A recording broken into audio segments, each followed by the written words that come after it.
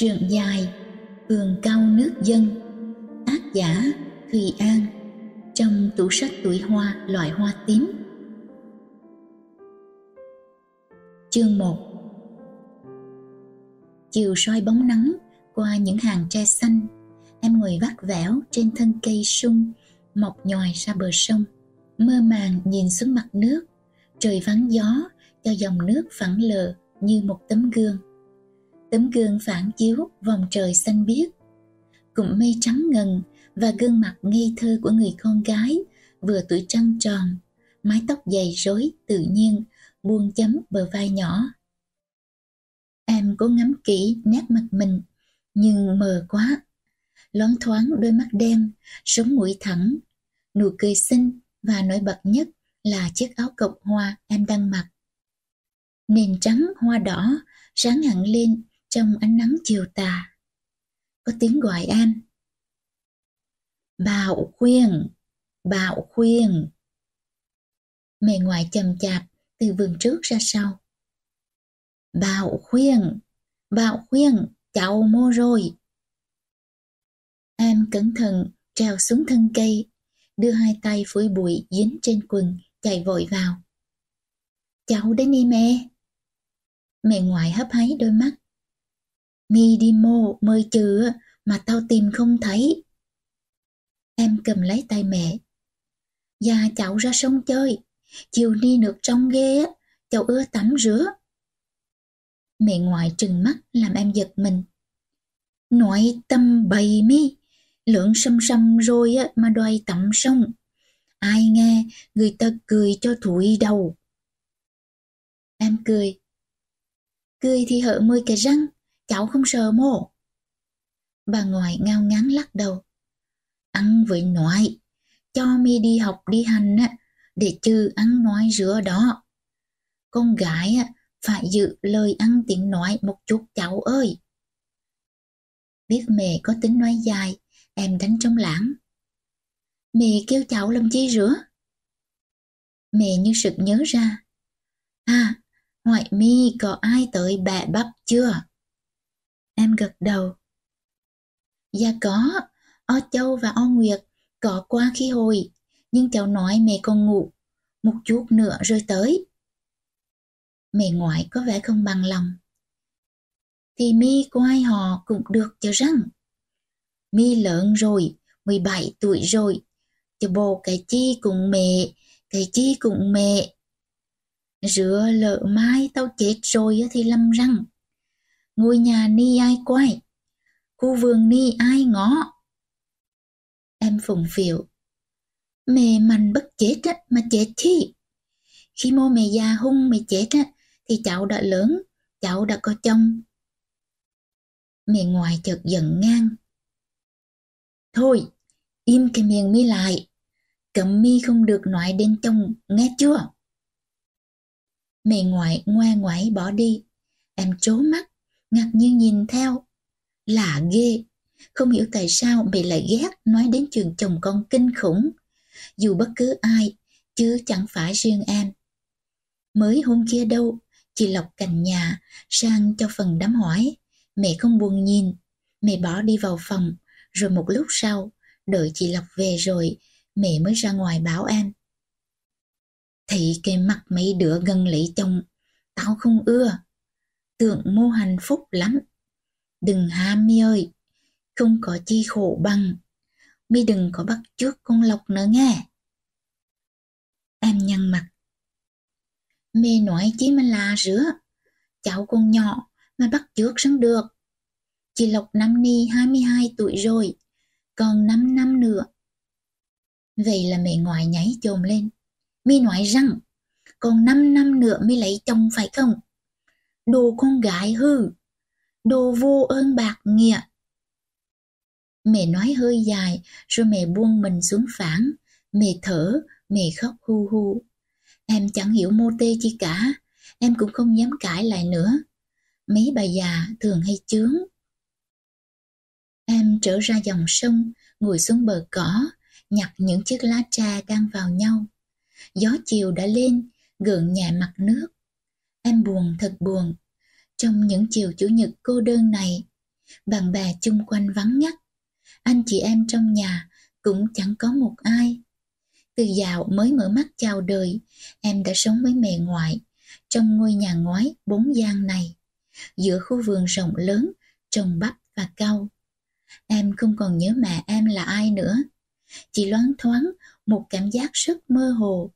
Gương mặt người đàn bà có nước da thật trắng và bàn tay gầy xanh thường ngồi bên sông cửa, đôi mắt buồn xa xăm. Mẹ ngoại nói mẹ tên là Bảo Ngọc. Mẹ mất là vì bị thương hàng từ năm em lên bốn. Còn ba em thì đã chết lâu lắm rồi, khi mẹ vừa mang thai em lận. Mẹ có người em ruột, dì Bảo Châu, hiện làm tá viên điều dưỡng ở bệnh viện Đồn Thất Sài Gòn. Dì vẫn sống độc thân, nhiều năm nay dì đã ngoài 30. Dì Bảo Châu ít khi về thăm nhà lắm. Em nghe mấy bà trong thôn nói, tại mẹ ngoại khó khăn quá nên dì Bảo Châu không thể có chồng được. Mỗi lần có người để ý đến dì là mẹ tìm cách ngăn, tìm cách cấm và nói nhiều lời va chạm đến tự ái người ta. Nên những chàng yêu dì Bảo Châu dần dần quay lưng đi, cho tuổi xuân của dì uổng phí trôi qua. Có lẽ vì vậy mà dì Châu giận mẹ, dì Châu xin đổi vào Sài Gòn. Dù lúc đó dì đang làm việc nhàn hạ tại nhà thương lớn. Trong nhà hiện giờ có ba người, mẹ ngoại, em và Ocam giúp việc. Mẹ đã già, Ocam lại quê mùa lắm cẩm, em chả biết nói chuyện cùng ai, nên mỗi lần nghỉ học, em lại thư thẩn một mình giữa khu vườn rộng lớn mà nghe bơ vơ ngút ngàn. Vườn nhà em rộng lắm, phía trước trông ra đường về Thuận An. Trồng toàn cao và phía sau giáp sông Hương là một ruộng bắp mông men. Mẹ ngoại nuôi em dư giả với lợi tức trong vườn thu được hàng năm. Vườn bắp em ngon nổi tiếng, cau thì trái mập và sai nên khách đến mua rất đông. Ở Huế, mỗi lần đến đám cưới là người ta nghĩ ngay đến câu buồn cau Nam Phổ, mâm trầu chợ dinh. Chứ thật ra Cau vĩ dạ vườn em cũng ngon lắm. Mỗi lần có đình đám hội hà, người ta vào vườn bẻ cau không kịp nữa đó. Bác Thuấn ở cạnh vườn em thường hay treo. Mai một đám cưới con bảo khuyên thì phải biết. Chủ rể khỏi cần mua cau, mà có cả đến một rừng cau. Nhưng có treo thì treo, chứ bác cũng tránh mặt mẹ ngoại. Mẹ mà nghe ai nhắc đến chuyện em lấy chồng là mẹ lông lên, như con gà mái, dương lông xòe cánh ra để bảo vệ đàn con. Bác Thuấn biết tính mẹ lắm, bác thường hay nói với anh. Tội nghiệp cô Bảo Châu, tại bà bên nhà khó quá nên phải bỏ Huế mà đi. Em cũng thương dì Châu lắm và em cầu mong sao thì gặp được ý trung nhân cho đời bớt cô đơn. Em ra cầu ván, thả đám lá tre khô, trôi theo dòng nước. Chợt em đỏ mặt quay vào. Bên cầu ván Bắc Thuấn, cách em vài chục thước, có một người con trai đang đứng nhìn em đăm đăm. Em thao thức không ngủ được. Thế chợp mắt là toàn những mộng mị gì đâu ấy. Có khi em còn thấy dáng dấp người con trai đứng trên cầu ván nhà Bắc Thuấn nữa đó. Kỳ ghê.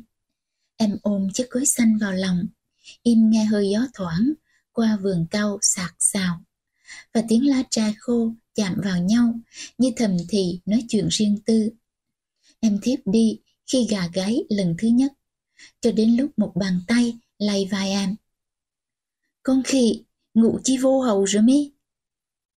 Em mở choàng mắt, nhìn đồng hồ trên tường, đã chỉ 7 giờ 15.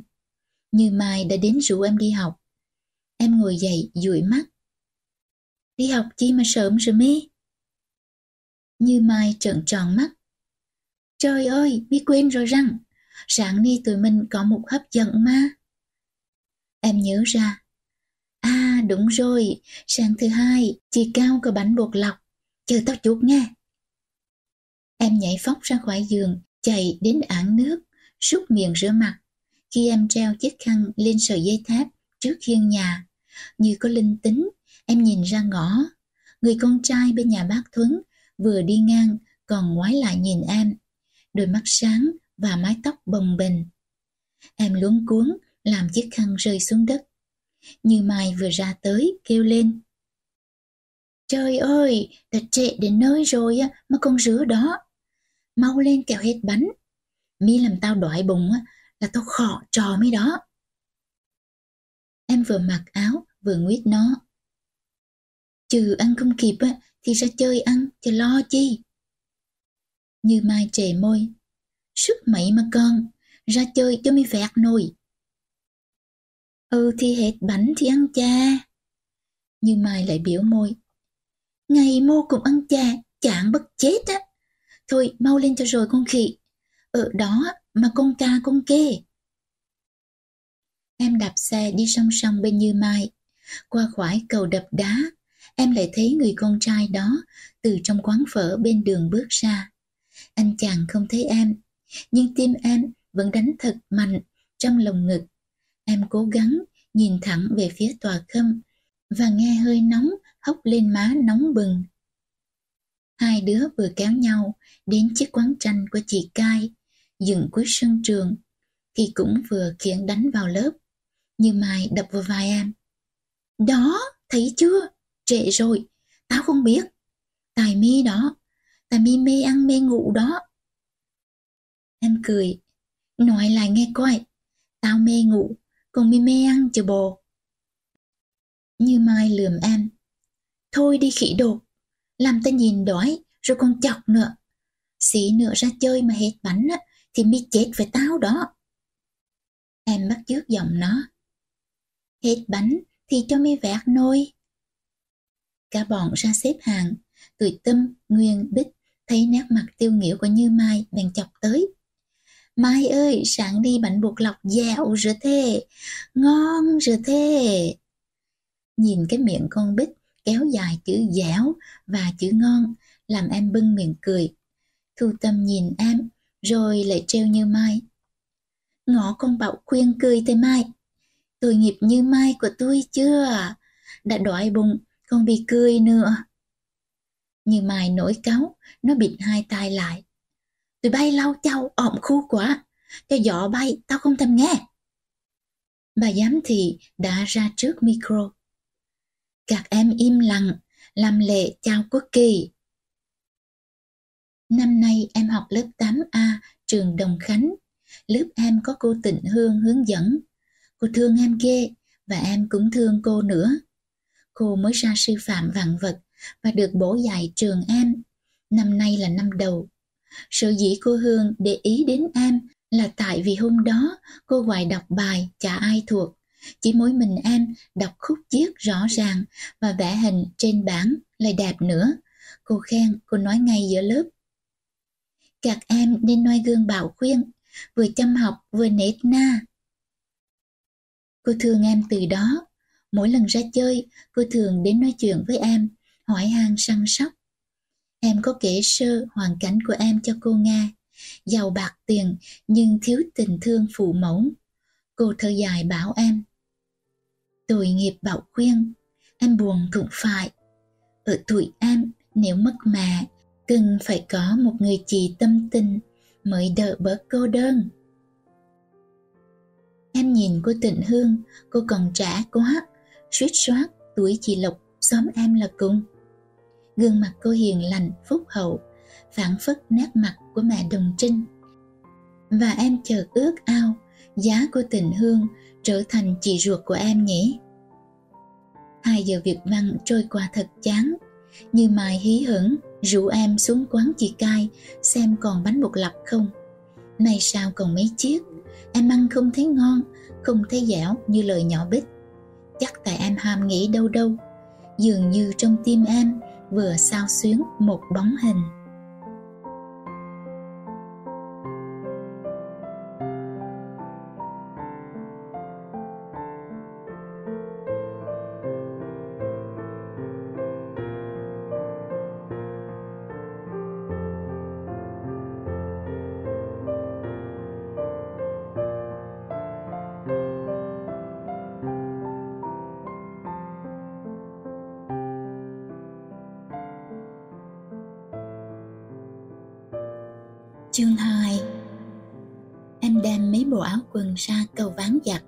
Chị Lộc chui hàng rào dâm bụt sang chơi với em Sáng ni Bảo khuyên không đi học à?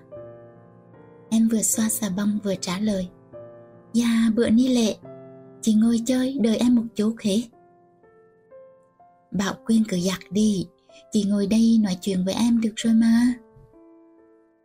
Tim em lại đập rộn ràng khi nghĩ đến sự liên lạc giữa người con trai ấy và chị Lộc, con gái Bắc Thuận. Chắc hai người có họ hàng chi đây? Vì nghĩ vậy, chứ em chả dám hỏi.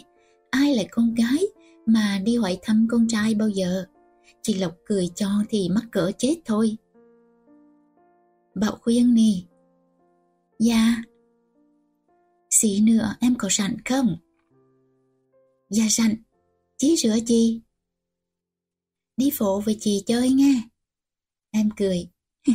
chị đi mua áo cưới hả? Chị Lộc cười, ánh nắng mai soi hồng đôi má. Mô có, chị còn lâu lắm. Em tò mò. Rửa khi mô chị mới làm đám cưới lần. Chị Lộc bứt một ngọn tre thả trôi theo dòng nước. Chắc cũng phải hè khuyên nợ. Chờ nãy thi ra trường đã. Em xả lại tấm áo cuối cùng. Rửa là hè ni, em phải may áo mới. Chị nhớ cho em ăn tiệc vậy hả? Chị Lộc cười thật tươi. Điều đó là cái chắc. Chị định rồi. Chị định mời Bảo Quyên làm dâu phù đó. Em đặt tất cả áo quần vào chậu, nhìn chị dí dỏm. Cha, chị tỉnh chi mà sớm rửa. Chị Lộc mơ màng. Đời con gái chỉ có một lần vui mà khuyên, rồi khuyên sẽ thấy mình không thể nào khỏi tính, khỏi lo đến được. Rồi chị nhắc lại chuyện cũ. Bảo khuyên giặt xong đi phổ với chị hi. Em bưng chầu áo quần đứng lên. Xe đạp em đứt sen rồi. Chị Lộc đi theo em vào sân sau. Khỏi đi xe đạp khuyên nợ, chỉ có xe, xe jeep của ba chị đó. Sáng đi, ông đi làm xe sợ, nên để xe ở nhà. Em phơi áo lên dây tháp. Chị lái xa được hả chị Lộc? Chị Lộc lắc đầu. Không, người em họ của chị lái. Em buộc miệng. Em họ của chị, mà ai rứa? Hai đó, Hải học kiến trúc ở Sài Gòn về, nghỉ hè ở đây đó. Khuyên biết không? Em nhớ đến ánh mắt người con trai lạ, tay chân trở nên luống cuống. Um, hại mô, em không biết nơi. Chị Lộc cố gợi em nhớ. Hồ Hải, con của chủ tâm chị đó. Giàu trước, học ở quốc học, và hay xuống nhà chị chơi hoài đó. Bảo Khuyên nhớ ra chưa? Em hoàn toàn mù tịt. Em không nhớ chi hết. Chắc là giàu nợ em còn nhỏ quá. Chị Lộc đến bên ảng nước rửa chân. Gia đình chủ tâm của chị dọn đi Sài Gòn lâu rồi. Năm nay Hồ Hải về Huế nghỉ hè. Hình như anh chàng đã chán, cạnh ồn ào não nhiệt ở trong đó rồi. Em thắc mắc. Nghỉ hè chi mà trễ rồi chị? Ngoài ní trường em khai giảng đã lâu. Chị Lộc ngồi xuống tảng đá cạnh gốc cao. Đại học khác với trung học lắm khuyên nợ. Vì thi cuối năm trễ nên nghỉ hà cũng trễ lắm. Em gật gù. À đúng rồi, chị của con như Mai bạn em cũng rứa. Chứ mà cũng chưa đi học nơi. Chị Lộc hỏi lại em. Răng, chứ đi phụ với chị không? Nghĩ đến Hải cùng đi, em thèn đó mặt, em tìm cớ thoái thác. Thôi lần, để khi khác, em còn phải... Chị Lộc ngạc nhiên. Ủa, rắn kia hồi khuyên nói khuyên rặn. Em cười hòa. Dạ, em quên. chưa nhớ lại, em có mấy bài toán cần phải làm. Mai nộp rồi. Thôi, em xin lỗi chị he. Chị Lộc không nói gì, chị nhìn lên những hàng cao xanh. Em cười với chị. Mai một đám cưới chị, em để dành cho chị một buồng cao lớn nhất. Mẹ ngoài từ nhà bếp đi ra hứ một tiếng. Đám cưới, đám cưới à? Mi nói chi mà có đám cưới hả khuyên? Em hoảng hồn đứng nép bên chị Lộc. Mô, cháu có nói chi mô nữa. Cháu hỏi chị Lộc, khi mô làm đám cưới mà. Bà ngoại câu có bước ra mương nhổ bãi nước trầu. Đi ra trực sân á, mà coi họ bạ câu với o cam tề. Mi thiệt, càng lượng càng chi mô á. Chị Lộc nháy mắt nhìn em, chị chào mẹ thật nhỏ, xong chị chạy ra sau, chui qua hàng rào dâm bụt, mất dạng. Em nhăn với mẹ. Mẹ chỉ là ghê á, chị Lộc qua chơi một chút á, mà mẹ cũng khó chịu. Mẹ ngoại ngồi xuống tảng đá hồi nãy. Cái con nữa, gần lấy chồng rồi, mi đừng có giao thiệp với nó nữa. Em trố mắt nhìn mẹ. Á, mẹ chỉ là rửa. Bộ sắp có chồng là tội lỗi lắm răng, mà mẹ cạn cháu chơi với chị Lộc. Mẹ ngoài xua tay. Thôi, mi đừng có hạch hoại tao nữa. Mi cũng nít hị mũi chưa sạch, biết chi đến chuyện người lớn. Em chán quá, em bỏ ra sân trước, mẹ ngoại quà giật lại. Bảo khuyên, ở lại, tao dặn cả ni đã. Em bướng. Để cháu ra coi họ bạ cao.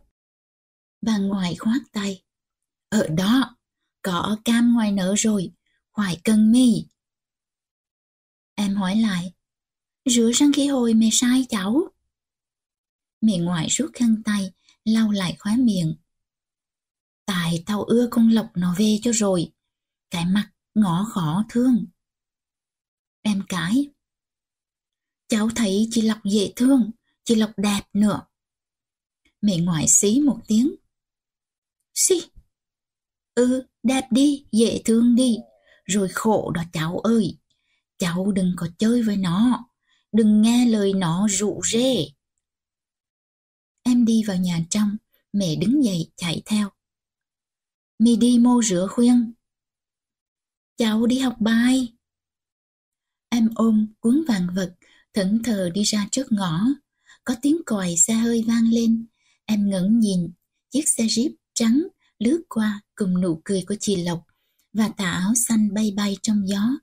Em lại thấy một ánh mắt ấm nồng. Buổi chiều như Mai tới nhà rủ em ra ruộng bẻ bắp nướng ăn. Em nhờ o cao quạt lò than rồi hai đứa loay hoay nướng. Mẹ ngoại đi ra. Nướng có được không đó? Đưa tao nướng cho. Như Mai lau chao. Dạ được mẹ ơi, nghề của cháu mà. Mẹ ngoại nhìn vào mặt Như Mai tò mò. Ở nhà cháu nướng bắp bản à? Em cười lớn. Nó xào đâu mẹ, nó mà buông bán chi, ăn rồi chơi không mà. Mẹ lắc đầu. Cho tụi bay đi học đi hành, rồi nói năng lóc chóc như đồ con trai. Không ai ưa mô. Như Mai cười hít hít. mẹ sợ tụi cháu ế trong hả mẹ? mẹ vứt trái bắp đang cầm trên tay xuống đất. Thôi im đi, tụi bay còn con nít mà cứ nói đến chuyện chồng hoài, hư quá mất. Mì ngoại hầm hầm đi vào trong, như Mai ngạc nhiên nhìn em. Chỉ là rửa bạo khuyên. Em nhấc trái bắp vừa chín ra khỏi lò. Tỉnh mề rửa, mẹ không ưa ai nói đến chữ chồng hết á. Như Mai là lưỡi ruồng vai. À, tức cười chưa? Không có chồng á, làm sao mẹ đạ ra ma mi? Rồi ma mi không có chồng á, làm sao có mi được à? Tao biết rồi, chứ mẹ mi già rồi, mẹ mi lấy chồng không được, nên mẹ tức. Em xua tay. Thôi mi đừng có nói bậy, mẹ nghe mẹ la chứ.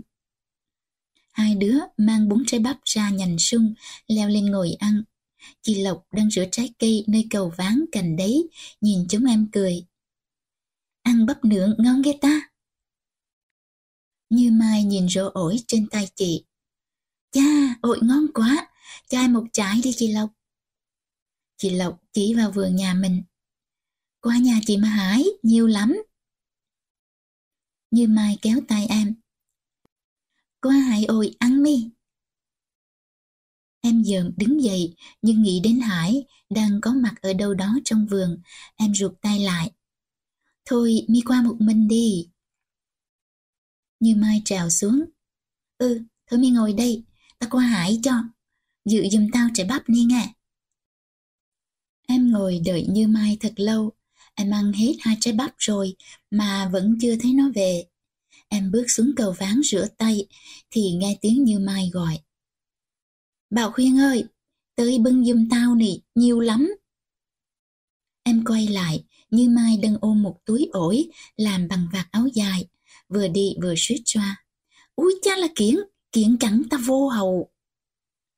Em cười đỡ mấy trái ổi trên tay nó.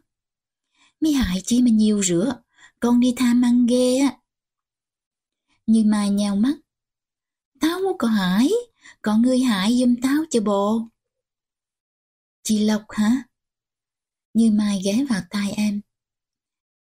Tao nghe chị Lộc giới thiệu á, là ông em họ của chị, Hồ Hải đó mấy. Cái tên nghe tiểu ngạo giang hồ hi. Bàn tay em run run. Hồ Hải, Hải ổi cho mấy hả? Như Mai gật. Ừ, anh chàng ga lăng ác, là đẹp trai nữa mi ơi, giống thầy tự cine rửa ghê. Em nghe thoáng xót xa trong hồn. Hải đã nói chuyện với Như Mai, Hải đã hái ổi cho nó, và chắc có lẽ hai người đã nói chuyện với nhau nhiều lắm. Sao em cảm thấy buồn buồn, như mỗi lần thất vọng một điều gì, và em chợt ghét mình kinh khủng. Sao mình hay ruột rà e lệ? Sao mình hay đỏ mặt ngại ngùng quá thế? Để như Mai quen với Hải trước mình mất rồi. Như Mai khoát nước sông trong vắt lên, rửa cẩn thận mấy trái ổi. Em dòm đứng dậy. Để ta vô nhà lấy cái rộ. Như Mai níu em lại. Thôi mi, Hai ngon là chuối, vắp lên rồi mình thanh toán luôn, chờ rộ rã làm gì cho mệt. Em lắc đầu. Dễ sợ, nhiều gì ăn đồ bụng chết. Em chợt ngừng nói vì thoáng thấy dáng hải trên cầu ván bên kia. Anh chàng đang nhìn em đăm đăm. Em lại mắc cỡ.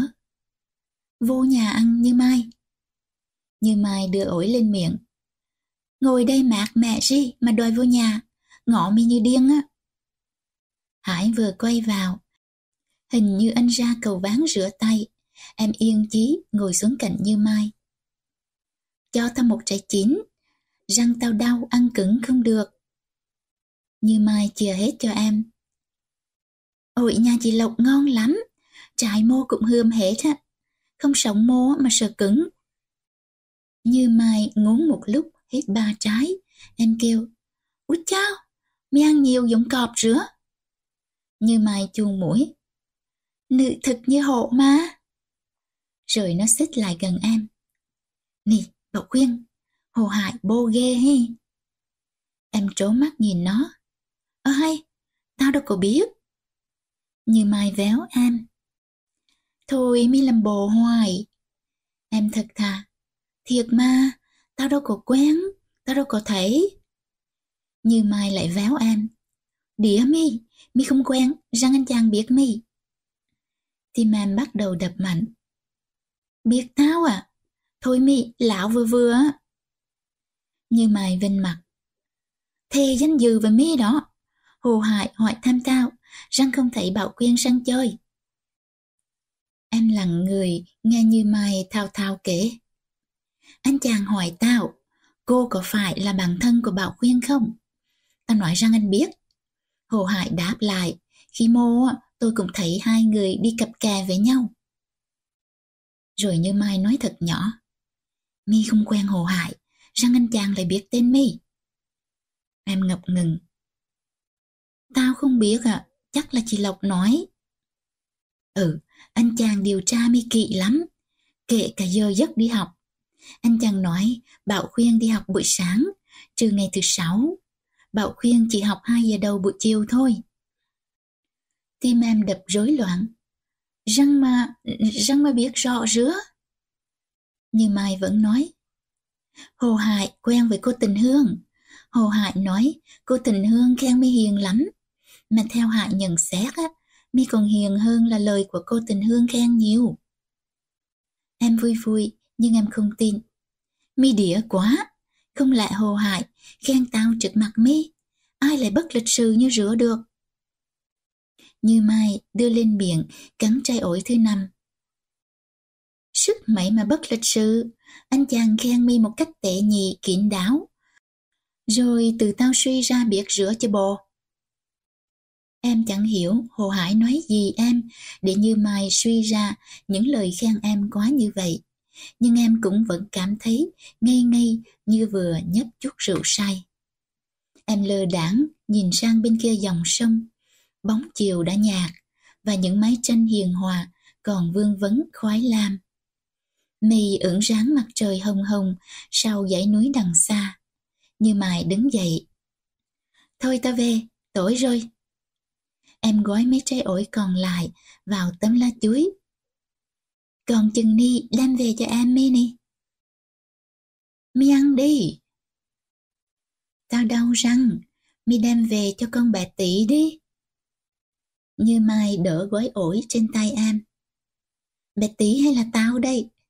Thôi để dành tối nay, vừa học bài vừa nhẩm nháp. Em đánh vào vai nó. Cha là chị, chị tham ăn, chị bị chỉnh coi đó. Như Mai rút cổ.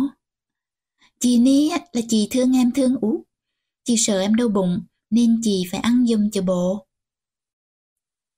Em đưa Như Mai ra cổng, nghĩ đến gia đình của nó đông đủ chị em. Sao em thấy cô đơn lạ? Em đi nhanh vào nhà trong, em lại lặng người. Em vừa thoáng thấy một ánh mắt bên kia hàng rào dâm bụt. Em cúi đầu, nghĩ đến những lời Hải khen em với Như Mai, mà nghe bước chân như mọc cánh. Vào đến nhà ngang, mẹ ngoại đang ngồi ăn cơm một mình trên rương xa. Thấy em, mẹ quay xuống nhà dưới. О Cam ơi, dọn cơm cho con Bảo Khuyên ăn. Rồi mẹ bảo em, bữa nay mẹ ăn chay, cháu ăn cơm với O Cam hị. O Cam bưng mâm lên tươi cười. Chiều ni có cà nục tươi ngon lắm cô Khuyên ơi. Tôi kho một nửa, còn một nửa nấu canh về thơm. Em ngồi xuống ghế. O ra vườn hại rau sống vô ăn đi. O Cam đòn đã. Rồi cô, tôi có sắc bập chuối nữa, ngon lắm. Em cầm đũa. O ngồi ăn với tôi he. Dạ cô ăn trước đi, để tôi muối rộ ca đã. Chà, cà bạc bữa ni rẻ ghê. O Cam đi ra sau bếp, mẹ ngoại bảo anh. Khuyên nờ bữa nay mi lớn rồi, nên tập ăn chay cho quen. Không ăn được 10 ngày như tao á, thì một tháng cũng nên ăn hai ngày rằm mùng một. Thiệt ngày rằm mà thấy o cam mua cả mua tôm về làm, răng mà tao đau lòng quá. Em gắp một miếng thơm bỏ vào miệng. Mẹ nói rửa, chờ cả tôm trời sinh ra, cho người ta ăn cho bộ. Mẹ ngoại lắc đầu. Nói như mi á, thì tội lỗi lúc đâu. Em cười khúc khích, em treo mẹ. Tôi lôi xuống sông mẹ ơi, mai một cò chồng. Mẹ ngoại dằn mạnh chán cơm xuống mặt rương xa. Em hoảng hồn, em bịt miệng mình lại không kịp, mẹ hét. Lại chồng, lại chồng. Đúng là mi giao du với con Lộc, rồi mi nhiệm cái tính hư. Thấy mẹ vô lý quá, em cãi. Chị Lộc đang hoang rửa mà mẹ kêu hư. Hư răng mà nhiều người theo, nhiều người đòi rửa. Mẹ ngoại đến gần em, nhìn sát vào mặt. Mi tưởng rửa mà hạnh diện. Lâm rồi cháu ơi. Mi tưởng có đám cưới là oai lắm hả? Em cúi mặt ăn cơm, chả buồn trả lời. Mẹ chướng ghê. Mẹ hầm hầm đi ra sân rửa miệng. O cam rụt rà lại gần em. Chi rửa cô khuyên? Chi mà mẹ nội dân rửa? Em buông đũa đứng dậy. Mẹ già rồi mẹ chướng. Hơi mua o để ý cho mệt. Thôi o ăn đi mà dọn. Tôi ăn rồi. o Cam nhìn em. Cô ăn mau rửa, con cả ni, cô ăn nệ đi. Thôi o ăn đi. Buổi tối trời nóng quá, em học xong bài vàng vật thì mồ hôi mồ kê như tắm. Em sắp vỡ lại, thơ thẩn đi dạo trong vườn. Ánh trăng rằm tròn vành vạch, tỏa ánh sáng màu sữa bàn bạc ngàn cây. Em nghe hơi gió thoảng qua hàng câu sạc xào. Em nghe sương tỏa, vuốt ve từng cánh, là ru hồn em lân lân tan biến vào không gian trầm lặng. Và tim em rung nhẹ, muôn cung nhạc êm đềm, như tiếng sáo thiên thai. Em hát nho nhỏ. Xuân tươi, êm êm ánh xuân nồng, nâng niu sáo bên rừng, dăm ba chú tiên đồng. Em đi qua ruộng bắp, xuống cầu ván bên sông, nơi đây gió thật mát và bóng trăng vỡ từng mảnh, sáng lung linh trên mặt nước tỏa hào quang. Em ngồi xuống ván, thò chân xuống làn nước mát lạnh, khua nhẹ cho vỡ vụn từng mảnh trăng vàng. Bỗng em cảm thấy nhột nhạt, hình như có ai đang nhìn em. Linh tính bén nhạy, em nhìn thật nhanh về phía cầu ván nhà bác Thuấn. Có một bóng trắng đứng im lìm tại đó. Hồ Hải. Em như dính người xuống ván, dòng nước dưới kia như đặc quến níu chân em lại. Em sững người, em đã bị thôi miên. Cho đến khi một tiếng kêu đầm ấm vang lên. Bảo khuyên. Em sực tỉnh, em rút chân ra khỏi mặt nước thật nhanh và đứng bật dậy. Hải lại gọi lại. Bảo khuyên. Em ù té chạy, em vấp phải hòn đá, em ngã nhòi xuống con đường nhỏ, len giữa ruộng bắp. Hình như Hải đuổi theo em, và Hải cũng trông thấy. Em nghe giọng Hải đầy lo lắng bên kia hàng rào dâm bụt. Bảo khuyên có sao không? Em lồn cồn ngồi dậy, tiếp tục chạy. Em quên cả đau, cho đến khi vào đến phòng bật đèn lên, em nhận thấy áo quần mình lấm lam dơ giấy và một vết chày ở đầu gối khá lớn. Em chạy đi tìm dầu khuynh diệp. Mẹ ngoại hỏi, răng rửa cháu. Dạ cháu bị bộ.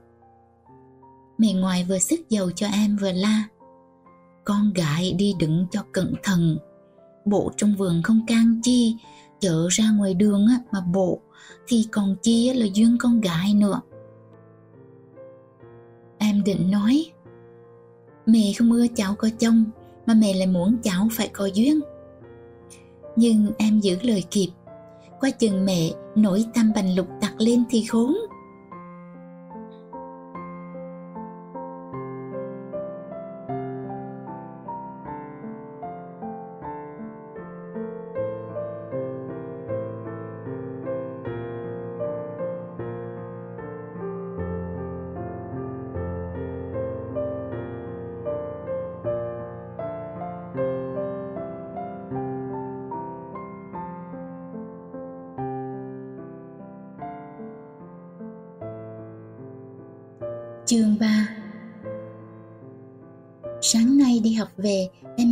Lá thư dì Bảo Châu.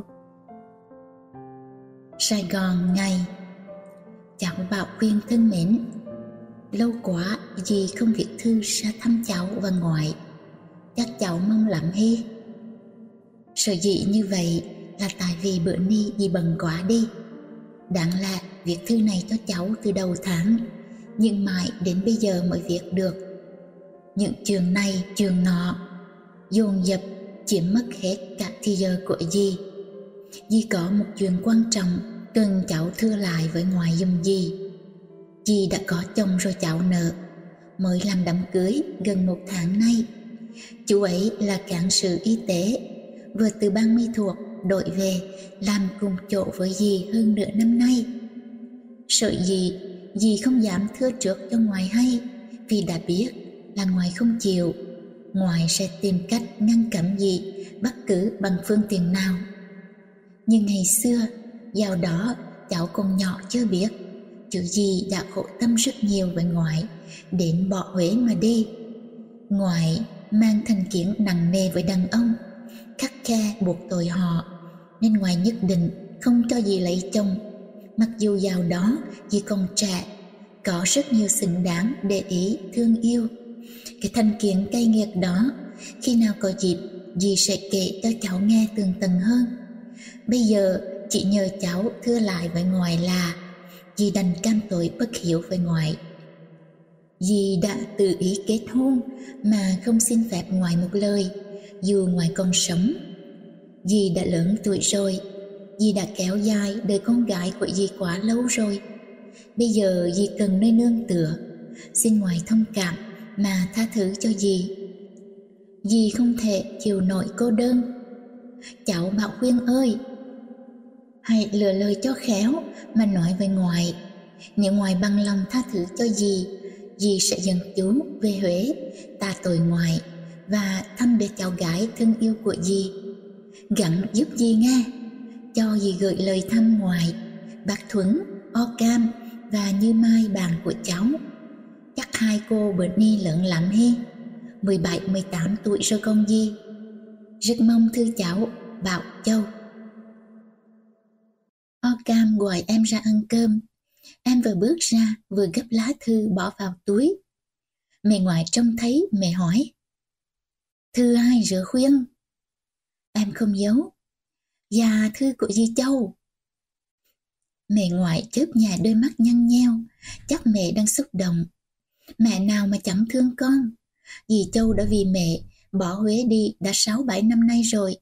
Em nhìn mẹ đăm đăm, chắc mẹ đang nhớ đến dì Châu.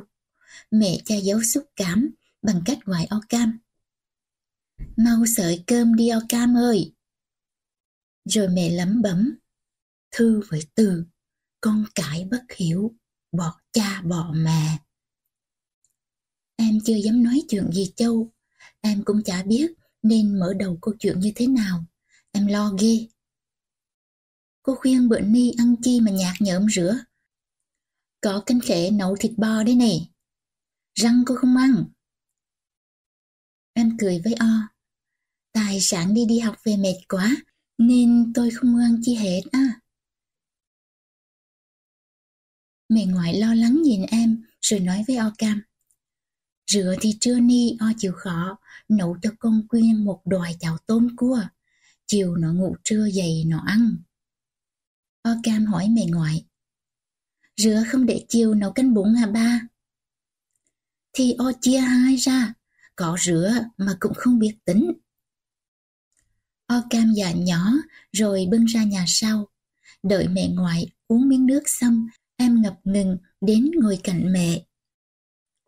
Mẹ ơi! Mẹ ngẩng lên âu yếm. Chi rửa cháu? Thôi đi ngủ kẹo mệt, chiều dậy ăn cháo tôm cua. Em nói thật nhỏ. Mẹ ơi, con có chuyện muốn nói với mẹ. Mẹ ngoại với tay lấy cây trầu. Có chuyện chi rửa cháu? Em liều mạng nói một hơi.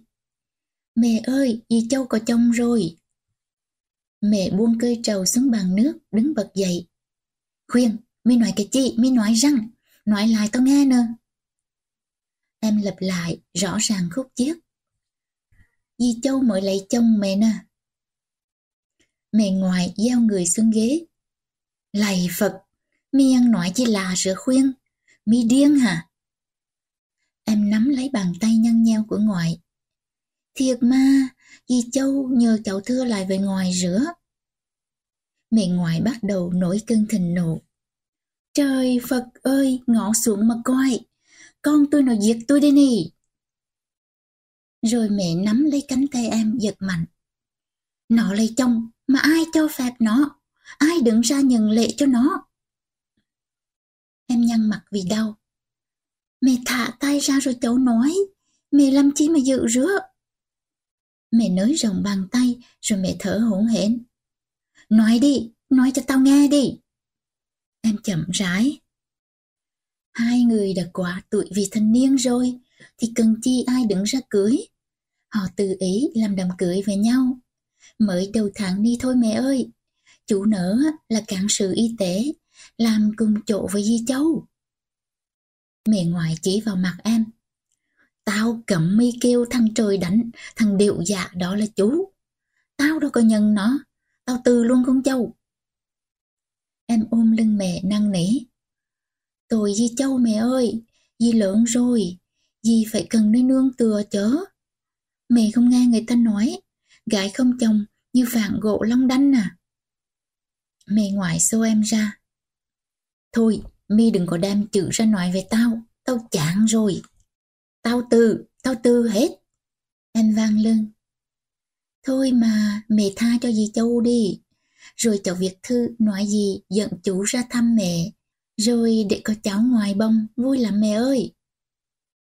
Mẹ ngoại trừng mắt. Vui, vui, vui cái một tổ mi cho vui. Mi Việt Thư nói với nó là tao từ nó luôn, tao cấm cửa luôn. Liều mà đi mua cho mất đất. Trở về đây á là tao lấy chuỗi, tao xúc cả hai đứa. Nghe chưa? Em năn nỉ. Mẹ, tôi với cháu là mẹ ơi. Mẹ ngoay ngoắt đi vào buồn Tôi thì mi cuộn gọi đi theo nó đi. Đồ con gái hư đốn mất nét mô á. Em chán nản, đến bên sông cửa, dở thư dì Châu ra đọc lại một lần nữa, rồi em nói nhỏ một mình. Cháu thất bại rồi dì ơi, dì đừng giận cháu nghe gì. Em ngủ trưa một giấc, đến gần ba rưỡi mới dậy. O Cam đã nấu xong cháo, để trên bàn từ hồi nào, đậy nắp lồng bàn cẩn thận. Ăn chảo cho khỏe cô khuyên, tôi có sắc hành ngò và rau răm thơm lắm. Em súc miệng xong, đến ghế ngồi. O ra hại cho tôi trẻ ớt đi. O Cam chỉ tay. Cô dựa lồng bàn lên đi, có ớt ngoài nơi à. cây xả lưỡi luôn. Rồi o hò. Ớt nào là ớt chẳng cay, gái nào là gái chẳng hay ghen chồng. Em lừa mắt nhìn o cam. O đừng có nói đến chữ chồng, mẹ tôi nghe được mẹ la chứ. Bà đi rồi cô. Ủa, mẹ tôi đi mua rửa. O cam mắt. Tôi nghe bà trăng trở hoài, bà không ngủ được. Bà dậy từ 2 giờ, bà nói bà đi chùa. Thôi, ông ra sau làm việc đi, rồi ngọ nhà tôi đi đây một chút. Tôi đi hải bắp nấu trà, cô đi về ăn nghe. Em gật đầu. Ừ, nấu nhiêu nhiêu á. Bà về bà ăn cho khỏe. Em ăn xong, thay áo quần, rồi dắt xe đạp ra ngõ. Em định đạp một vòng bờ sông cho mát, rồi ghé thăm cô Tình Hương. Nghe nói cô đau mấy bữa nay, nhưng vì bài vở nhiều quá, em không có thì giờ đi thăm. Nhà cô Thịnh Hương ở chợ Cống, phải vào một con hẻm sỏi đá gập ghềnh. Em dựng xe ngoài cổng, đưa tay bấm chuông, cô bé giúp việc chạy ra, em hỏi. Có cô Hương ở nhà không em? Dạ, cô em đi bác sĩ rồi, mới vừa đi đó. Em quay xa trở ra. Xí nữa cô Hương về, em nói có cô Bảo Khuyên tới thăm cô ấy. Dạ. Em vừa ngồi vào yên xe thì nghe tiếng hông đa từ trong nhà cô Tịnh Hương chạy ra. Em luống cuốn suýt té vì nhận ra người lái xe Honda là Hải. Hải tỏ vẻ mừng rỡ khi gặp em. Bảo Khuyên, Bảo Khuyên đến thăm cô Tình Hương hả? Em cúi đầu lý nhí. Dạ. Anh Tài, em của cô Tình Hương, cũng đi từ ngoài hẻm vào. À, Hải, à, Bảo Khuyên, hai người đi mô rửa. Em chết đứng người vì thẹn, Hải vui vẻ đáp. Ồ không, mình đi tìm cậu, còn Bảo Khuyên đến thăm chị Hương, tình cờ gặp nhau ở đây và cùng ra về vì không ai gặp ai cả. Anh Tài vỗ vai Hải rồi nhìn em. Chứ gặp mình đây rồi, cậu vô nhà chơi đi. Cả Bảo Khuyên nữa. Cô Hương cũng sắp về rồi đó. Bảo Khuyên vào nhà đợi nhé. Em lắc đầu. Thôi lận, để khi khá khuyên đến. Chứ trời gần tối rồi, khuyên phải về, kẹo mẹ khuyên la. Hải cũng cho xe nổ máy. Mình cũng về luôn, hẹn cậu khi khác. Anh Tài nheo mắt. Hải tháp Tùng bảo Quyên về nhà hả? Xua quá rồi, nhà hai người ở cạnh nhau mà. Chưa bao giờ em lại ngượng đến như vậy. Em quên cả chào anh Tài, đạp xe đi một nước. Hải cho xe chạy song song với em. Bảo khuyên. Em không đáp, em không nhìn, em hoảng hốt đến tội nghiệp. Ra khỏi con hẻm, Hải bảo em. Bảo khuyên đi phô vỉa lề đi, kẹo xe. Em cố gắng lắm mới nói được. Anh đi về trước đi, để khuyên về một mình. Hải như không để ý đến lời em. Khuyên đi vào phía trong đi, để tôi đi ngoài cho. Giờ ni học trò bại, người ta đi làm về, xe đông lắm. Em có nói thật lớn. Khuyên muốn đi một mình. Hải không nói gì cả, nhưng anh cho xe chạy chậm để em đạp xe lên trước, đến đập đá. Hải lại vượt xe đến cạnh em. Bảo khuyên à, tại sao Bảo khuyên cứ muốn tránh tôi hoài rửa? Em không đáp, em gắng sức đạp xe thật nhanh. Tuy em biết rằng sẽ thất vọng nếu Hải cứ muốn theo em bằng chiếc không đa của anh. Nhưng Hải thật tế nhị, như hiểu ý em. Anh cho xe chạy chậm lại như trước. Em vẫn đạp xe trước Hải. Tay run, chân run vì em cứ có cảm tưởng như Hải đang nhìn chăm chăm vào lưng em. Bỗng bàn đạp xe em như hụt hẫng.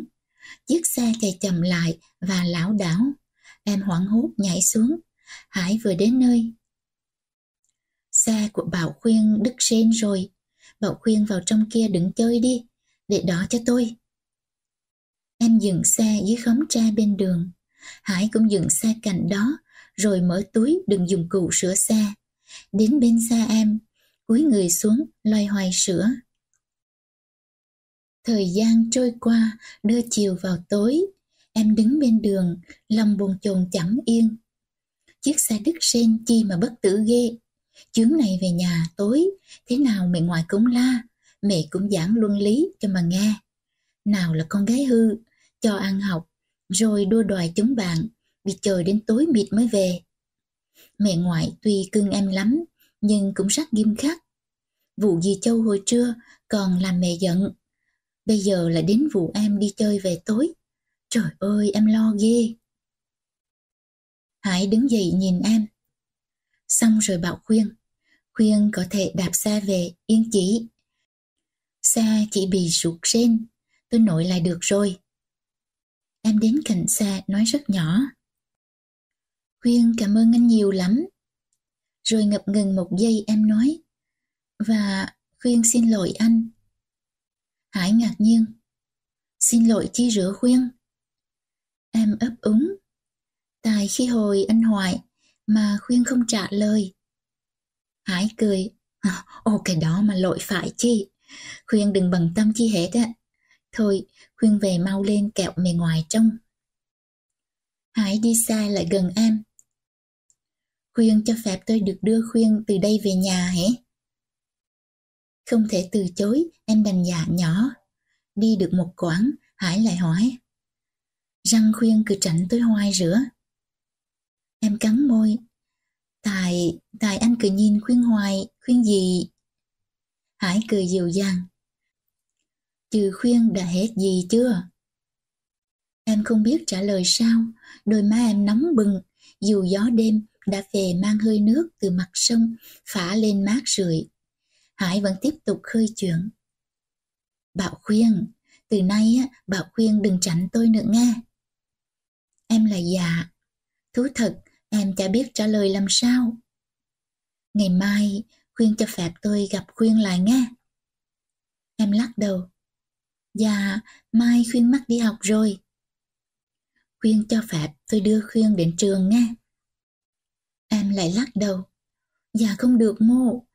Mai khuyên bằng đi với con bạn. Hải cười. Cô như Mai phải không? Hôm trước á, cô ấy có xin chị Lộc sang vườn nhà Hải ổi. Trông cô ấy dàn dị như gái Sài Gòn á. Em làm bảo hỏi Hải. Bồ như Mai dàn lắm hả anh? Hải nhìn em, dù trời chập choạng tối, em vẫn nhận thấy có làn ánh sáng trong đôi mắt anh. Tôi thấy hầu hết con gái thời bây giờ đều dàn dị, ngộ ngáo, không ai dịu dàng, thùy mị như Bảo Khuyên cả. Em vừa thẹn, vừa thấy vui vui trong lòng. Hải nói như vậy, có nghĩa là Hải mến em hơn Như Mai. Ừ, em cũng nhận thấy Như Mai dạng ghê. Trong lớp học, nó phá phách còn hơn con trai nữa. Đôi khi nó dám chọc cả thầy cô. Hải lại gọi. Bảo khuyên. Dạ. Răng khuyên im lặng rửa. Dạ tại khuyên không biết nói chi hết. Khuyên, sáng mai khuyên mắc đi học phải không? Dạ. Rửa thì chiều mai khuyên ra vườn cho tôi được gặp hả? Em bối rối, em định nói láo là chiều mai em bận lên trường cộng điểm. Nhưng nghĩ lại, thấy vô lý vì hôm nay mới giữa tháng thôi mà. Hải lại dục. Khuyên trả lời đi, chiều mai khuyên ra vườn hả? Dạ, khuyên, khuyên... Hay khuyên ngài gặp nhau ngoài vườn bất tiện. Rửa thôi, chiều mai tôi sang nhà khuyên chơi nghe. Em hoảng, đề nghị sang nhà em chơi của Hải đưa ra, nguy hiểm quá. Miệng ngoại trông thấy, dám mẹ từ em luôn, với dì Châu lắm đó. Nhưng không lẽ từ chối cả hai đề nghị của Hải, như vậy bất lịch sự quá. Cử chỉ của Hải đối với em, tế nhị biết bao nhiêu. Làm sao em nỡ từ chối sự làm quen của anh được. Xa gần đến nhà, Hải nói với em thật nhanh. Khuyên quyết định nhanh lên, chiều mai khuyên ra vườn hay tôi sang nhà gặp khuyên. Rồi giọng Hải trùng xuống thật buồn. Hay là khuyên không muốn làm quen về tôi? Em thấy tội nghiệp Hải ghê, nhưng em cũng sợ mẹ nữa. Chắc em không dám để Hải sang nhà đâu, nên em đáp nhanh. Mai, mai khuyên ra vườn. Giọng Hải đầy xúc động. Cảm ơn khuyên đã coi tôi như bạn. Chiều mai tôi đợi khuyên bên vườn tôi. Từ trưa đến tối, bất cứ giờ mô thầy khuyên ra là tôi sang. Bên trong nhà em đã thắp đèn, em từ giả Hải. Thôi khuyên về. Hải dừng xe lại. Khuyên vào nghe, chúc khuyên ngủ ngon đêm nay. Em hồi hộp dắt xe đạp vào nhà. Ánh mắt thiết tha của Hải cùng cử chỉ tế nhị và lời nói ngọt ngào kia, bây giờ em quên hết. Em chẳng nhớ gì cả, ngoài sự lo âu càng dâng ngập trong hồn theo mỗi bước chân đi. Em cố bình tĩnh, chuẩn bị tinh thần để thấy mẹ ngoại nổi cơn thịnh nộ, để nghe lời mẹ đay nghiến ray rứt, và cuối cùng là nên lựa lời dỗ mẹ. Vì tính mẹ vậy, mỗi lần em làm điều gì lầm lỗi, mẹ la mẹ hét một hồi, rồi mẹ ngồi trong góc khóc tấm tức một mình. Những lúc đó, em phải đến bên cạnh, lau nước mắt cho mẹ, dỗ dành mẹ như trẻ con. Và nếu cần, em sẽ khóc cùng mẹ để làm vơi giùm mẹ nỗi ấm ức trong lòng. Ocam đứng thập thọ ở cửa, em kêu. Ocam, Cam, mẹ mô, mẹ có la tôi không? Ocam lắc đầu. Bà đi chùa chưa về cô ơi. Em thở phào nhẹ nhõm, người như vừa trút được gánh nặng ngàn cân. Em vào phòng, thay bộ đồ ngắn ra sân sau rửa mặt. Ocam tò mò. Cô đi mô mà về trễ rửa. Em trả lời vui vẻ. Xe bị hư ó nè, phải nhờ người ta sửa nên mới về chậm đó chứ.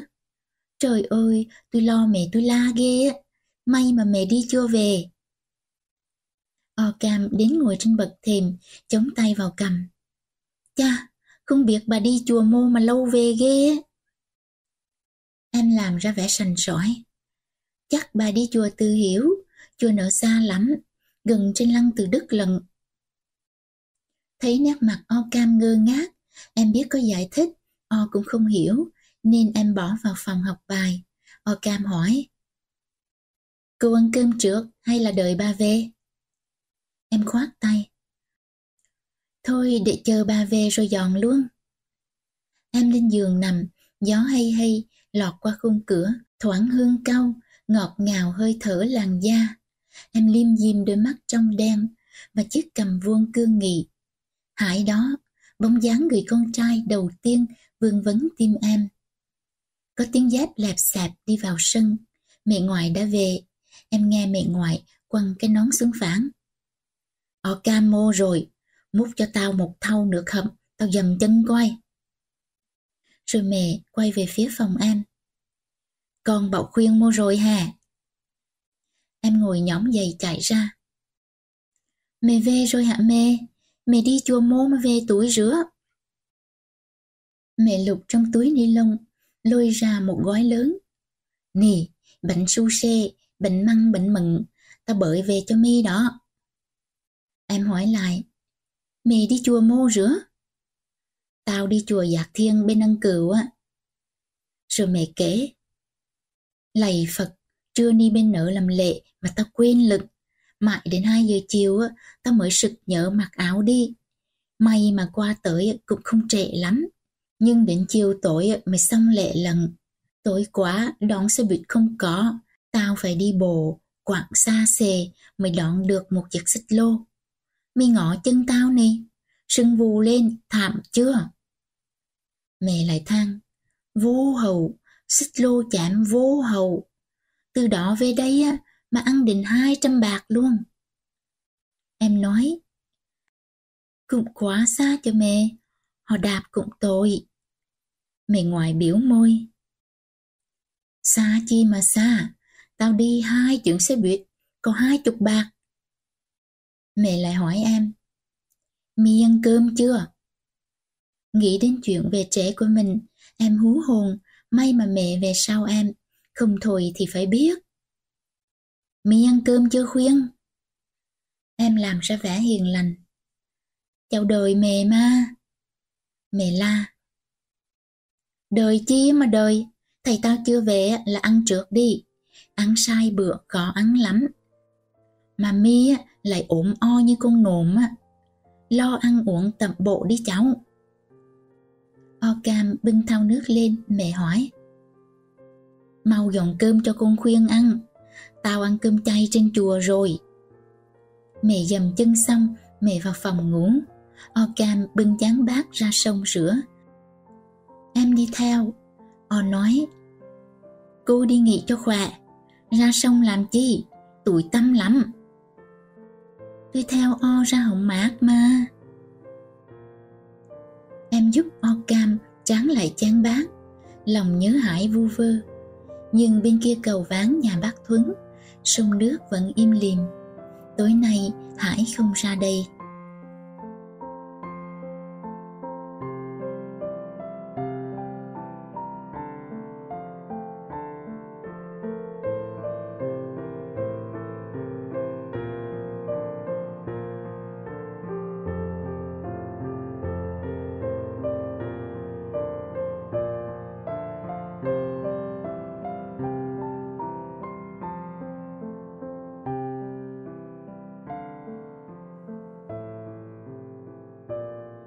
Chương 4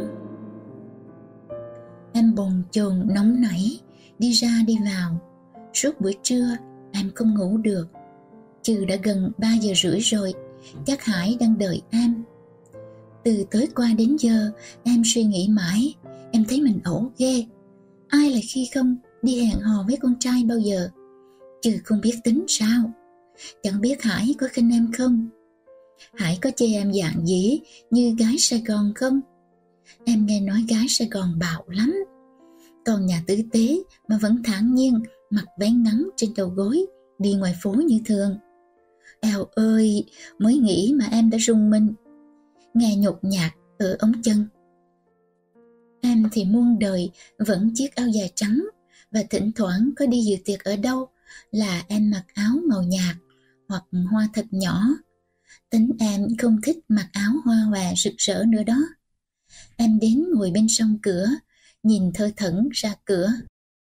Trời còn hanh nắng, nhưng gió mát đã sạc sào trên những hàng cau. Mẹ ngoại đang ngồi nói chuyện với dì Lục, vừa dưới quê lên. Dì Lục cứ tán tụng mẹ hoài.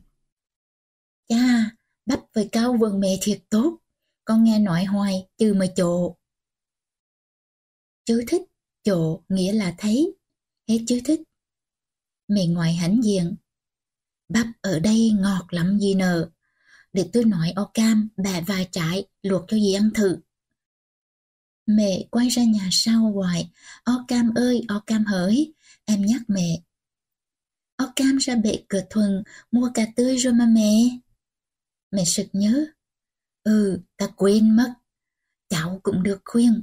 Ra ruộng hãy dùm mẹ vài trái bắp. Xị nữa, o cam về luộc cho dì Lục ăn.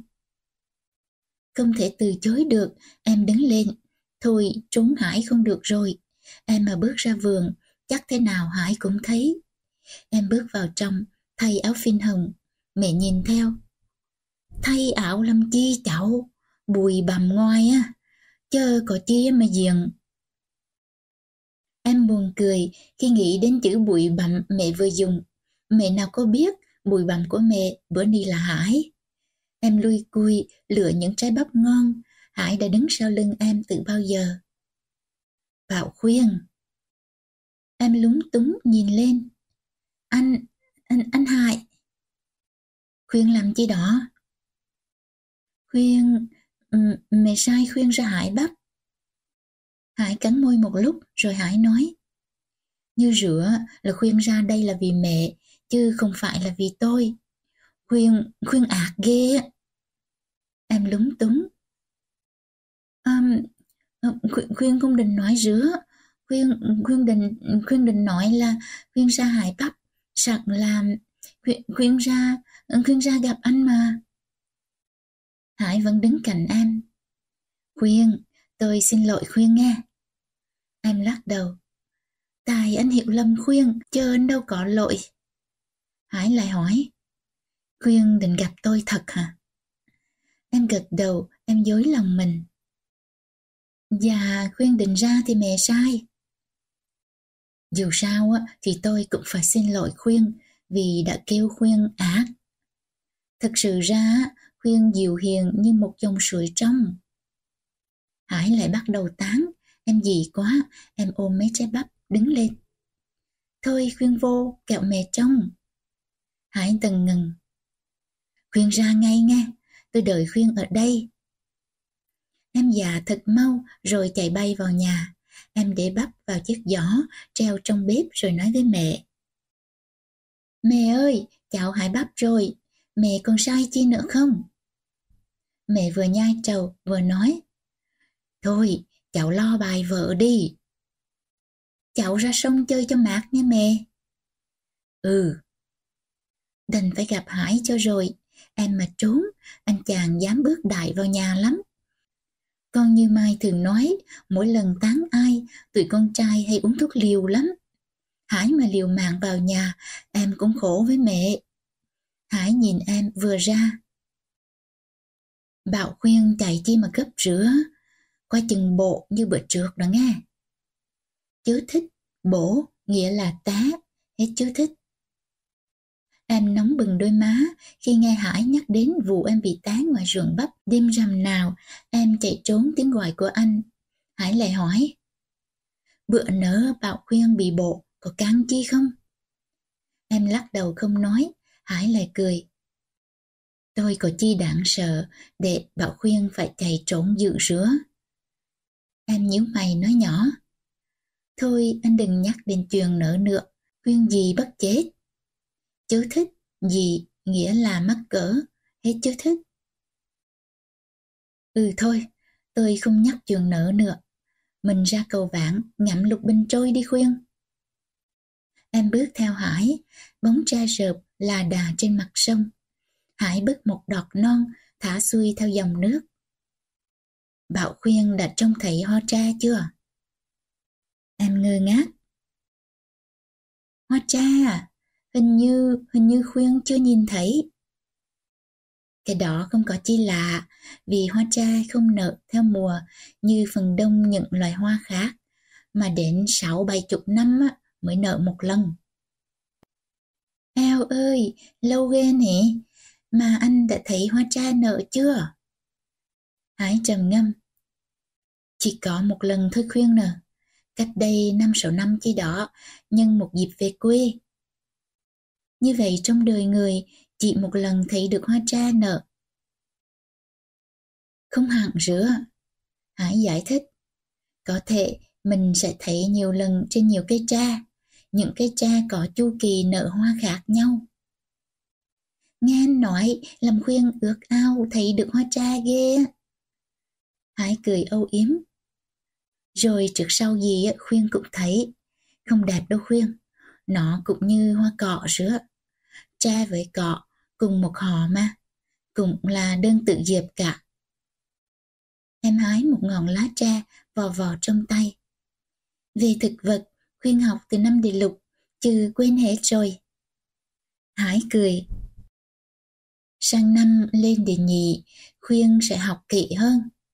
Thực vật cũng như động vật, có nhiều sự huyền bí lắm. Cho mãi đến bây giờ, có nhiều hiện tượng mà khoa học gia vẫn chưa giải thích được. Em nhìn đám lục bình trôi theo dòng nước, cành hoa mong manh, màu tím nhạt thật dễ thương. Khuyên đang nghĩ chi? Dạ không anh. Rồi em im lặng, buổi chiều xuống thật chậm, hương cầu thoảng hơi gió và hoa bắp tung bay trong nắng chiều, đầu nhẹ trên dòng nước chảy về xuôi. Hải ngâm nhỏ như thì thầm bên tai em. Lâu quá không về chơi thôn vị, nhìn nàng hàng câu nắng mới lên. Vườn ai mạc quả xanh như ngọc, lá trúc che ngang mặt chữ điền. Gió theo cánh gió mây đường mây, dòng nước buồn thiêu hoa bắp lay, thuyền ai đầu bến sông trang đỏ. Có cho trang về kịp tối nay. Mơ cách đường xa, cách đường xa. Áo em trắng quá, nhìn không ra. Ở đây sương khoái mờ nhưng ảnh. Ai biết tình ai có đầm đà. Hải vẫn đứng sau lưng em. Hơi thở của anh vương nhẹ. Những sợi tóc mềm trên gáy làm em bồi hồi xúc động. Khuyên đang nghĩ chi? Em từ từ quay lại khuyên đang nghĩ đến những lời thơ anh vừa ngâm. Khuyên cũng thích thơ hàng mặt tự lắm. Hải hỏi em. Trong số các thi sĩ tiền chiến, Khuyên thích thơ ai nhất? Em trầm ngâm. Khuyên không hẳn thích ai hoàn toàn, mà Khuyên chỉ thích những bài thơ hay trong số những bài thơ của họ thôi. Ngụy Biện của Tế Hanh, bài thơ thứ nhất của Tê Tê Ca Hát, tiếng thu của Lưu Trọng Lư, cũng như bài Đây thôn vị già của hàng mặc tự mà anh vừa ngâm đó. Hãy nhìn em, ánh mắt đam mê. Khuyên, Khuyên có thể ngâm một bài thơ mà Khuyên thích nhất cho tôi nghe có được không? Em thẹn thùng lắc đầu. Dạ, Khuyên không biết ngâm thơ, vạ lại, Khuyên không thuộc bài thơ mua hết vẫn có tiếng mẹ ngoài gọi em. Bảo khuyên, bảo khuyên ơi! Em hoảng hốt. Chết, mẹ khuyên tìm, thôi khuyên vô đã he. Hải như còn lớn tiếc giây phút vừa qua. Bảo khuyên. Em vội vàng bước. Thôi để khuyên vô, kẹo mẹ khuyên thấy chứ. Bảo khuyên, chiều mai mình lại gặp nhau nha. Anh ngần ngừ. Không biết chiều mai khuyên có bận việc không nữa, nên khuyên không dám hứa. Hải vẫn nói, chiều mai tôi vẫn đợi khuyên. Nếu không bận thì khuyên ra cho tôi gặp nghe. Em đành gật đầu nhưng em dặn Hải. Nếu không thấy khuyên ra, anh đừng vô nhà khuyên mà mẹ khuyên la khuyên nghe. Khuyên an tâm, tôi nhớ rồi. Tiếng mẹ lại réo hoài. Bảo khuyên ơi, bảo khuyên. Em vừa chạy vừa giả lớn. Chi rồi mẹ? Mẹ ngoại nhíu mày nhìn ra ruộng bắp. Em hoảng vía, không biết Hải đã về chưa hay còn đứng đấy nhìn theo em. Mẹ mà thấy được thì chết. Nhưng mắt mẹ đã già, trời chiều lại nhá nhem nên mẹ không thấy gì cả. Mẹ nói với em. Không biết con cam đi mua mà thằng cò o ngón Cháu đi vo gạo, nấu cơm dùng mẹ một chút. Em phủi hai bàn tay vào nhau. Ô Cam đi mua đồ ăn, chứ ô chưa về, Rồi mình ăn cơm về chi mẹ?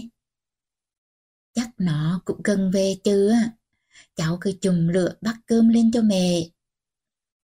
Em vừa đông gạo vào rá thì o cam về. O ta ta đi vào sân, miệng la chi choát. Cá rẻ quá, tôm rẻ quá bà ơi. O bưng một rổ, nào cá, nào tôm, bê bên áng nước. Mẹ ngoại từ trong bước ra. Mi đi mô mà lâu vô hầu rửa. O cam đưa tay lên trán quệt mồ hôi. Già cả về chiêu quá, phải đợi. Rồi O tiếp tục bi bô. Con mua con cá ngừ ni á, là 200 đây bà. To không? Mở tôm nấy nữa. Nhiều rửa mà chỉ có 85 đồng thôi. Mẹ ngoài gật gù. Ừ, rẻ đó. Thôi mau đi làm cá rồi luộc đi. Nhà còn bánh tráng. Mi ra sông hái rau muộn vô chạy cho con Bảo Khuyên cuộn bánh tráng. Nó thích mọn đi lắm. Em biểu đồng tình. Mẹ tỉnh răng á, mà đúng ý cháu ghê Ocam O Cam hỏi mẹ. Con mở tôm ni, chứ làm chi ba? Thôi, kho tàu hết đi. Sáng mai nấu xôi ăn. Mẹ ngoài gia rồi, mẹ ít khi làm bếp, nhưng tính toán thật hay. Em nghe nói ngày xưa ông ngoại là quan lớn tại triều, nhà ngang cửa dọc, cho nên một mình mẹ điều khiển tất cả những công việc trong nhà. Mẹ bảo ông ngoại mất lâu rồi, nhưng mồ chôn đâu thì em không biết, và chưa một lần nào em nghe mẹ nhắc đến việc đi viếng mộ ông. Cả việc kỳ dỗ trong nhà nữa. Mỗi năm mẹ làm kỳ hai lần cho ông cố bà cố, tức là ba ma của mẹ. Nhưng tuyệt nhiên mẹ không hề làm kỳ cho ông ngoại. Em cũng chẳng biết tại sao. Em định mang rá gạo ra ao, nhưng mẹ cản. Thôi, để đó cho o cam. Cháu đi nghỉ đi cho khỏe. Buổi tối em ăn một bữa cơm ngon lành, có bánh tráng, cuốn rau muống chả và cá ngừ luộc, chấm mắm nêm mẹ làm tuyệt ngon. Trời về khuya, gió từ mặt sông đưa lên mát rượi. Em đứng tựa bên góc cầu, mơ màng, nhìn khung trời bát ngát, muôn sao. Vẳng tiếng đàn guitar từ vườn nhà bác Thuấn vọng sang, dịu dắt em mơ dòng hát của Hải, lân lân ru hồn em vào mộng. Chưa gặp em, tôi vẫn nghĩ rằng có nàng thiếu nữ đẹp như trăng, tóc xanh là bóng dừa hoang dại, âu yếm nhìn tôi không nói năng. Bất giác em buộc miệng hát theo nho nhỏ. Ta gặp nhau yêu chẳng hạn kỳ, mê ngàn gió núi động trên mi. Áo bay mở khắp niềm tâm sự, hò hẹn lâu rồi. Những buổi chiều vườn cao im bóng lá, em tự nhủ lòng, thôi đừng ra gặp Hải nữa, nhưng rồi em vẫn ra, như có một ma lực, một lôi cuốn huyền bí nào, từ dáng dấp thân yêu kia, từ mái tóc bồng bềnh, từ mắt cười ròn rã, từ lời nói êm ấm dịu dàng. Mẹ ngoại vẫn chưa hay biết chuyện Hải làm quen với em. Và em đã chấp nhận hình bóng người con trai đó đi vào đời em như một bóng mát dịu hiền. Nếu mẹ ngoại biết được, em chưa dám nghĩ chuyện sẽ xảy ra như thế nào. Chắc là mẹ trợn mắt, mẹ phồng má, mẹ kêu trời than đất, rồi mẹ khóc. Em thương mẹ, em chiều mẹ, nhưng không biết em có đủ can đảm để nghe lời mẹ để xa lánh Hải không? Cảm tình của em đối với Hải càng ngày càng sâu đậm như những sợi dây trầu cuốn quýt thân cao đâm chồi mọc rễ trong hồn trong trí. Hải chưa nói gì với em cả, nhưng cử chỉ ấy, mắt nhìn ấy đã nói với em thật nhiều. Em thầm mong thế, khoan nói gì với em hết Hải ơi, em còn nhỏ quá, thì sự ngăn cản của mẹ ngoại càng mãnh liệt hơn. Chờ em lớn chút nữa, chờ anh lớn chút nữa, chờ em đủ nghị lực chống lại mọi thành kiến đang ăn sâu vào đầu óc mẹ. Đó là rễ của cây đa, loại cổ thụ sống lâu năm, nên rễ của nó cũng dăng mắt chằng chịt, khó gỡ cho hết rối. Em sợ lắm Hải ơi, Mới rồi mẹ còn sai em đi đăng báo từ dì Châu, nhưng em còn chần chừ mãi. Tại sao đối với mẹ, lấy chồng là tội lỗi nhỉ? Bảo Khuyên ơi! Mẹ vừa ngủ trưa dậy, vén màn gọi em. Dạ. Chiều ni có rảnh không? Dạ rảnh, mẹ sai chi rửa? Cháu vô nhà bà tả, lấy hùi cho mẹ được không? Tháng ni mẹ hụt chót đó. Em nhanh nhẩu. Dạ được, mẹ ở nhà nghỉ cho khỏe, để cháu đi cho. Cháu còn nhớ bà tả không? Dạ nhớ ma bà tả ở gần tình tâm chợ mố. Ừ, đi mau mà về kẹo tối nghe cháu. Em vào phòng mặc chiếc áo dài, mẹ bảo. Đừng đi xe đạp cháu, đi xa mẹ ngài lắm. Ra đoạn xe buýt mà đi chắc ăn hơn. Dạ. Em lấy chiếc nón trên nóc tủ, thay sợi quai mới, rồi bước ra vườn. Bảo khuyên, bảo khuyên. Hải đứng ngay trước cổng nhà em. Bảo khuyên đi mô rửa. Em đội nón lên đầu, nghiêng nghiêng mái tóc. Khuyên vô thành nội, lo công chuyện cho mẹ. Anh, anh đứng đây làm chi rửa? Hải cười. Anh đợi hoài không thể khuyên ra. Nên khi hồi định trừ anh thơ thận ngoài vườn. Thấy bóng khuyên đi về phía cổng. Nên anh ra đây đón khuyên luôn. Em cúi đầu. Thôi khuyên đi kẹo chiều. Hải âu yếm hỏi anh Khuyên đi bằng chi? Khuyên đi xe buýt. Khuyên định đi bằng xe đạp mà mẹ không cho, mẹ sợ. Hải gật gù. Đúng rồi, mẹ sợ là phải. Từ đây vô đó xe cộ nhiều lắm. Rồi Hải nhìn an nhưng mà khuyên đi xe buýt mất thì giờ lắm. Để anh lấy Honda đưa khuyên đi nghe. Em hoảng, em lắc đầu. Đừng anh, để khuyên đi xe buýt. Để anh đưa khuyên đi mà. Thôi anh, để khuyên đón xe buýt. Hải không nói nữa, anh biết là em mắc cỡ, không dám để anh chở đâu, dù nài nỉ cũng vô ích. Hải nhìn về phía đường ra Thuận An. Để anh đón xe buýt dùm cho Khuyên nghe. Dạ. Khuyên vô thành nội mà chẳng mô rửa. Dạ, ở gần tình tâm mà. Có hai ba chiếc xe chạy lên nhưng đông người quá. Sau cùng Hải đón được một chiếc tương đối rộng. Thôi khuyên đi nghe, anh về. Dạ. Phải đi đến hai chuyến xe mới đến nhà bà tá. May mà có bà ở nhà. Bảo khuyên đi hột hùi cho mẹ ngoài phải không? Dạ. Mẹ bữa ni mẹ làm chi á mà không qua chơi rửa.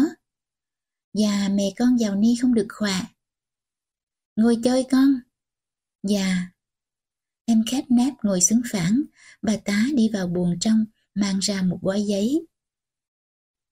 Đây, tiền bà đã góp xong cho mẹ đây, con đếm lại coi, tất cả là sáu chục ngàn. Em đỡ gói giấy trên tay bà. Dạ, để con coi lại. Bà tá sai chị giúp việc, rót nước mời em, nhưng em đứng dậy. Dạ thôi, bà cho con về kẹo tối. Bà tá lấy nón đưa cho em.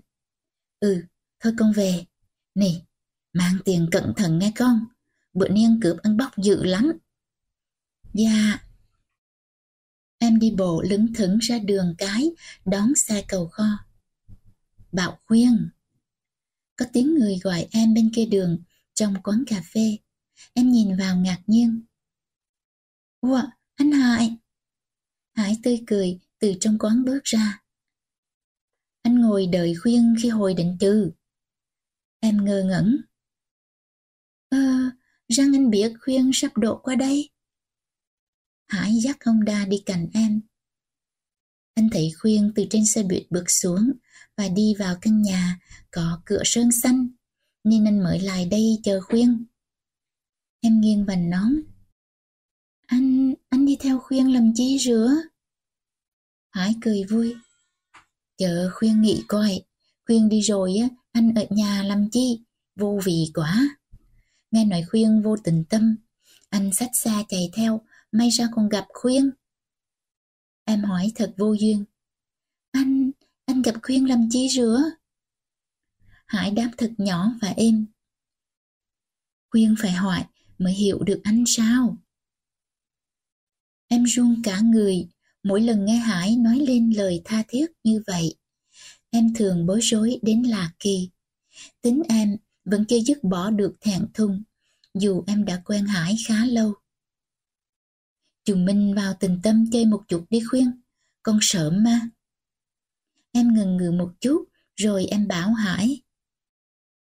Một chút thôi nha, khuyên còn phải đi về, cạo mề khuyên lo. Con đường đất nóng ấm, nâng niu đôi gót chân vui. Hải dựng xa ngay dưới gốc đa, ngay đầu cầu. Mình vô trong kia gạt một chuột khuyên hỉ. Em lại dạ, em chối từ không nổi trước những lời đề nghị của Hải. Lần đầu tiên Hải nâng nhẹ những ngón tay em, dìu lên những bậc cấp, dẫn lên cầu.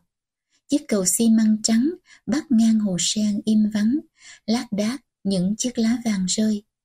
Bàn tay em run nhẹ, Hải nhìn em. Bảo khuyên. Dạ. Bảo khuyên sợ chi? Dạ khuyên sợ chi mô? Răng tay khuyên run ghê. Em bối rối rút bàn tay lại.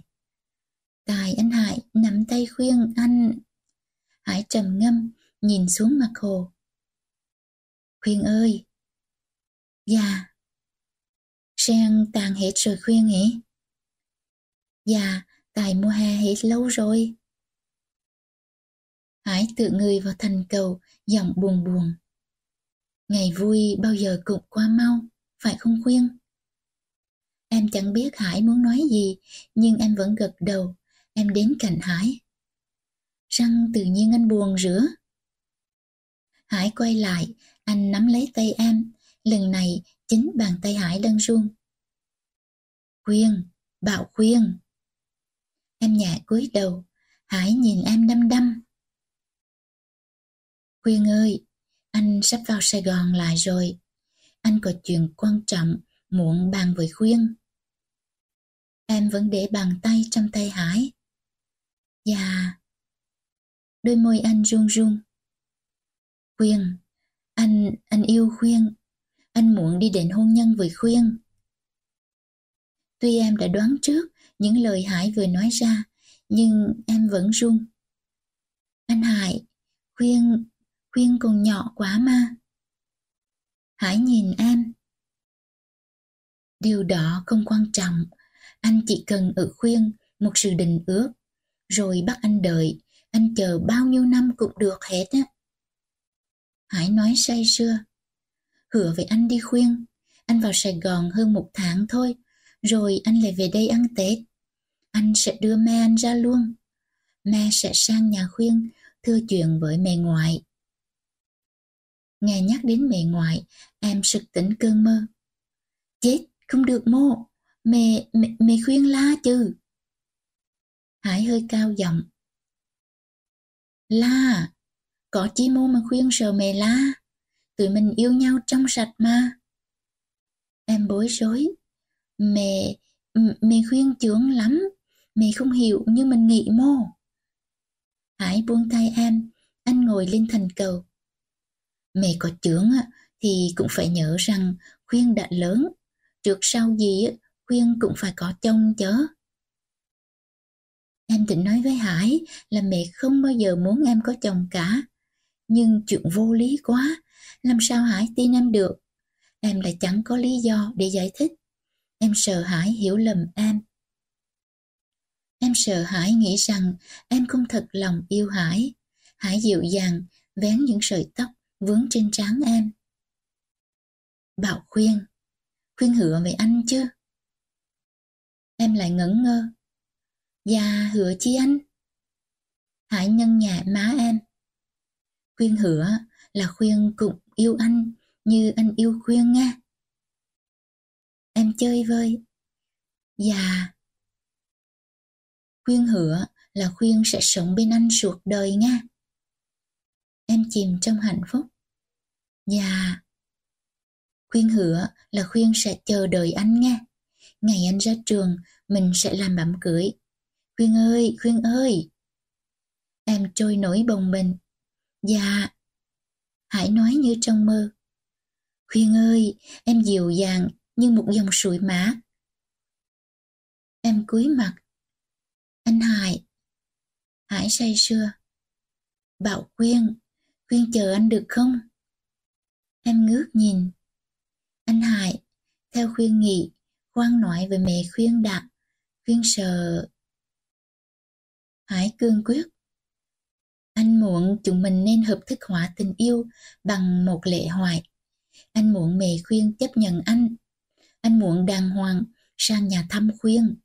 Anh muốn đàng hoàng dìu khuyên đi dạo trong vườn cao xanh của chúng ta mà không sợ ai dòm ngó. Em chưa kịp nói, Hải đã tiếp. Bảo khuyên này, anh định ri khuyên xem có được không nghe Tết ni, anh đưa ma anh về Huế, sang thăm mẹ khuyên, rồi xin một lệ giảm để kết chặt tình thân giữa hai gia đình. Rồi đến hè tới, mình làm đạm hoại. Khuyên chiều không? Em nghe Hải tính toán đâu đó thật thông suốt và rất hợp với ý muốn của em. Nhưng còn mẹ ngoài, trời ơi, mẹ đâu có muốn em lấy chồng. Hải nhìn em chờ đợi. Khuyên, Khuyên nghĩ rằng, trả lời anh đi. Hoàng hôn đã xuống, gió chiều thoảng nhẹ, trên mặt hồ, cơn sóng lăn tăng, rải rác, những ngọn lá sen úa nhăn nheo, trôi nổi giữa đám bèo tai chuột, nay nở tràn lan. Em dục Hải. Thôi về đi anh, trời tối rồi. Hải vẫn bất động. Quyên chưa trả lời anh mà. Em sợ về trẻ quá mẹ la, nên em gật đại. Dạ, thấy anh tỉnh sửa cũng được. Hải rời thành cầu, anh siết chặt tay em. Khuyên ơi, anh mừng quá. Khuyên nhớ nghe. Khuyên đừng làm anh mừng hụt nghe. Em gật đầu, Hải nhìn về chiếc mái cong, cổ kính cuối cầu. Uổng ghê, trễ rồi không thôi tụi mình vào trong đó ngồi chơi mạc lắm. Em lo trời tối. Thôi mau ra cho khuyên đón xe. Hải nói với em. Giờ chờ chắc xe hết chạy rồi, để anh đưa khuyên về. Em không chịu, em từ chối. Hải không ép. Anh chậm rãi, dắt chiếc Honda đi theo em. Chờ hoài không thấy xa, trời đã tối hẳn. Những ngọn đèn hai bên đường bật sáng, làm cho em càng lo ngại thêm. Hải nhìn gói giấy trong tay em. Quyên mua cái chi đó, đưa anh cầm cho. Em nói với Hải, tiền hộ khùi của mẹ đó. Hải trợn tròn đôi mắt. Trời ơi, rượu mà khuyên giảm đi xe buýt một mình, vợ số tiền lớn trong tay à. Thôi không được mộ, lần này á, anh bắt buộc khuyên phải để anh trở về. Em ngần ngừ, Hải tiếp. bộ khuyên không thương anh hả? Khuyên không nghĩ đến sự lo ngại của anh hả? Sợ hãi buồn em lắc đầu. Mô có, khuyên, khuyên sợ. Vậy khuyên để anh trở về nghe. Em ra điều kiện. Nhưng anh phải để khuyên xa xa nhà. Ừ được. Khuyên lên ngồi đi, nhớ cầm gói tiền cẩn thận. Em về đến nhà, thấy mẹ ngoại đang đi lui đi tới. Cam ơi, tao lo quá. Con khuyên đi mua mà lâu vô hầu. Tao sợ ăn cướp quá. Sáu bảy chục ngàn, chớ có ít oải chi. Em bước vào cười. Mẹ! Mẹ ngoại quay ra. Trời ơi, mi về đó hả khuyên? Mi đi mô mà đi thẳng, đi đài làm tao lo điện ruột. Em nói dối. Bà ta đi vắng, cháu phải đợi mẹ ơi. Mẹ ngoại đến ghế ngồi. Mi biết không, từ khi chàng vàng tội đến trưa, tao đi lui đi tới, tao ngồi không yên. Lần sau, nếu không gặp á, thì về nghe không? Đừng đợi đừng chờ nữa. Rồi mẹ nhìn em. Răng, chứ có lấy tiền được không? Em trao quá giấy cho mẹ. Dạ có, sáu chục nghìn cháu đếm đủ rồi. Mẹ đem gói bạc vào phòng trong. Thay áo đi mà ăn cơm. Nói o cam gắp mắm cá lên ăn hị. Bữa ni ăn được rồi đó. Em ngồi ăn cơm, suy nghĩ vẩn vơ.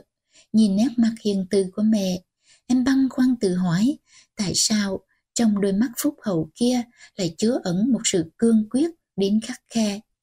Trong tấm lòng chất phát thiệt thà đó là dồn dập bao con sóng dữ. Đã nhiều ngày qua rồi mà mẹ vẫn chưa quên được chuyện gì Bảo Châu. Đêm đêm, sau tấm gỗ mỏng, ngăn chia hai buồn, em nghe mẹ trở mình thao thức. Mẹ thở dài, rồi mẹ ngồi dậy, đi ra đi vào. Có khi mẹ còn mở then cửa, dẫn ra vườn nữa. Chắc mẹ đang suy nghĩ lung lắm. Mẹ đã đặt tự ái của mình lên hạnh phúc của con cái. Mẹ ích kỷ, mẹ chỉ nghĩ đến bản thân mẹ. Nên một khi thành kiến khắc khe của mẹ bị ai chống đối, mẹ tìm mọi cách để làm điêu đứng người ta, dù kẻ đó là người ruột thịt của mẹ, dù người đó là dì Bảo Châu. Và sắp sửa, kẻ đó là em nữa. Mẹ ngoại ăn xong buông đũa đứng dậy. Bảo khuyên, mi đã gửi thư cho nhà Bảo chưa? Em giả vờ không hiểu. Gửi cái chí mẹ? Mẹ nói hơi gắt. Trời đất, tao nhắc mi hoài, răng mi như điếc rửa. Gửi thư nhà báo đăng từ con Bảo Châu nghe chưa? Thiệt đúng là gì cháu mi một lòng một già Em cười vuốt giận mẹ. Thôi mẹ ơi, đăng chi mà gì rứa. Người ta có con gái, muốn gả chồng không được. Mẹ có con gái mới lấy chồng á, là điều hạnh diện. Đăng bảo như rứa, người ta tưởng là mẹ. Em nín bặt. Suýt chút nữa, em bảo mẹ điên. Mẹ mà nghe được thì chắc chắn sẽ đung đung nổi giận, chẳng khác chi em chế dầu thêm vào lửa. Nhưng mẹ vẫn tức giận. Người ta tưởng tao là chi? Mi muốn nói, người ta tưởng tao là chi? Thiệt mi càng lớn càng cãi lời tao. Mai một mi đi theo con Bảo Châu lấy chồng luôn đi. Thiệt tao chán, tao hết muốn nói rồi. Thấy mẹ vô lý quá, em cố nói cho mẹ hiểu trường hợp của dì Châu. Mẹ nói rửa là mẹ quên rồi. Dạo dì Châu còn ở đây á, mẹ cứ ngăn cấm dì hoài, thì dì phải tìm lối thoát chứ. Theo cháu nghĩ là dì tự do kết hôn như rửa, rồi về tà lỗi với mẹ sau. Còn hơn là xin phép mẹ trước, rồi mẹ mà ngăn cấm nữa, có khổ gì không? Mẹ vứt cái tăm xuống đất, mẹ bịt hai tay lại. Thôi tao không thèm nghe mi nói nữa, đồ con nít, hị mùi chưa sạch, mà bày đặt giày khôn. Ừ, ở đó mà coi, vịnh tay chổng mắt lên mà nhìn, mi đừng tưởng có chồng là hạnh phúc. Mẹ ngoài lên cơn chướng, mẹ vào phòng, nằm trở qua trở lại, thở ngắn thở dài. Em đến bàn rót nước uống, lòng thầm lo ngại. Hải ơi, mẹ chướng như vậy á, thì khuyên làm sao đoán được tương lai tình yêu của chúng mình. Buổi trưa trời say lạnh, làm em ngủ thật ngon. Có tiếng o cam chảy củi sau sân và tiếng một vật gì vỡ làm em giật mình thức giấc. Mẹ ở nhà trên hỏi vọng xuống. Chi rửa cam? Bệ cái chi rồi rửa? O cam nói lớn. Thưa bà không, thanh cụi rớt đùng mấy miếng ngói. Mẹ vẫn gắt. Làm ăn cẩn thận một chút, tao thấy mi vùng về quá. Em ngồi dậy, chải lại mái tóc, rồi ra rửa mặt. Em trở vào phòng, định lấy thời khóa biểu xem ngày mai có bài gì. Chợt em loáng thoáng, nghe mẹ hỏi bằng một giọng không mấy tử tế. câu hỏi ai? Em hoảng hồn khi nghe tiếng hỏi đáp nho nhỏ. Dạ thưa bà, cháu muốn hỏi thăm cô Bảo Khuyên. Mẹ ngoại lạnh lùng, Cầu hỏi thăm nó có chuyện chi không? Cứ nói với tôi rồi tôi nhắn lại cho. Giọng Hải ngập ngừng. Dạ thưa bà, cháu muốn gặp cô Bảo Khuyên có chút chuyện riêng. Mẹ im lặng ở nhà ngoài cho tim em muốn ngừng đập. Trời ơi, em thầm khẩn trời Phật. Xui sao cho mẹ đừng nói câu nào làm mất lòng Hải. Hình như không khí khó thở lắm. Em nghe Hải hỏi nhỏ. Dạ thưa bà, cô Bảo Khuyên đi vắng. Lời mẹ to lên làm em giật mình. Vắng mô mà vắng, cậu ngồi đó đi, để tôi kêu nó ra. Rồi mẹ gọi em giọng thật chua. Quyên ơi, có cầu mô muốn hỏi thăm mi. Có cầu mô muốn nói chuyện với mi nữa tệ. Em vén màn bước ra, đôi chân run đến sắp quỵ xuống. Em bắt gặp ánh mắt sắc như dao của mẹ quét lên người em. Em cầu cho mẹ la em một tiếng, nhưng mẹ vẫn im lặng, cái im lặng quá rợn người. Hải như không để ý đến cử chỉ khó chịu của mẹ, anh nhìn em gọi nhỏ. Bảo Quyên. Em rụt rè đến bên anh. Trời ơi, răng mà anh gan rửa. Răng anh giảm qua đây tìm Khuyên. Trời ơi, Khuyên sợ mề Khuyên quá. Hải thẳng nhiên kéo chiếc ghế bên cạnh anh. Khuyên ngồi xuống đã. Em không dám ngồi, em vẫn đứng xa Hải một khoảng. Anh ẩu ghê, bộ anh không nhớ lời khuyên dặn hả? Hải nhìn em thật buồn. Bất đắc dĩ, anh mới qua tìm khuyên, chứ anh có muốn khuyên bị mẹ la môn nơ. Trưa ni anh có đến trường đón khuyên mà không gặp. Em nói nhỏ. Khi sáng khuyên nghỉ giờ sau, nên về sớm. Hải dục. Khuyên ngồi xuống đây đi, chứ anh đã lỡ qua tìm khuyên rồi. Mẹ khuyên lỡ thấy anh rồi. Khuyên cứ bình tĩnh lại đi, không có chi mô mà khuyên sợ. Thấy mặt em còn tái mét, Hải trấn an. Khuyên đừng sợ nữa, ngồi xuống đây, anh nói chuyện đi cho nghe nè. Em đành ngồi xuống cạnh Hải.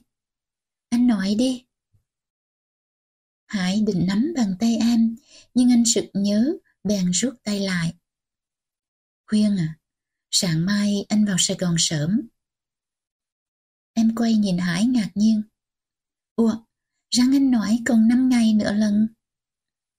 Hải chạm ngón tay vào một giọt nước trên bàn, viết chữ BK thật lớn. Trước là anh định đi bằng Air Việt Nam, nhưng ngày mai có người bạn anh làm phi công vào Sài Gòn công tác. Nó rủ anh cùng đi luôn.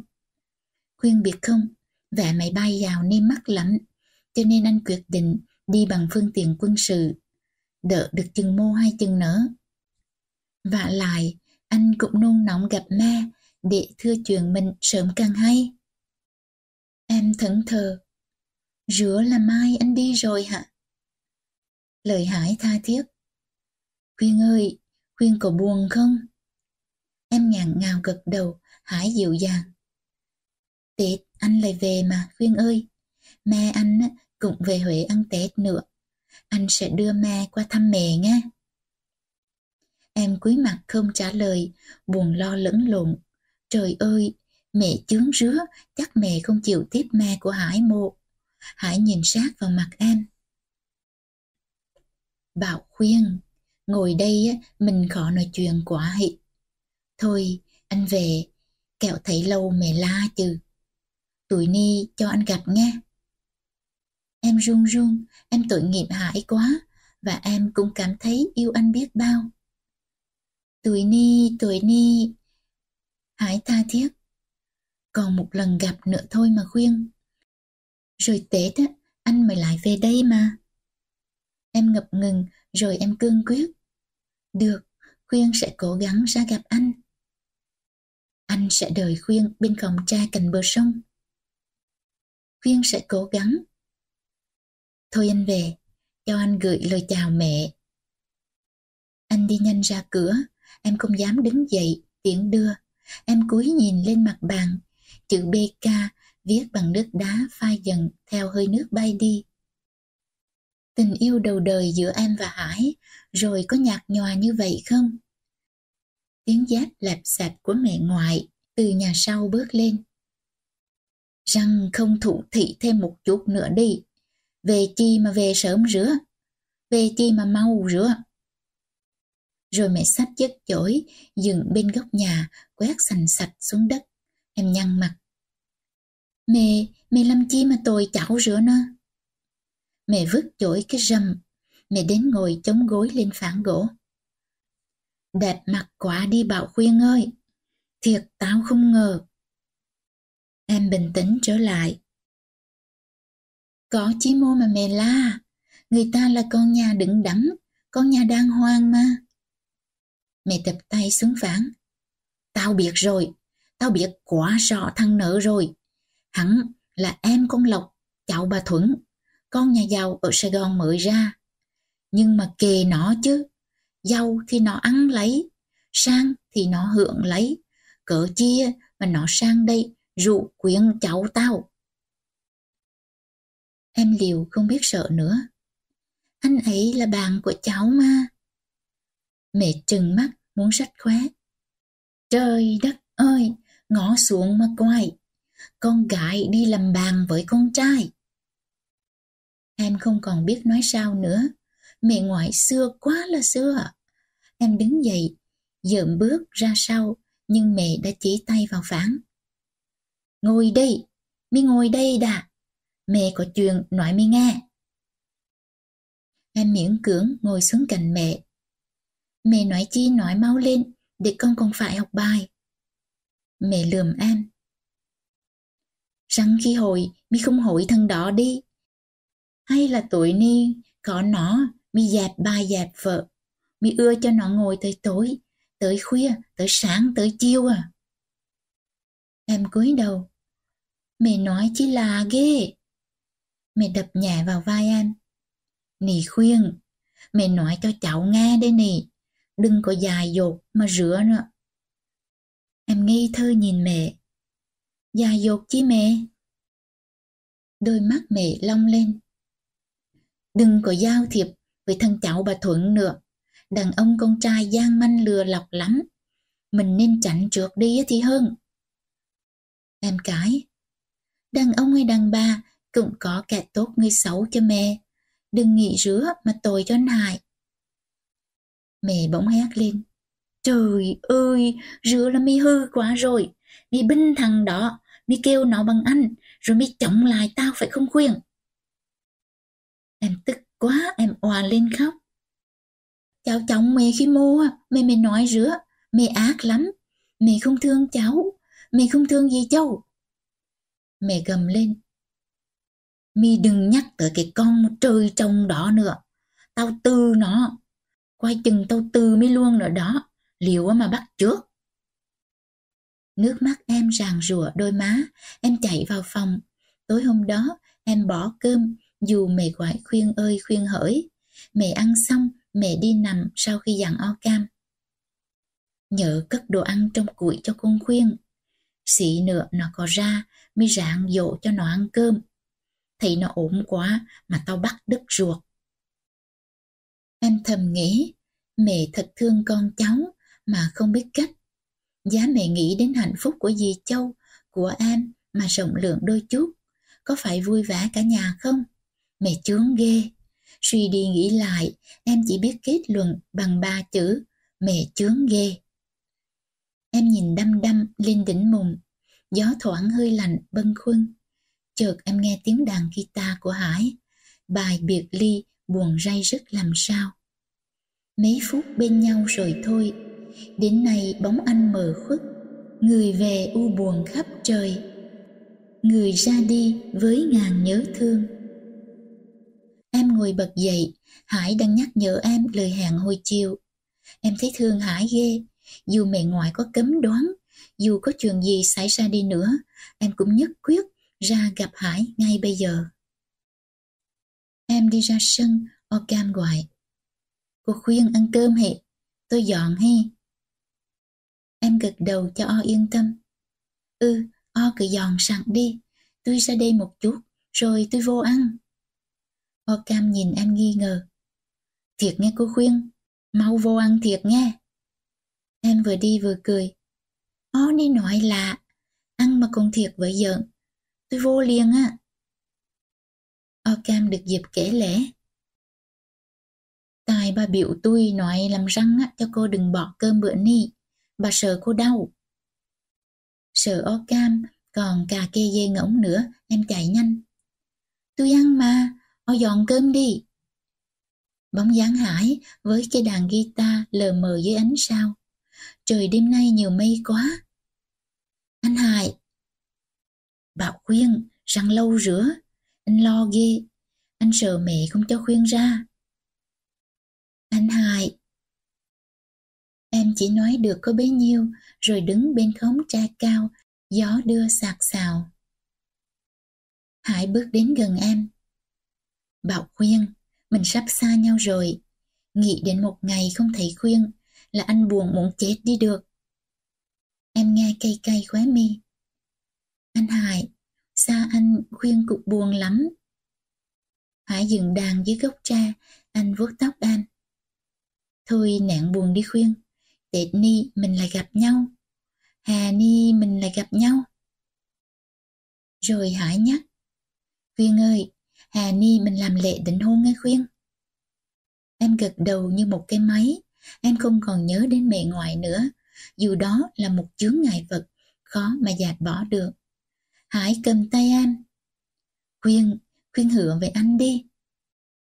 Em lại cực. Khuyên hứa mà. Đừng quên anh nghe khuyên. Dạ. Tết ni anh đưa man qua nghe. Rồi Hải cười bằng ánh mắt long lanh. Chắc ma sẽ thích khuyên lắm. Khuyên đơn sơ như một dòng suối. Khuyên dịu dàng như con chim mình khuyên. Khuyên sẽ là một nàng dâu hiền, một người vợ thảo. Ngưng một lát, Hải khẽ gọi. Khuyên, con chim khuyên bạ nhỏ của Hải. Em cười nhìn Hải. Anh nói sai rồi, khuyên không phải là con chim mô. Mẹ khuyên nói Bảo khuyên là chiếc vòng quý. Ngày xưa, ma khuyên có chiếc vòng, bảo quý ghê lắm. Nhưng vì chiến tranh nên bị thất lạc đâu mất. Cho nên ma khuyên mới đặt tên khuyên là bảo khuyên để nhớ đến cái vòng đó luôn. Hải gật cừu. Anh biết chứ, anh biết bảo khuyên là chiếc vòng quý. Nhưng khuyên biết không, ngày còn nhỏ, anh mê đi bậy chim về nuôi lắm.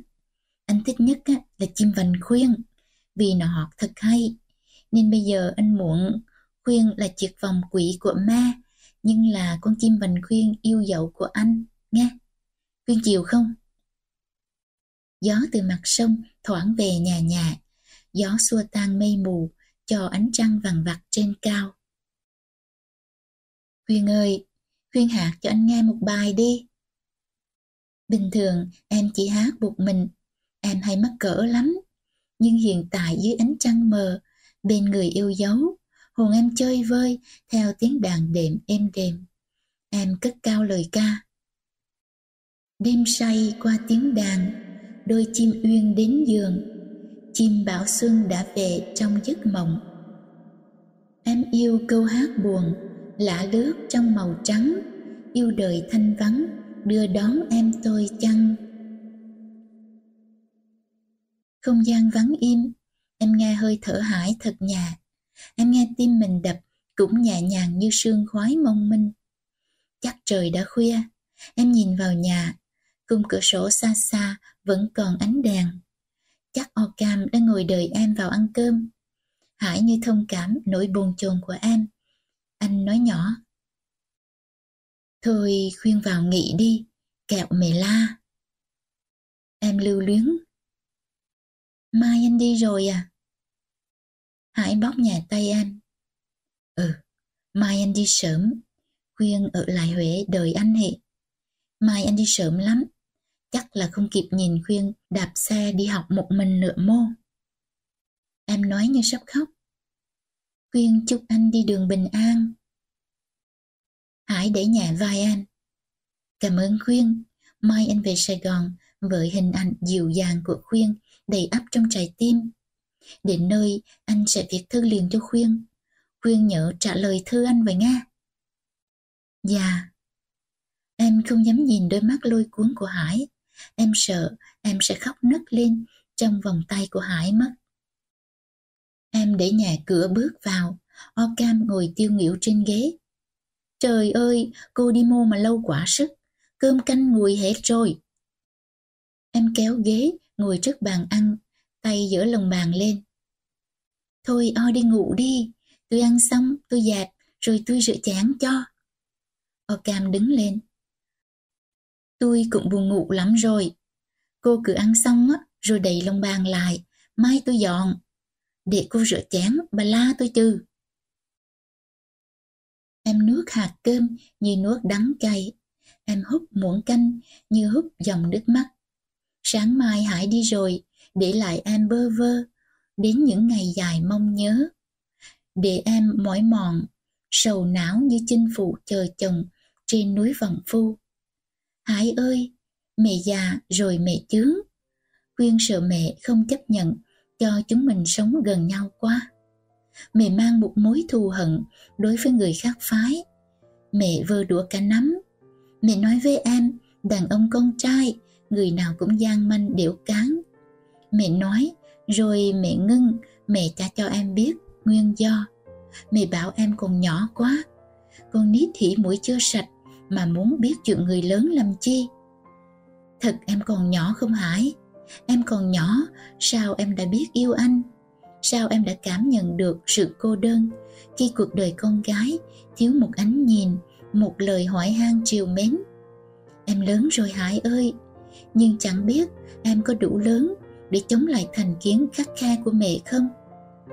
Hãy giúp em thêm can đảm, Hải ơi!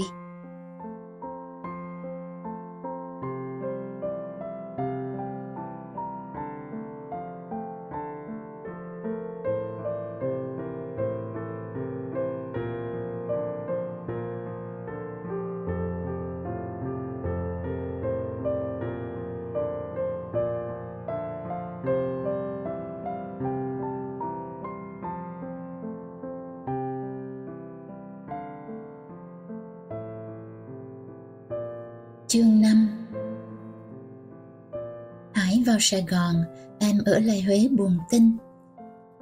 Từ hôm Hải sang tìm em, mẹ ngoại cứ để ý tới em luôn. Buổi chiều em ra vườn học bài, mẹ cũng đi theo. Mẹ lẫn quẩn canh em, rồi mẹ lại lóng ngóng sang vườn bác Thuấn. May mà Hải đã đi rồi, nếu không em cũng mệt với mẹ. Nếu không, chắc thế nào Hải cũng sang vườn tìm em. Hải đã nói với em, mà em cũng cảm thấy như vậy. Một ngày vắng nhau là hai đứa buồn thiêu.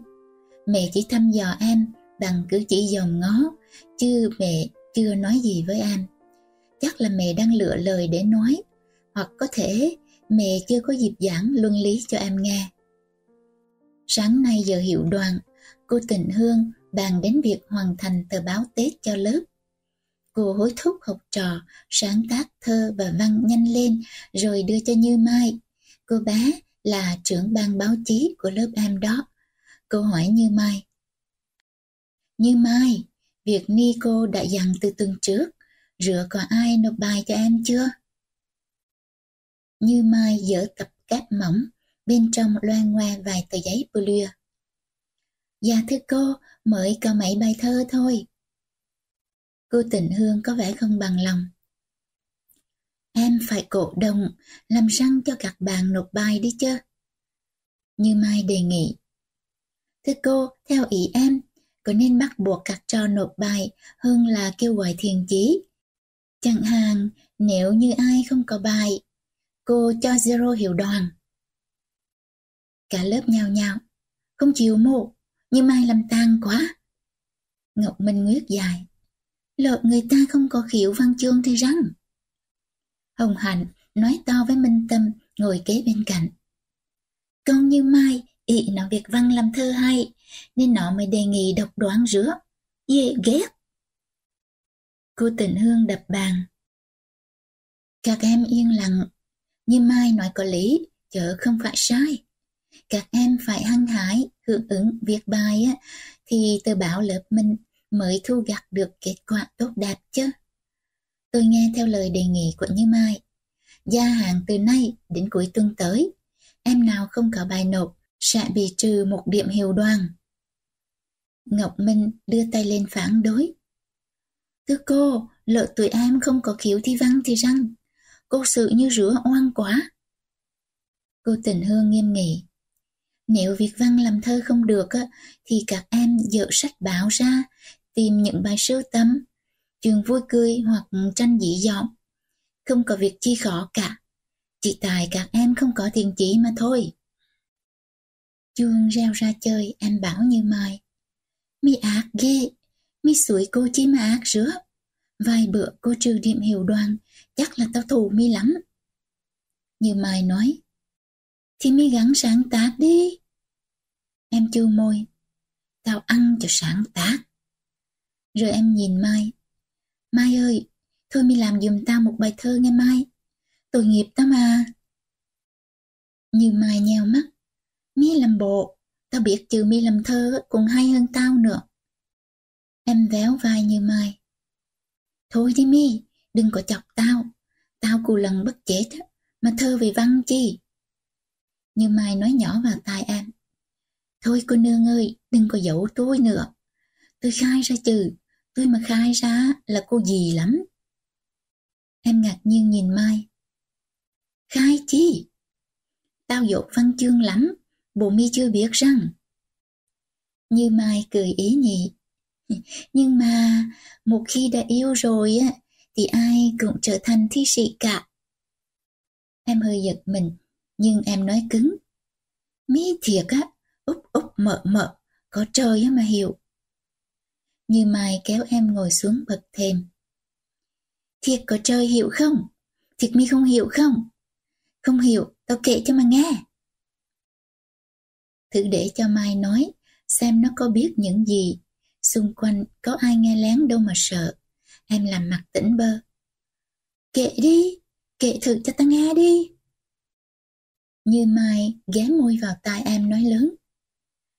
Ngày xưa hị, có hai người nở hị, hẹn nhau ở hồ tình tâm hị, rồi chở nhau về nhà hị.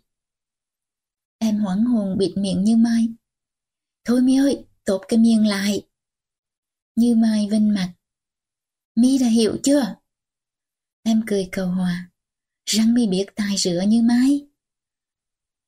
Như Mai không đáp, nó ôm lấy vai em lay lay.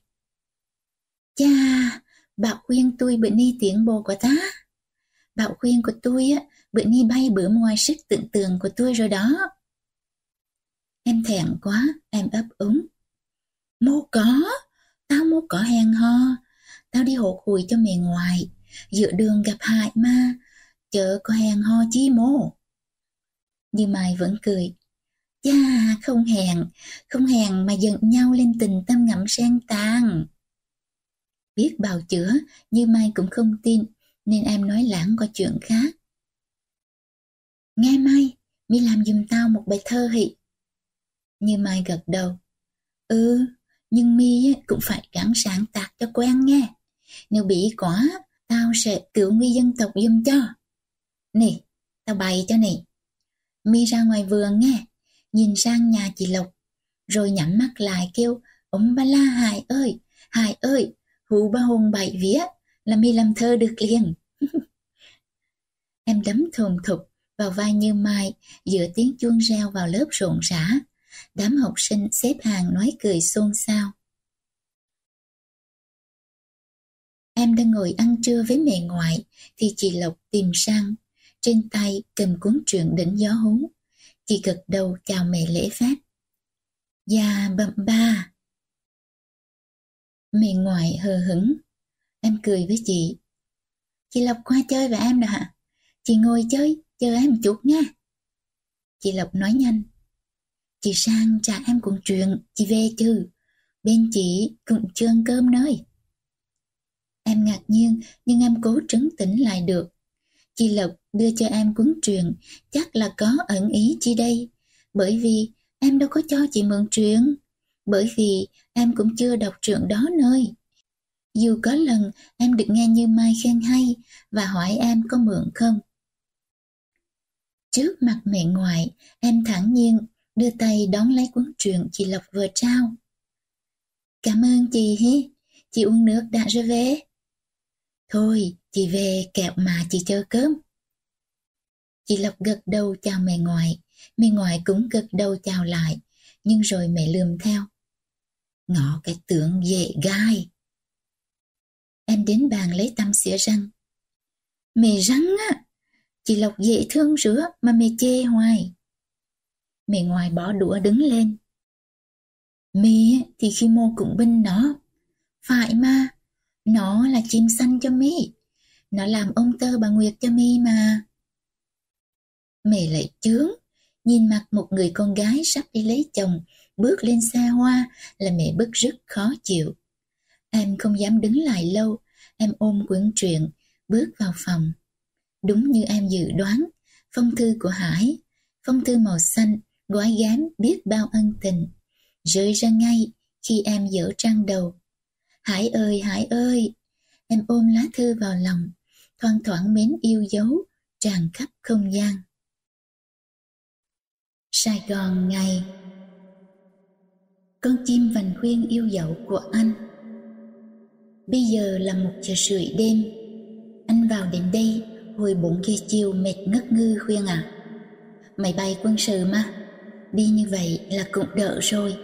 Chứ có nhiều người xách hành lý đi về hoài Có khi cả tuần mới đi được đó. Thấy anh vào, Cả nhà sống lại hỏi thăm. Nói cả nhà cho oai vậy chứ. Anh chỉ còn mẹ và một đứa em gái thôi. Nó hơn khuyên một tuổi. Hiền học đề nhị C Gia Long đầu khuyên. Khuyên đừng ngại, Khuyên nhỏ hơn nó, Mà khuyên vẫn có quyền đánh nó, Vì khuyên sắp làm chị của nó mà. Khuyên ơi, me và Loan, Cô em gái anh Hỏi anh, sao mà nghỉ hè ở Huế lâu vậy? Có chi vui không? Có chi lạ không? Anh chỉ cười không nói. Anh chỉ định nói riêng với me, Chuyện của chúng mình thôi. Nhất định không cho con Loan nó biết. Tình nó bẹp xẹp sanh mạnh Chứ không dịu dàng, dễ thương như Khuyên đâu. Khuyên ơi, Anh đã nói với mẹ Ngay sau bữa cơm chiều, Khi con Loan vào phòng học bài, Và mẹ dắt ghế ra ngồi hòng mạc trực hiên. Mẹ hỏi thăm Khuyên nhiều lắm. Mẹ hỏi Khuyên có đẹp không? Có hiền không? Có nệt na hiền hậu không? Có đâm thẳm dịu dàng không? Anh chỉ biết gật đầu gật đầu và gật đầu bởi những đức tính mà nêu ra khuyên đều có cả. Hình như bao nhiêu cái đạt của người con gái tào hóa đã tập trung nơi khuyên. Chẳng hiểu anh nghĩ như vậy có quá chủ quan. Tuy nhiên đối với anh, cái gì của khuyên cũng toàn mỹ khuyên là dòng suối dịu hiền, là bóng cao rợp má khùng anh. Khuyên ơi mẹ chiều rồi. Mẹ bảo, nghe anh ca một hơi, Mẹ muốn bay ra Huế ngay Để xem mắt cô con dâu tương lai của mẹ quá. Khuyên vui chưa? Anh đã nói rồi mà.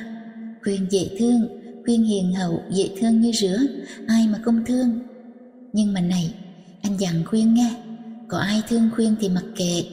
Khuyên phải chỉ thương một mình anh thôi đó. Không thôi, anh khóc cho mà xem. Thôi, anh dừng bụt nơi đây anh phải nghỉ sớm để lấy sức. Cả ngày ngồi trên máy bay quân sự mệt quá. Thương yêu, hồ hại. Tại bút. À Viên ơi, vậy là tết này chắc chắn ma sẽ về huế thăm mẹ đó. Nhớ lừa lời thưa qua với mẹ trước, mà nhất là nhớ việc thư cho anh liền nghe. Em để lá thư trên ngực, em thiếp đi trong sung sướng, trong phân vân vừa mừng vừa lo. Làm sao mà nói với mẹ đây? Cứ tưởng tượng vẻ hung hăng của mẹ khi nhắc đến chuyện cưới xin là em ớn luôn. Nhưng thế nào rồi cũng phải thưa chuyện với mẹ. Chứ Tết sắp đến nơi rồi.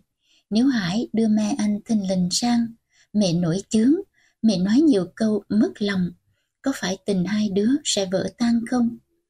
Trời ơi, chỉ nghĩ đến sự đổ vỡ đó là em muốn chết đi cho xong.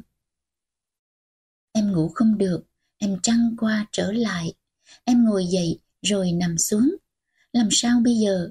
Nên thưa với mẹ câu nào trước, câu nào sau. Khổ em ghê, sao em lại hoàn toàn mù tịt về vấn đề này? biết hỏi ai bây giờ? Chị Lộc chăng? Thôi chị cười em chết.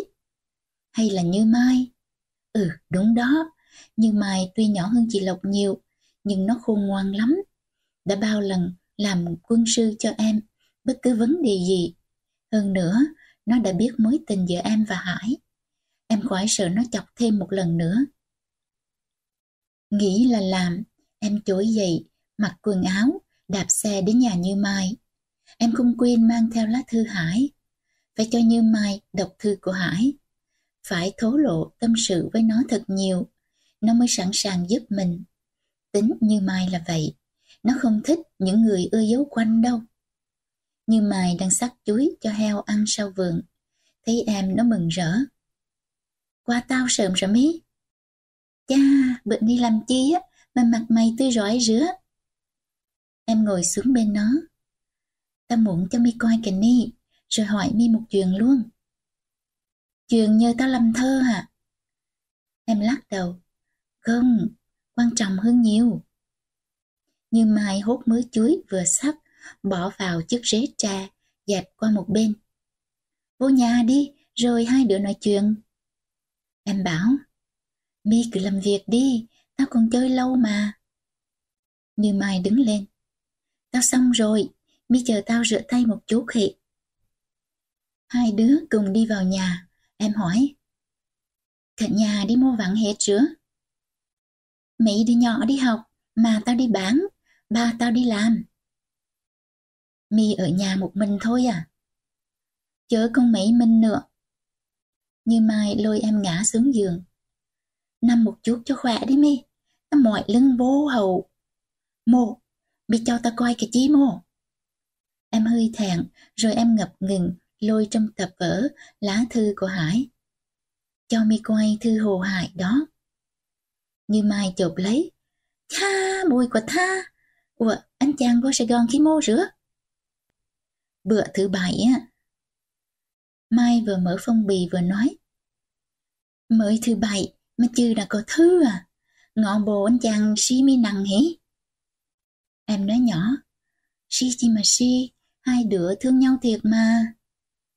Như Mai đọc xong lá thư, nó hỏi em. Chứ mi ưa hỏi chi tao? Em ôm ngang lưng như Mai. Tao muốn mi bày cho tao lời lạ để thư chuyện với mẹ tao. Mẹ tao khó lắm Mai ơi. Như Mai trợn mắt. Khó thì cũng có cái chứ. Đây là người ta muốn hỏi cưới mi đàng hoàng mà mày khó sinh được. Em tâm sự. Mẹ tao không ưa tao lấy chồng mô. Như Mai ngồi nhổm dậy. Chí là rửa.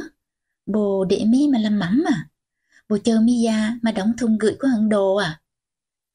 Tao nói thiệt mà, không phải giỡn mộ. Mi ngỏ gì bảo tâu của tao tệ. Mẹ ngang, mẹ cấm, đến nỗi gì phải bỏ Huế mà đi. Như Mai rùng vai. Thiệt tao chưa thấy ai như mày ngoài mi. Em nắm lấy tay Mai. Ừ, để tao suy nghĩ đã. Một lát sau, như Mai có vẻ nản, nó bảo em. Không còn cách chi hơn á, là nên nói thật với mẹ mi. Em giấy nảy. Không được mô, mẹ tao chửi chết. Như mày nói lớn. Chửi chi mà chửi, hồ hại đàng hoàng, xứng với mi bất chết đó mà chửi chi.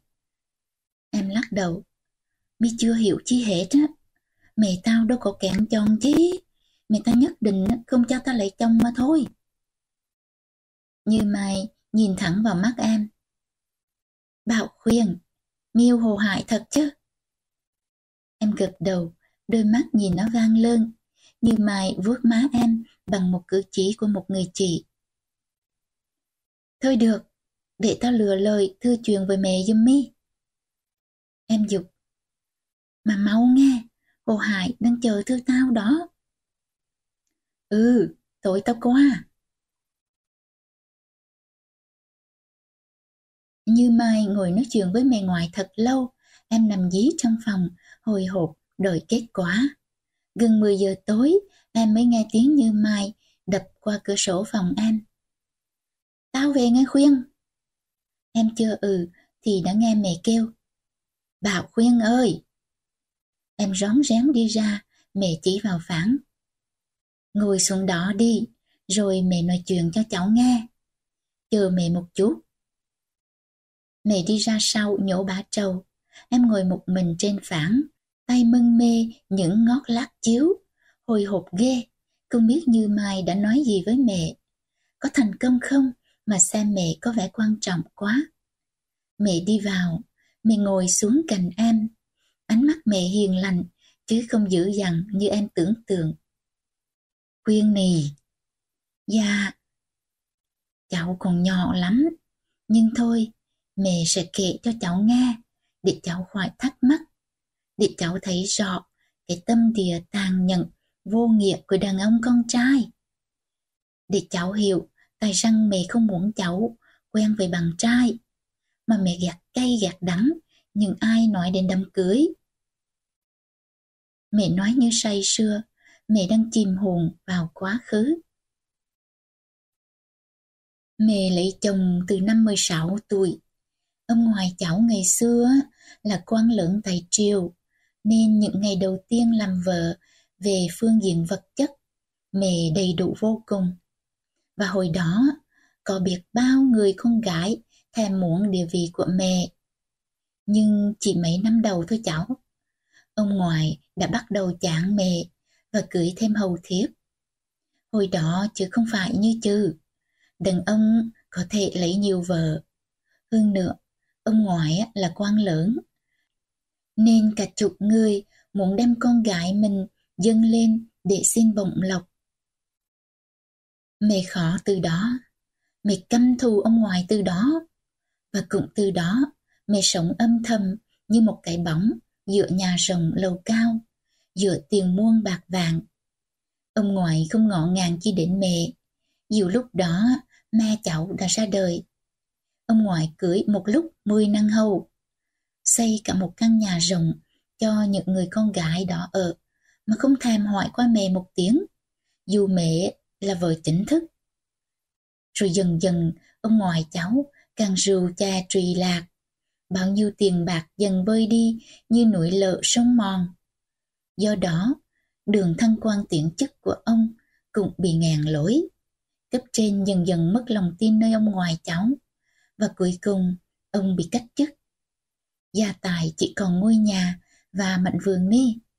Mẹ đem ông ngoài cháu về đây cùng nhau nương tựa sinh sống làm ăn. Khi đó, mẹ sinh thêm dì Bảo Châu. Nhưng ông ngoại ngừa quen đường cũ. Ông không chịu nổi nếp sống an phận mà mẹ đã hết lòng buông tạo bản tầng đem đến cho ông. Ông đâm ra cờ vạc, rượu chè nghiền ngập. Và mỗi lần mẹ khuyên lơn là ông hành hạ, đánh đập mẹ tàn nhẫn. Rồi chỉ vài năm sau thôi, ông ngoại cháu viền cỡ rằng mẹ không có con trai. Ông đã bỏ nhà đi theo một người đàn bà, trẻ đẹp hơn mẹ nhiều. Và ông đi biệt luôn, mặc cho vợ con côi cục bơ vơ. Mẹ buồn nhiều, nhưng rồi cũng nguôi đi. Năm mẹ cháu được 18 tuổi, cực đẹp đẽ như cháu bây chứ. Mẹ cháu yêu một người hòa sĩ, và mẹ tuy giàu đó có ghét đàn ông thật, nhưng thấy hai người thương nhau quá, mẹ chưa rẻ không đành. Rồi mẹ đứng ra làm đám cưới cho hai người. Ba cháu ngày đó mồ côi cha mẹ, nên mẹ bảo bọc tất cả. Kể cả những lễ nghi cần phải có, mẹ đều thông qua. Mẹ thương con rể, nhưng dần già mẹ thấy rõ tâm địa của ba cháu. Ba cháu còn tệ hơn ông ngoài cháu nữa. Nó chỉ lợi dụng ma cháu, chứ chẳng yêu thương chi cả. Nó lấy ma cháu vì định đào mọ, vì nó thấy mẹ giàu. Lợi tức ngôi vườn này dư sức bạo bọc nó suốt đời. Cho nên, sau vài tháng đóng kịch yêu thương giả dối, ba cháu đã để rơi cái mặt nạ của nó ra. Nó đi nhảy nhót, cơ bạc suốt ngay. Ban đầu sợ mẹ biết mẹ buồn, nên mẹ cháu còn lẻn lút đưa tiền. Nhưng sao thấy ba cháu tiêu tiền phung phí quá? Mẹ cháu ngăn cản, và từ đó cuộc sống địa ngục của mẹ cháu bắt đầu. Ba cháu túng tiền nên dự thoại vụ phụ, đánh đập mẹ cháu tàn nhẫn. Không ai ở đó mà can hoài. Mẹ bằng buôn bán, dì Châu còn nhỏ quá. Đôi lúc dì còn bị ba cháu đánh lây nữa. Mẹ nói không được, mẹ chỉ âm thầm khóc khi thấy những vết bầm trên da thịt đứa con gái thân yêu. Đến khi mẹ cháu mang thai cháu, ba cháu đã bỏ nhà ra đi sau một trận gây gỗ lớn. Chung quy cũng chỉ là vụ khảo tiền đánh bạc. Mẹ nghe nói ba cháu đã theo một vụ nữ. Tuy không đẹp bằng mẹ cháu, nhưng cô ta làm tiền làm bạc và sẵn sàng đưa cho ba cháu rất nhiều tiền để nướng vào những sòng bạc to lớn, những trần vui suốt sáng, nụ cười thâu đêm. Tôi nghiệp mẹ cháu. Mẹ cháu yêu ba cháu thật tình, nên sau ngày ba cháu đi, mẹ cháu gầy guộc hẳn. Mẹ khuyên mãi, mẹ dỗ hoài, mẹ cháu mới gường vui để sống, chờ ngày cháu ra đời. Nhưng vì chúng tâm bình đã đục khoét lần mòn thân xác của mẹ cháu. Cho nên đến năm cháu lên bốn, thì mẹ cháu đã mòn hơi kiệt sức. Mẹ cháu khóc rất nhiều với mẹ để gửi gắm cháu trước khi lâm chung. Mẹ cháu chết đi để lại cho mẹ một mối hận ngàn đời. Mẹ căm thù tất cả bọn đàn ông con trai từ đó. Mẹ thề với lòng nhất định sẽ không chấp nhận bất cứ người con trai nào đến với dì Châu, với cháu sau này. Nhưng dì Châu đã cãi lời mẹ, rồi nó sẽ khổ khuyên nờ. Mẹ ngưng nói, mẹ nâng ly trà ra nhấp một chút, rồi mẹ rút khăn trong túi ra lau nước mắt. Đừng khuyên ơi, có chồng khổ lắm cháu ơi. Em nói một cách yếu ớt. Nhưng anh Hải, anh Hải thương cháu thiệt mà mẹ. Mẹ ngoại vuốt tóc em. Cháu nói y hệt như mẹ cháu ngày xưa. Em bối rối. Nhưng anh Hải, anh Hải đang hoang lắm mà mẹ. Mẹ vuốt tóc em. Cháu còn dài lắm, đừng nên xét đoán lòng người ở bên ngoài. Hồi đó ba cháu cũng đẹp, cũng sáng sủa như cầu Hải rứa. Em cúi đầu, em chả biết nói sao, mẹ gằn mạnh từng tiếng. Cháu nên luôn luôn tâm niệm là một trăm phần trăm đàn ông con trai, bất cứ ở thời địa mô cũng đều dạ như nhau. Cũng cả mẹ một lửa hết. Em cố cãi, nhưng răng cháu thấy nhiều cặp vợ chồng sống hạnh phúc, thương yêu nhau suốt đời mà mẹ. Mẹ ngoài gạt đi. Cháu chỉ thấy bề ngoài thôi mà. Không có mô cháu ơi. Trong những cuộc hôn nhân, người vợ sẽ là người bất hạnh. Rồi mẹ vuốt tóc em. Đừng cháu, đừng dài dột nữa. Hãy mở mắt cho sáng. Hai cây gương đau khổ trước mắt của mẹ và của mẹ cháu. Cháu không thấy răng.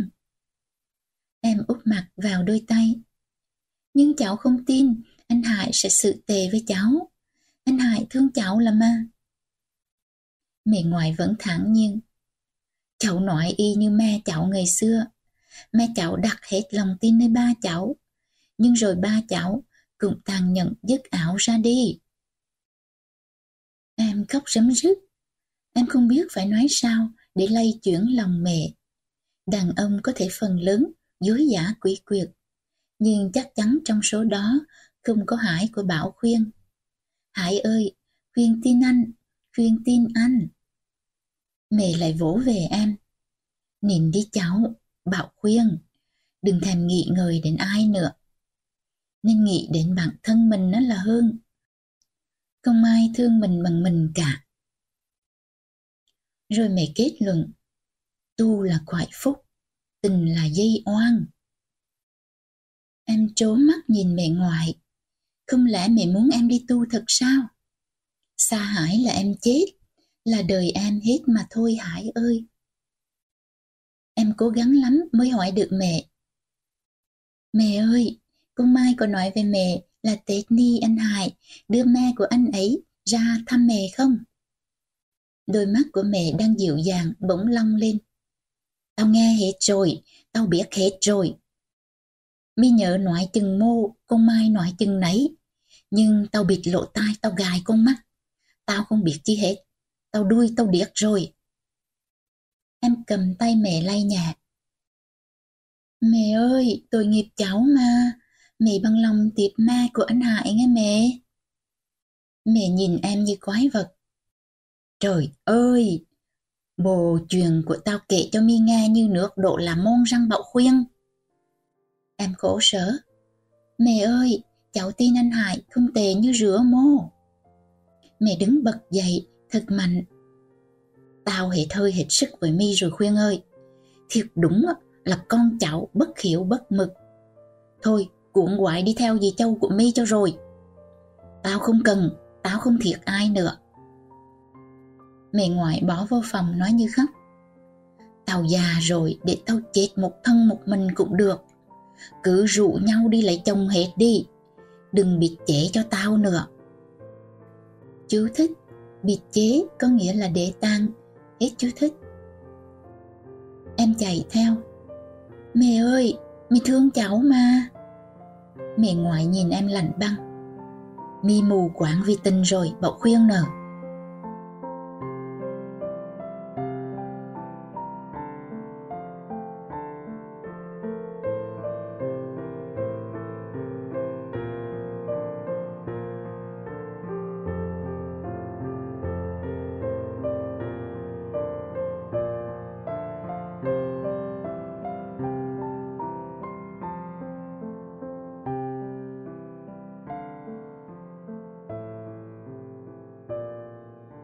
Chương 6 Em không dám viết thư cho Hải. Em thất bại mất rồi. Như Mai thất bại mất rồi. Trong việc thuyết phục mẹ ngoại giùm em. Như Mai ngạc nhiên lắm Khi nghe em báo tin kết quả bất thành. Nó trợn mắt. Chỉ là chưa? Rửa mà tao nói chi, Mẹ cũng gật đầu hết á. Tao tưởng bợ chứ. Em buồn buồn. Tính mẹ tao trưởng lắm mi ơi mẹ nghĩ một đường, mẹ làm một nẻo. Mẹ ừ đó, rồi không đó. Mi viết thư cho hồ hải chưa? Em muốn không? Tao ưa viết thư cho hải lắm, nhưng tao không biết nói chi. Hải đang chờ tao cho anh biết kết quả. Mà kết quả thì như mi thấy đó, làm răng mà tao viết thư cho được. Em buồn buồn cả ngày, em giàu giàu suốt buổi. Mẹ không ngó ngàng gì đến em. Mẹ không hỏi han em một tiếng. Em đoán là mẹ sẽ cố giữ thái độ lạnh lùng đó cho đến khi Hải đưa ma của Hải về Huế thăm mẹ. Em nhớ Hải quá, nhưng em cũng mâu thuẫn với chính mình. Em mong Hải ra, nhưng em vẫn ao ước, thời gian ngừng trôi. Hải ơi, gặp nhau thêm một lần nữa, để rồi mất nhau thôi anh. Nhưng rồi, ngày lại ngày vẫn tiếp nối. Em như người mất hồn trong những giờ học cuối năm. Như Mai làm thơ dùm em, đăng báo Tết. Như Mai an ủi em thật nhiều, nhưng nỗi khổ sở vẫn vây bủa quanh em. Nhưng rồi việc đến cũng phải đến.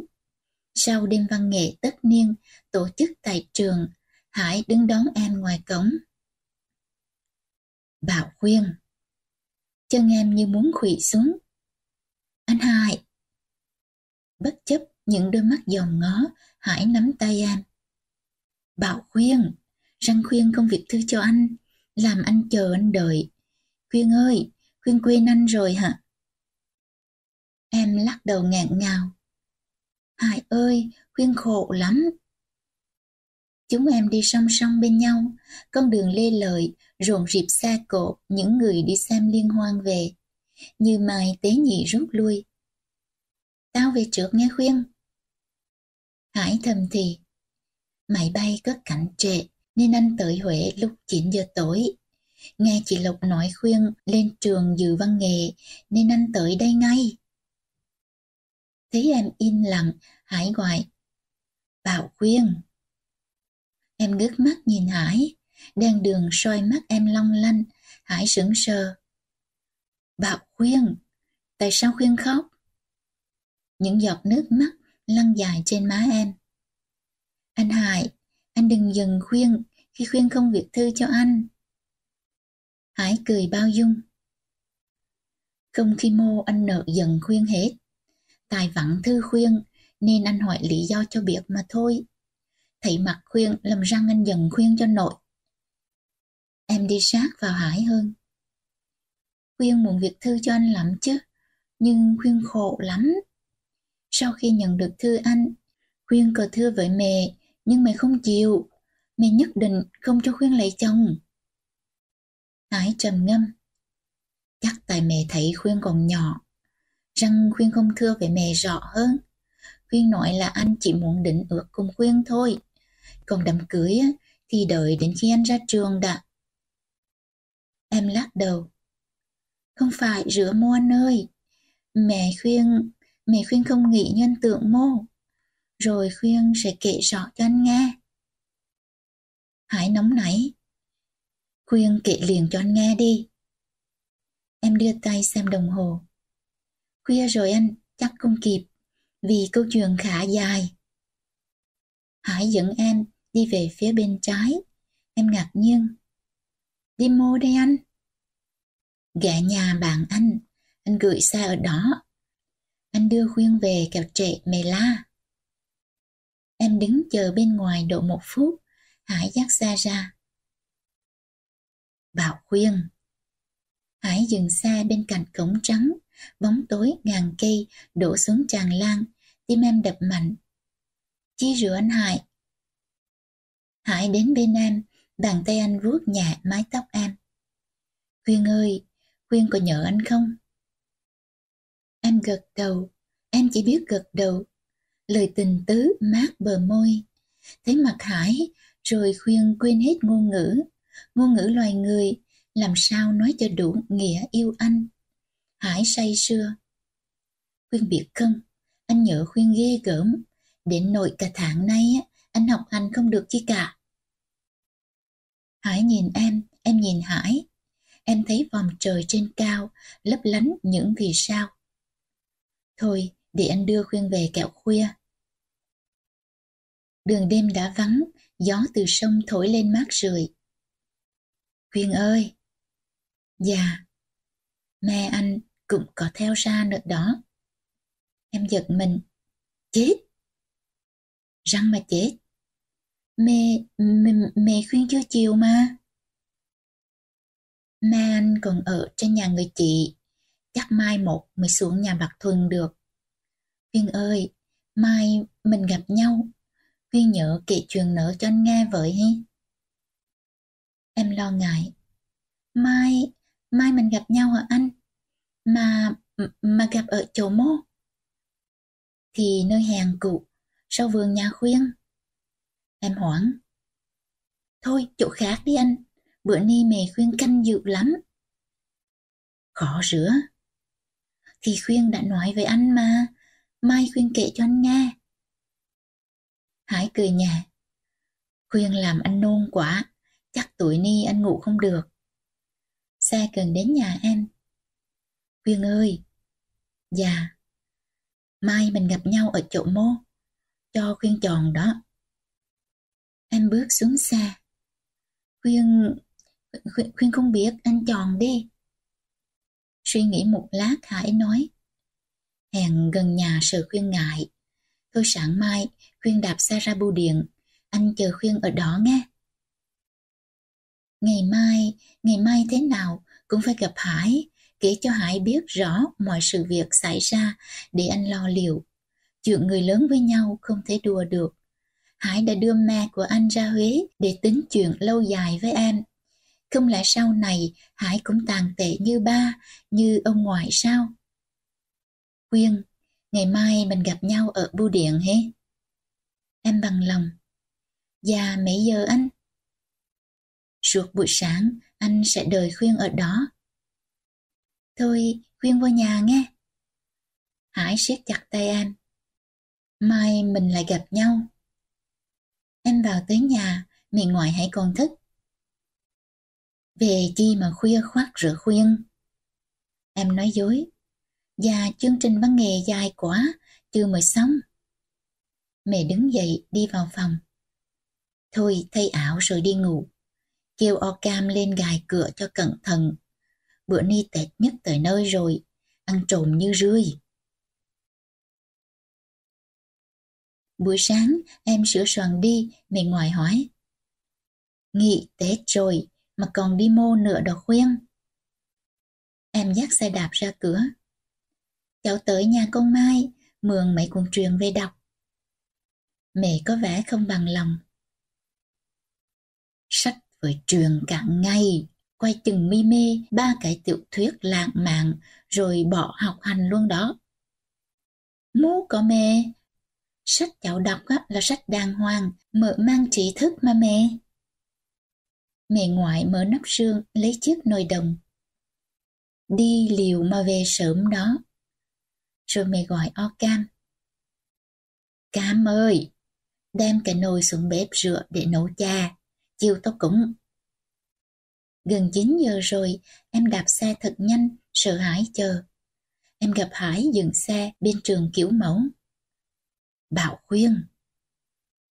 Ủa, sáng anh nói anh chờ khuyên ở bên bưu điện. Hải nhìn đồng hồ đeo tay. Anh chờ khuyên ở đó từ 7 giờ hơn tới trừ. Nóng lòng quá, anh cho xe chạy vòng vòng. Vừa đến đây á, thì thầy dạng khuyên từ xa đi tới, nên anh đứng lại chờ luôn. Hải chạy xe thật chậm bên em. Bữa ni ngó khuyên hư, khuyên ốm hẳn đi. Dạ. Khuyên, khuyên đang buồn à? Em gắt. Khuyên sẽ kể cho anh nghe mà. Hải nói. Qua trường Trương Đình, tới nhà người bà con anh, anh gửi xe cho Khuyên, rồi chúng mình đi chơi bằng xe anh. Em ai ngại. Nhà bà con của anh à, thôi Khuyên sợ lắm. Khuyên sợ người ta cười lắm. Hải dừng xe lại. Nếu sợ thì Khuyên đứng đây trong xe cho anh. Anh sẽ đem xe Khuyên đến gửi rồi trở lại liêm Em bằng lòng, em đứng lặng yên bên xe Hải, nhìn nắng mai vàng, trải ánh sáng trên dòng sông.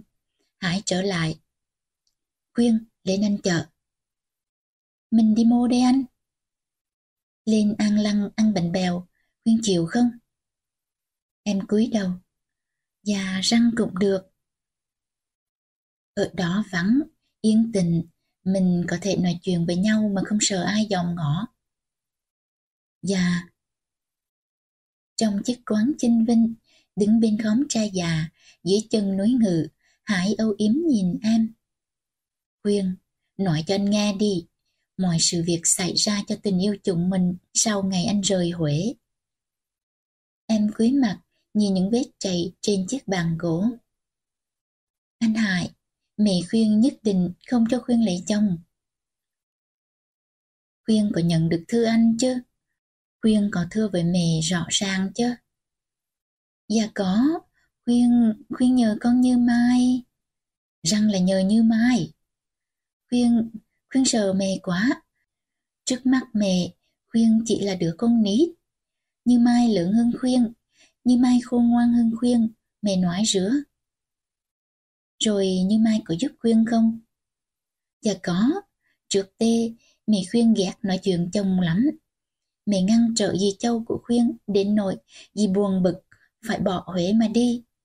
Anh biết không, dạo trước á, mẹ khuyên mến chị Lộc lắm. Nhưng sau ngày chị ấy định hôn, mẹ gạt cay gạt đắng, mẹ còn cấm khuyên không cho chơi với chị Lộc nữa đó. Là ghê he. Dạ, để khuyên kể tiếp cho anh nghe. Tính mê chướng, nhưng khuyên biết thì biết rửa thôi, chứ không ngờ có một nguyên nhân sâu xa. Rồi mẹ kể cho khuyên nghe à? Dạ, sau khi con Như Mai thưa chuyện anh, muốn đưa mẹ anh ra thăm mẹ. Mẹ không nói chi hết. Mẹ chờ con Như Mai về, mẹ kêu khuyên ra mẹ kể. Em im lặng, nhìn giữa bánh bèo nhỏ, nhụy tôm hồng hồng còn bốc khói được bà chủ quán mang ra. Thầy cô dùng thêm bánh ướt không? Hải hỏi anh. Khuyên ăn bánh ướt hị. Thôi anh. Hải nhìn bà chủ quán. Dạ thôi cảm ơn bà. Hải múc nước chấm, chan vào dĩa bánh đưa cho anh Khuyên ăn đi, rồi kể tiếp cho anh nghe. Em không buồn ăn. Anh Hải, thì ra từ xa xưa, mẹ cực căm hờn đàn ông và xem họ như kẻ thù không đổi trời chung với đàn bà. Mẹ nói, trời sinh ra đàn ông con trai á, là để hành hạ, làm khổ đàn bà con gái, nên mình phải chống lại họ bằng cách đừng nên lấy chồng. Hải nhíu mày. Nguyên nhân mỗi căm thù đó, Khuyên có nghe mẹ kể không? Em gật đầu. Mẹ kể nhiều lắm, để Khuyên kể tóm tắt lại cho anh nghe. Mẹ nói ông ngoại Khuyên ngày xưa ruồng rậy, đánh đập mẹ. Tiếp đến là mẹ Khuyên, bị ba Khuyên hành hạ, phù bạc. Nên mẹ Khuyên sầu, mẹ Khuyên hẻo hắt. Cuối cùng vì đau buồn quá mà chết đi. Sau cái chết của mẹ Khuyên, sự căm thù đàn ông của mẹ lên đến tột đỉnh. Mẹ nhất định không cho dì Châu của Khuyên lấy chồng. Dù giàu dì Châu bằng Khuyên, dì đẹp dễ sờ lắm. Dì có tới mấy chục người say mê lận. Hải cầm chiếc muỗng, gõ nhịp lên vành chán. Mẹ khuyên mà khó rửa thì khó ghê, anh khổ ghê á. Em rơm rớm nước mắt nhìn Hải, em thấy Hải nhíu mày, Hải bóp trán suy nghĩ, rồi đôi mắt Hải sáng lên. Anh nhìn em cương quyết. Khuyên đừng lo ngại chi hết á. Anh sẽ tìm cách thuyết phục mẹ khuyên. Em yếu ớt. Cách chi rồi anh? Mẹ của Khuyên thân với Bạc Thuần Anh lắm phải không? Em gật đầu. Mẹ Khuyên trưởng lắm. Trước á, thì mẹ thân với Bạc Thuần lắm. Hai bà ngày mô cũng gặp nhau. Bạc Thuần không qua nhà thì mẹ khuyên lại tìm sang. Hai bà lại bàn chuyện trời Phật thì coi như cả ngày, không cần ăn cơm cũng no. Nhưng từ ngày chị Lộc đảm hoại, mẹ khuyên lơ là hẳn với bạc Thuần. Rằm mùng một đi chùa, mẹ cũng không rủ nữa. Chị Lộc đâu có ăn nhầm chi tới mẹ. Thì khuyên đã nói mà, mẹ không ưa ai lấy chồng hết á huống chi là khuyên, mẹ canh dự lắm. Suy nghĩ một lát, Hải hỏi em. Mẹ khuyên có tuyệt giao hẳn với bạc thuần không? Em lắc đầu. Dạ không, thỉnh thoảng bạc thuần vẫn sang chơi, nhưng mẹ thì khuyên không còn thấy qua nhà bạc thuần nữa. Hải xích ghế lại gần em. Khuyên nỉ, anh định gì? Mẹ khuyên đã khó rửa, Mẹ anh thì còn quá xa lạ với mẹ, nên anh định mẹ anh qua thăm sau, được không? Em bối rối. Tùy anh thôi, chứ khuyên có biết chi mô. Đầu óc khuyên còn non dài, tâm trí khuyên rối mù. Hải đặt tay lên bàn tay em để trên bàn, vỗ nhà nhà. Bà khuyên khéo nói lắm, anh hy vọng sẽ thành công. Khuyên đừng lo nữa, khuyên đừng sợ nữa, tươi lên cho anh nhìn nào, dòng suối mạc của anh. Em mỉm cười, miệng héo úa. Khuyên lo ghê. Khuyên đừng có lo, có anh. Khuyên sợ ghê. Khuyên đừng có sợ, có anh. Khuyên cầu trời Phật phù hộ cho tình yêu của chúng ta. Anh cũng rửa. Xa khuyên, chắc anh không thể sống được. Johnny, anh thưa chuyện với bác Thuần rồi chiều bà qua thăm mẹ khuyên nghe. Em hồi hộp. Dạ, khuyên có cần nói chi với mẹ khuyên trước khi bạc Thuần qua không? Thôi khỏi, cứ xem như bạc Thuần qua tình cờ, câu chuyện sẽ tự nhiên và dễ dàng hơn. Nắng đã nhuộm vàng đồi cỏ, hải rủ. Mình lên núi chơi khuyên. Em từ chối. Thôi khuyên phải về, trưa rồi mẹ la chết. Hải đứng dậy, biểu đồng tình. Ừ, đúng rồi, tụi mình phải về. Chứ để mẹ la khuyên nữa, thì chiều ni hư bột hư đường hết. Em bảo, anh cũng nên về sớm để có thì giờ bàn luận về bạc thuần. Khuyên nói phải, rửa mà anh bậy ghê cứ rượu khuyên đi chơi mãi. Hải nhìn em đầy triều mến, anh cứ muốn ở cạnh khuyên suốt đời. Em đỏ mặt nói lãng. Mình về đi anh, còn đi lấy xa cho khuyên nữa. Cũng lâu, chợ không phải chơi mô. Em về tới nhà, không thấy mẹ ngoại. Em hỏi o cam, ngồi đãi đầu nấu trà. Mẹ tôi mua rồi. Bà đang coi họ bạ bắp ngoài ruộng á. Cô đi mua mới trừ rửa. Cô như mai qua tìm hai lần á mà không gặp. Em giật mình, em nói dối với mẹ là em tới nhà như mai mượn sách. Vậy mà con bé lại đi tìm em, thì có chết không? Em dừng xe đạp bên gốc cao, tới bên o cam. Nì, thì như mai tới mẹ tôi có nói chi không? O cam lắc đầu. Ba mốt có gặp, từ sáng tới trưa bà mắc ở ngoài ruộng bắp á. Cô như mai á, chỉ gặp có một mình tôi thôi. Em nhà nhóm cả người. Rửa à? Nè, o đừng nói với mẹ tôi á, là có con như mai qua tìm tôi nghe. Răng rửa cô. Em giả vờ. Tôi không thích, mẹ tôi hay hỏi lắm. Mẹ tôi sợ con như mai qua rủ tôi đi chơi. Mẹ tôi không ưa tôi đi chơi hoài rửa. O nhớ nghe. Mẹ có hỏi á, thì tôi mới nói, chứ nói làm chi. Tôi còn nhiều công việc lắm. Còn nấu trà nấu sôi chiều tuổi ni cũng nữa nè. Em vào nhà trong thay áo, rồi ra cạnh o. Có việc chi làm đưa tôi phụ giúp cho. O bưng rổ đậu vừa đãi xong vào bếp. Thôi cô, để tôi nấu cũng được. Cô đi ngủ đi cho khỏe. Em lấy chổi, quát sơ tấm phản, rồi nằm xuống liêm diêm đôi mắt. Suốt đêm qua không ngủ, trừ em cảm thấy mệt ghê. Một lát sau, mẹ từ ngoài sân bước vào. Con bảo khuyên về rồi à? Cam ơi, mau dọn cơm cho sớm, chiều ni còn cúng nữa. Em vừa ngái ngủ, em xoay mặt vào trong vách, lòng thầm lo ngại. Em quên bẵng mất, không bàn với Hải, chiều ni mẹ mắc cúng. Không biết bác Thuần sang có gặp điều chi trở ngại không? Mẹ lai em dậy. Dậy khuyên, dậy ăn ba hộp cơm, rồi vô phòng ngủ, để chỗ ngoài ni cho tao quại bánh. Em ăn qua loa rồi rút vào phòng trong. Em đang cần một giấc ngủ trưa cho dịu bớt cơn nhức đầu. Tiếng chào của bác Thuấn làm em tỉnh giấc. Thưa mẹ, cha, mẹ gọi bánh chi rửa. Dòng mẹ thật hứng hờ. Bà qua chơi đó à? Tôi gọi bệnh nằm, chiều cúng. Em không ngủ được nữa, em ngồi dậy, hé màn nhìn ra. Em thấy bác Thuấn đặt một gói lớn lên bàn. Thưa mẹ, cháu tôi mới ở Sài Gòn về ăn Tết. Có chú quà mọn, đem qua biểu mẹ dùng cho vui. Mẹ ngoại khách sáo. Chà, tôi với bà mà biểu sáng làm chi? vạ lại, quà của cầu hại, tôi không dám nhận mô. Mời bà ngồi chơi.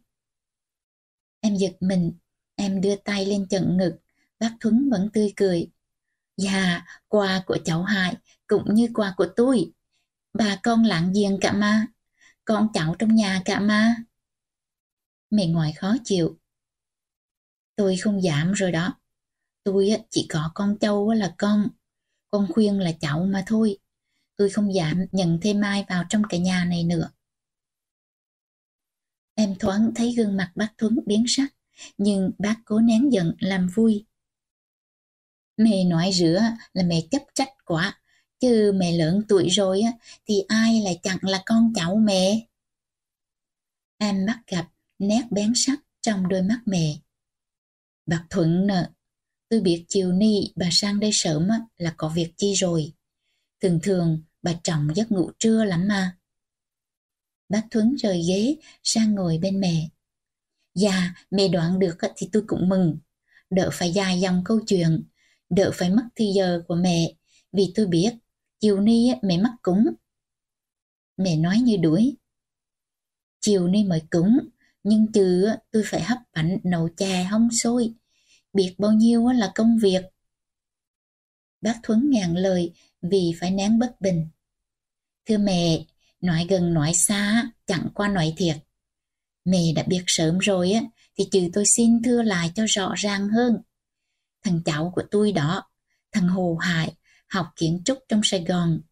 Kỳ nghỉ hè vừa qua cháu ra Huế chơi, rồi tình cờ quen với cháu Bảo Khuyên đây. Thấy Bảo Khuyên hiền lành thùy mị, nên thằng Hải đem lòng thương mến.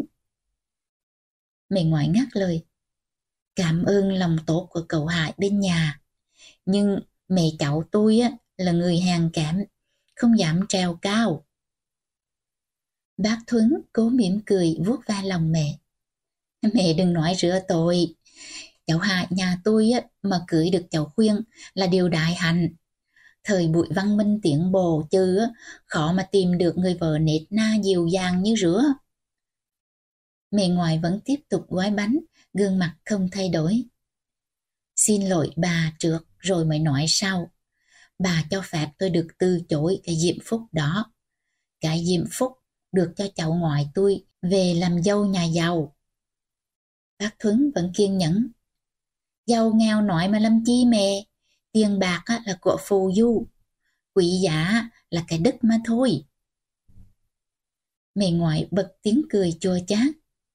Rửa thì bà đã lầm, cậu hại cũng lầm luôn. Con cháu nhà tôi vô phúc lắm. Người ta nói là con gái nhờ đức cha, mà cái thằng chồng con Bảo Ngọc ngày xưa là đứa vô nghị Thôi bà về nói với cậu Hải á là nên bỏ ý định cưới con Bảo Khuyên đi. Đất Sài Gòn thiếu chi con gái đẹp. Em chịu đựng sự bực tức không nổi nữa, em cúi mặt vào tấm mền hoa, rấm sức khóc. Ngoài nhà bác Thuấn cố thuyết phục mẹ. Thưa mẹ, mẹ nên nghĩ lại cho con cháu nhờ. Hai đứa nó thương nhau. Tội nghiệp. Hơn nữa, Tết ni chị tâm tôi, mẹ thằng Hải đó. Chị ra với ý định xem mắt cháu Bảo khuyên và sang hầu thăm mẹ. Mẹ ngoại xua tay lia lịa. Thôi cho tôi xin đi. Trời ơi, bộ thiên hà muốn qua mặt tôi hả? Chưa ai thèm nói chi với tôi hết á, mà đòi qua thăm, đòi qua xem mặt. Bác Thuấn vuốt dạ vai mẹ. Mẹ bớt dần đi, mẹ nóng quá. Ai mà dám qua mặt mẹ muốn nơ? Thì trừ tôi qua, thưa với mẹ đấy nè. Qua xin phép mẹ hẳn hoài đấy nè. Nếu mẹ cho phép á, thì chị tâm tôi mới dám qua hầu mẹ chứ. Mẹ hơi hơi nguôi giận. Thôi lần bà ơi, cho tôi xin lỗi đi. Con Bảo khuyên còn nhỏ lắm. Mới có 16-17 tuổi mà lấy chồng chi. Bác Thuấn nói ngọt với mẹ. Mẹ cứ cho phép chị tôi có hầu mẹ đi, cho hai gia đình quen biết nhau. Hai cháu còn nhỏ mà vội chi. Chứ chị xin mẹ một lễ vẫn danh. Mẹ lắc đầu lia lịa. Thôi lần, thôi lần, đừng nữa, đừng nữa. Tôi không chịu gả con khuyên mô. Bà đừng có nói nhiều làm chi, vô ích thôi. Mẹ! Mẹ bịt hai tay lại. Thôi, bà đừng có nói nữa mà. Tôi không bằng lòng mô. Đàn ông con trai đều dạ ác lắm. Sống với họ càng thêm khổ. Lấy chồng chẳng vui ích chi. Tôi không muốn cháu tôi khổ. Bà nghe chưa? Bác Thuấn dịu giọng. Mẹ nờ, con cháu mình yêu ai á, tức là nó đang tìm thấy hạnh phúc. Mình lo cho tiểu nó tới bến tới bờ á, là làm cho nó sung sướng, chứ tại răng mẹ cho đó là làm khổ con cháu. Mẹ ngoại vứt mạnh tấm lá chuối vào chiếc sổ tre. Tôi thì rửa đó, tôi khác, bà khác. Mỗi người, mỗi quan niệm riêng. Tôi chẳng ham giàu sang, chẳng ham địa vị này nọ mà đem con cháu đi gạ bán. Làm tôi làm mọi nhà người ta. Làm dâu là xiên xích, làm vợ là nô lệ. Rồi mẹ chăm chọc. Ai chẳng biết, cậu Hải sau này là một kiến trúc sư. Nhưng tôi chẳng ham. Tôi không có như người ta mộ. Gả con gái được cho bác sĩ, rồi cứ đi khoe âm âm cái miệng. tưởng mô là đài phước lắm. Em tái mặt, em biết mẹ ngoại đang ám chỉ bác Thuấn. Hôn phu của chị Lộc là một bác sĩ tương lai. Dạo hai người mới làm đám hỏi, bác Thuấn có vẻ hạnh diện lắm. Đi đâu bác cũng đem chàng rể ra khoe, nào là nó đàng hoàng đứng đắn. Nhưng theo em, chuyện đó không có gì là lạ. Mấy bà ở Huế thường hay có tính đó. Tốt khoe xấu cha như một tâm bệnh của hầu hết người Huế. Có nhiều khi trong nhà hết gạo ăn. Nhưng khi ra đường, họ vẫn ăn mặc chỉnh tề, phong lưu cốt cách như thường. Mẹ ngoại cũng biết điều đó chứ, nhưng giờ đây em biết, mẹ đang cố tình va chạm từ ái của bác Thuần. Từ chối khéo không được, mẹ phải làm vậy để ma của Hải bỏ ý định cưới em cho Hải đi. Nước mắt của em nhạt nhòa đôi má, em chán nản đến cùng cực, em chỉ muốn chết đi cho xong. Ngoài nhà, bác Thuấn không dằn được nỗi tức giận, bác đứng dậy. Mẹ không bằng lòng gạ bảo khuyên cho thằng Hạ nhà tôi á, thì thôi. Nhưng tôi yêu cầu mẹ, mẹ không được nói riêng nói sọ đến tôi. Mẹ già rồi, đừng để phải mang lắm khẩu nghiệp. Mẹ ngoại vẫn điềm nhiên. Tôi nói miệng tôi, ai nghe thì nghe, không nghe thì thôi, mắc mở chi ba. Bà hãy về, nhắn với cầu Hải là từ nay á, đừng có đeo đuổi con bảo khuyên nữa, để cho nó học hành. Bác Thuấn đi ra cửa. Mẹ yên tâm, không ai còn làm rộn tới cháu của mẹ mô. Tôi sẽ nói lại với thằng Hải những lời mẹ nhắn. Chào mẹ. Mẹ mời đưa. Bà ở lại ăn miếng trầu đã. Thôi cảm ơn mẹ. Những bước chân của bác Thuấn dèo hấp tấp trên nền đất, lôi theo niềm hy vọng cuối cùng của em. Niềm hy vọng tan biến rồi, như sương tan trong ánh ban mai. Em vén màn bước ra ngoài, gương mặt còn đầm đìa nước mắt. Mẹ, mẹ ác lắm. Mẹ đang sắp bánh vào nồi, ngẩng lên thản nhiên. Chi rửa bạo khuyên. Em òa khóc. Mẹ, mẹ ác lắm. Mẹ làm tan nát hạnh phúc cháu rồi. mẹ nhìn em, đôi mắt thật sắc bén. Thà để cho cháu khổ trừ, còn hơn á, là cháu sẽ khổ về sau. Em ôm mặt chạy vào phòng sau khi hét to vào tai mẹ. Cháu ghét mẹ, cháu ghét mẹ lắm mẹ ơi. Em vùi mặt vào chăn, gọi thầm tên Hải. Hải ơi, Hải ơi, mình sắp sửa xa nhau vĩnh viễn rồi, Hải ơi.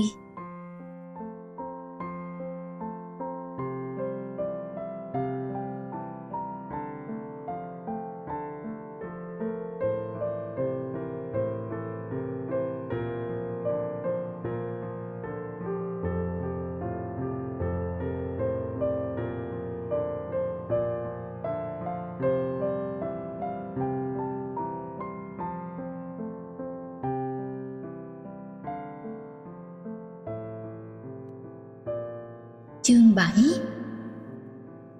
Hải ơi, thôi đừng tìm cách gặp Khuyên nữa, khổ sở cho Khuyên lắm. Mẹ khuyên canh khuyên như canh tù tội phạm. Anh ở bên vườn bên tê, khuyên ở bên vườn bên ni, có thấy nhau cũng chỉ ngậm ngùi. Sau buổi chiều bác Thuấn về trong thất bại, mẹ đã đắc thắng gọi khuyên ra giảng cho khuyên nghe điều hay lẽ thiệt nhưng khuyên không biết gì cả. Khuyên không nghe gì cả. Khuyên như người câm, người điếc. Khuyên loạn trí mất rồi. Mẹ đã đoán được phản ứng mãnh liệt của khuyên, nên mẹ đã trở thành người gác khuyên, còn khắc khe hơn cả cai ngục. Suốt mấy ngày gần tết, mẹ không cho khuyên đi đâu cả. Có viện cớ ra chỗ đông ba ngắm hoa mai, mẹ cũng mặc áo lò dò đi theo hết hy vọng tìm gặp anh rồi. Dù là nhiều lần nghe như Mai nói, anh đứng chờ khuyên suốt buổi trước nhà nó. Mong khuyên sẽ tới thăm nó để anh được gặp. Dù đã nhiều lần trong vuông cửa phòng khuyên, khuyên thấy anh thấp thoáng dưới những tàn nhãn rầm. Đôi mắt tuyệt vọng hướng sang vườn khuyên. Khuyên lòng đau như muối xác kim châm. Nhưng làm sao mà ra với anh đây? Khi mẹ ngồi ngay bực cửa trắng mất rồi. Khuyên như chim lồng cá chậu, cảm nhận dần nỗi đau đang gặm nhắm buồn tim. Vị già ngày Khuyên nhận được thư anh do Như Mai đưa lại. Buổi chiều mùng một Tết, hoa nở khắp vườn, nhưng mưa buồn lại phong kín hồn Khuyên. Khuyên cũng nhớ anh, như anh đã nhớ Khuyên vậy, nhưng có lẽ còn quay quắt hơn nữa.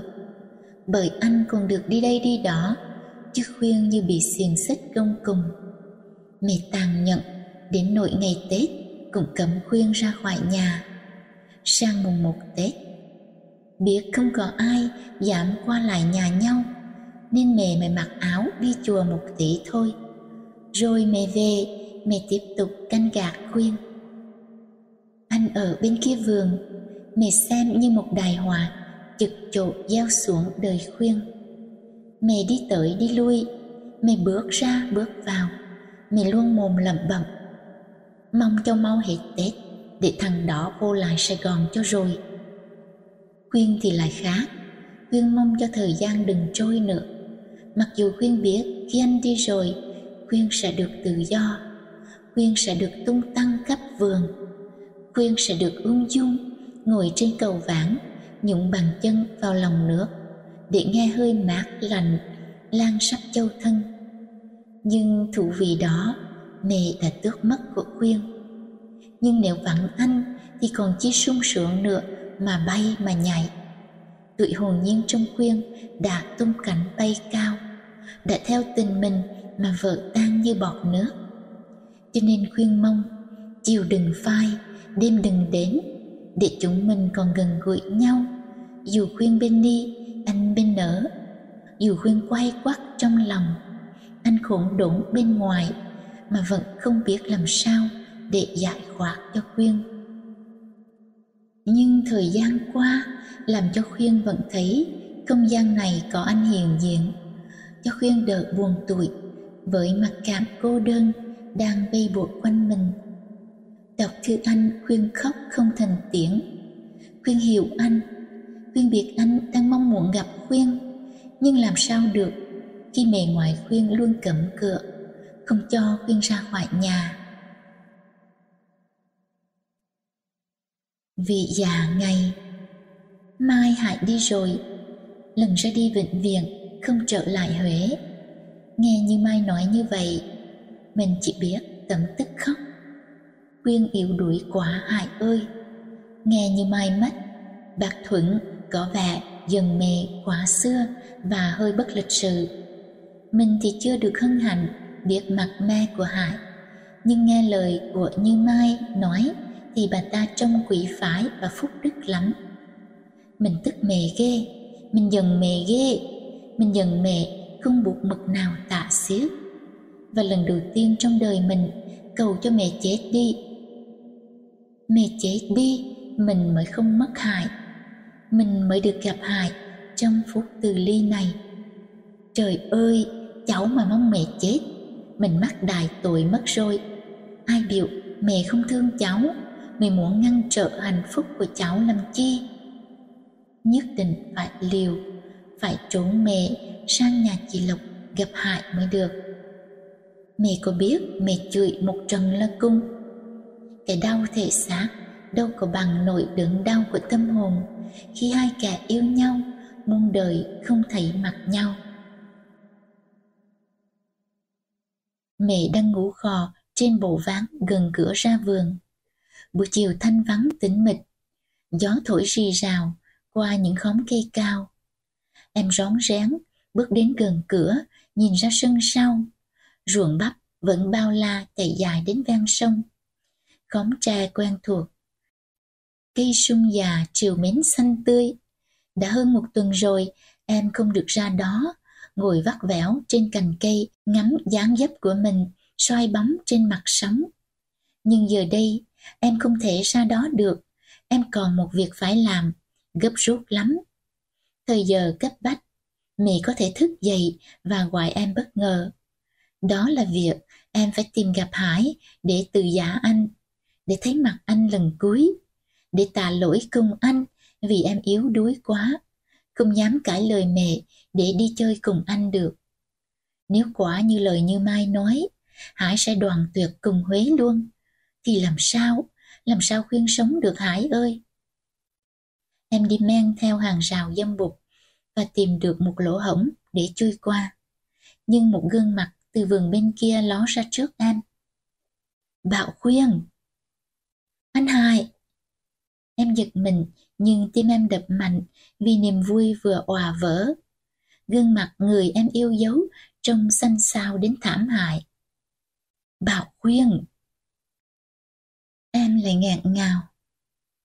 Anh hai. Sang đây với anh. Như có một hấp lực huyền bí, em chui theo Hải sang vườn nhà chị Lộc. Hải nắm chặt lấy bàn tay em run rẩy như sợ em tan biến đi trong thoáng chốc. Bảo khuyên. Em xúc động quá. Dạ, anh Hải kêu chi khuyên. Khuyên ơi, sáng mô anh cũng đợi, trưa mô anh cũng đợi, chiều mô anh cũng đợi. Rằng khuyên không ra vườn cho anh gặp. Em ngạn ngào. Mẹ cấm, mẹ giữ khuyên như giữ tù. Khuyên có nhận được thư anh không? Có, như Mai trao lại cho Khuyên. Đọc thư anh, Khuyên đứt cả ruột. Nhưng Khuyên không biết làm răng. Em ôm mặt khóc òa. Khuyên còn nhỏ quá, Khuyên yếu đuối quá hại ơi. Nắng trưa soi vào đỉnh đầu, xoáy tâm hồn hai đứa. Hải dẫn em vào bóng mát tàn cây vải trắng. Bảo khuyên, vào đây đừng kẹo nắng. Khuyên ra vườn tìm anh phải không? Mẹ mua rồi, mẹ không còn cấm khuyên nữa à? Em lắc đầu. Mẹ ngủ trưa, khuyên lẹn ra đây gặp anh. Khuyên nghe như Mai nói, Mai anh đã đi rồi. Hải cúi mặt buồn buồn. Phải, Mai anh đi rồi, chuyện máy bay sớm. Bảo khuyên, anh tưởng anh không còn được gặp khuyên lần cuối. Em chảy nước mắt. Anh đừng nói đến chữ lần cuối, khuyên sờ lắm. Hải ngắt một nhánh lá vải, quay trong không khí. Khuyên sợ và anh đau lòng, nhưng sự việc đã xảy ra như rửa. Mẹ khuyên không những từ chối mẹ anh, mà còn nói những câu làm chạm đến từ ái bạc thuận anh nữa. Em nhìn Hải.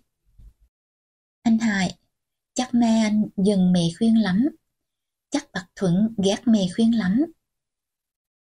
Hải vứt nhanh lá xuống đất. Anh không biết nữa, nhưng có lẽ gần như rửa.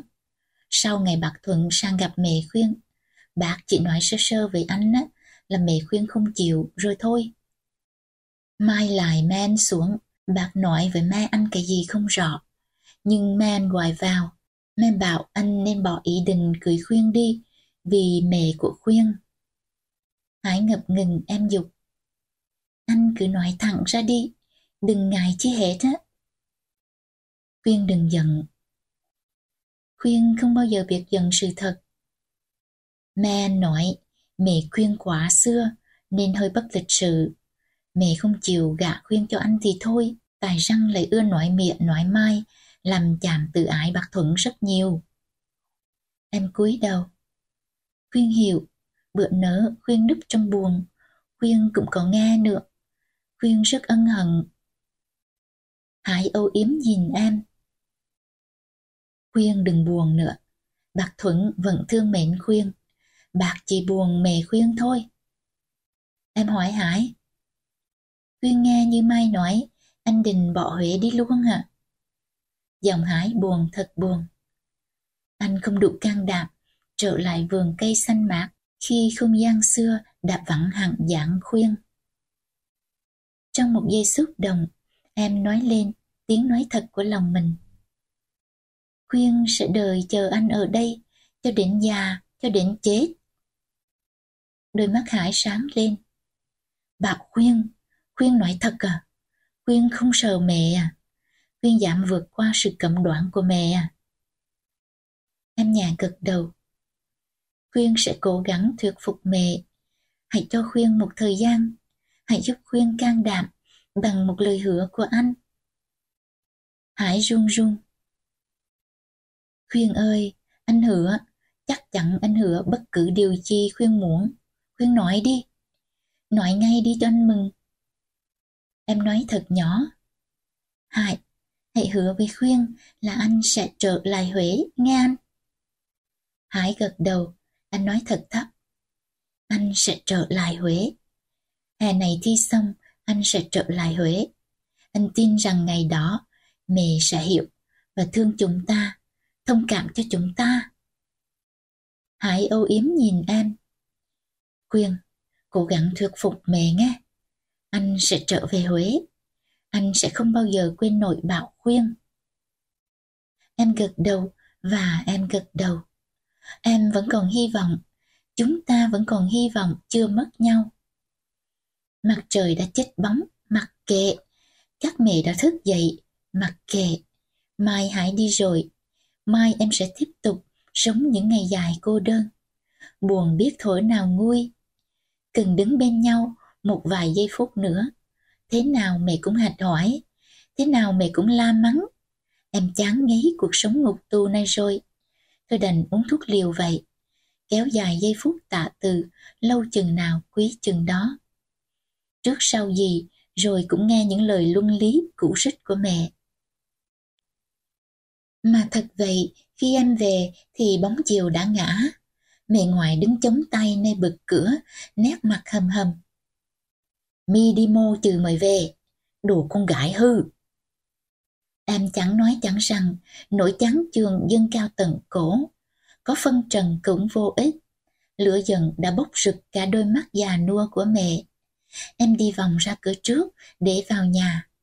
Nhưng mẹ như con hổ dữ, mẹ chạy thật nhanh để chần em lại. Đứng lại, đứng lại, mi đừng hòng trốn chạy. Mi trả lời cho tao rõ. Mi đi mô từ trưa tới chứ? Em nói giọng bình thản. Cháu ra cầu vãn chơi cho má. Một cái tác như trời giáng làm em tới tâm mặt mũi. Nói láo, o cam có ra cầu vãn rửa chén, o không thấy mi. Em im lặng, cố nén không cho nước mắt trào ra. Miệng ngoài rít lên. Răng tao hỏi mà mi câm như hẹn. Mi khinh tao hả? Tao nhà quê không xứng nói chuyện với mi chắc. Em cúi đầu buồn tuổi. Sang vườn gặp Hải lần cuối mà là một chồng tội như vậy sao? Biết nói gì với mẹ đây? Biết phân bua lỗi gì khi đã trót nói dối và bị lỡ miệng? Mẹ hỏi tới tấp. Mi đi mô, mi phải nói. Mi không nói tao cày răng, tao cày miệng. Em nhăn mặt. Mẹ làm chi mà dự rứa? Mẹ ngoại nhảy dừng cả người. Ri mà mi còn chưa sợ nữa, chứ đừng nói là tao hiền. Tao mà dễ dại, mi phóc lên đầu tao mà ngồi chệm chề rồi. Chưa thích, phóc có nghĩa là nhảy, hết chưa thích. Em nói nhỏ, mẹ nói chi mà tôi cháu rửa. Mẹ ngoại nắm lấy vạt áo em đẩy mạnh. Mi đi mô, mi đừng có đánh trống làng. Em hất tay mẹ, em òa khóc. Cháu đi gặp anh Hải. Mẹ đừng chia ra cháu. Mẹ đừng ác nữa mẹ ơi. Em chạy u vào phòng, nhòi mình lên giường, úp mặt vào gối. Hải ơi, sao quyên khổ đến thế này? Mẹ giận em suốt mấy ngày, gương mặt lạnh lùng, đôi mắt nghiêm nghị. Nhưng em cũng bất cần, dù mẹ có dữ hay lạnh, dù mẹ có thương hay ghét, em vẫn là con bé bảo khuyên, tháng ngày vò võ cô đơn. Em đã lớn rồi, tình thương yêu bảo bọc của mẹ đã đến lúc không còn dữ dội với em nữa. Em đang cần một thứ tình cảm khác hơn. Thứ tình cảm chỉ nhận bằng mắt, bằng môi cười, bằng lời nói dịu dàng, chăm lo săn sóc cho nhau. Đó là Hải, đó là bóng mát của tuổi trăng tròn đang soi bóng hồn em.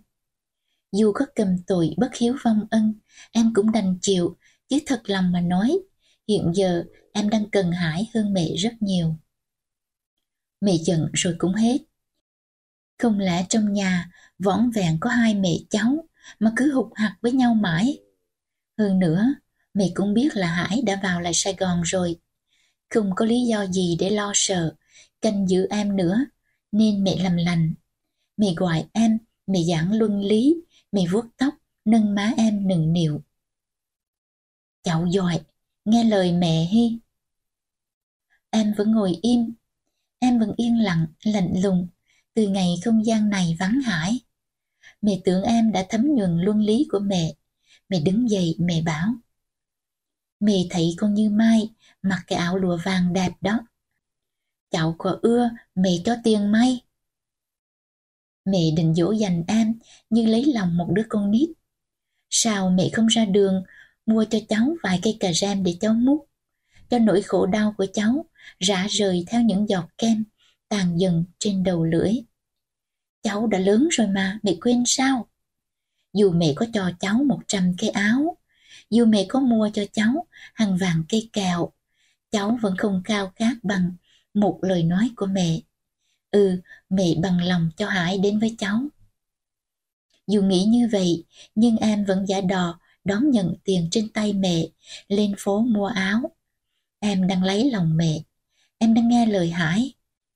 Hải đã dặn em trước, nên ở nhà ngoan với mẹ, đừng bướng bỉnh, đừng làm phật lòng mẹ.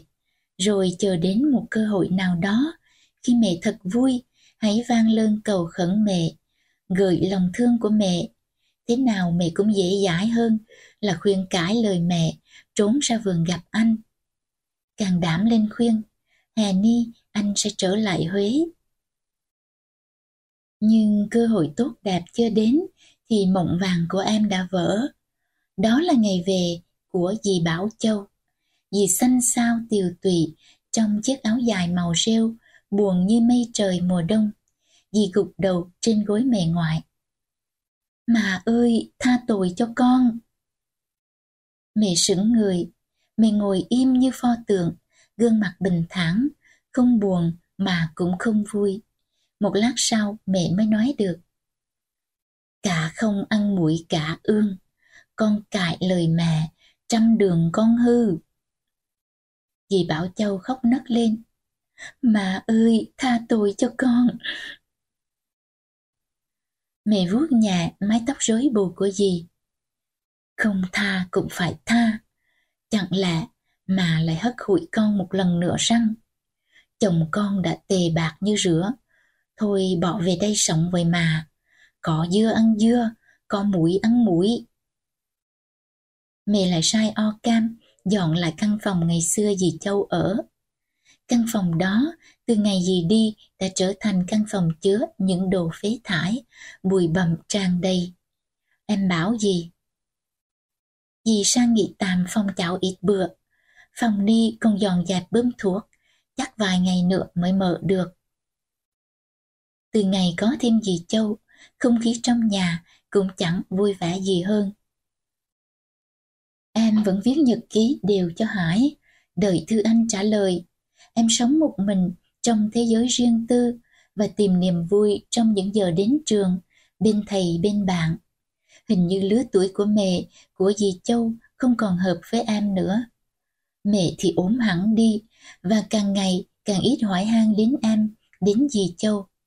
Thay vào đó, mẹ đi chùa nhiều hơn và ăn chay trường. Em nhận thấy mẹ có vẻ chán đời kinh khủng lắm. Dì Châu lại càng thảm hại hơn nữa.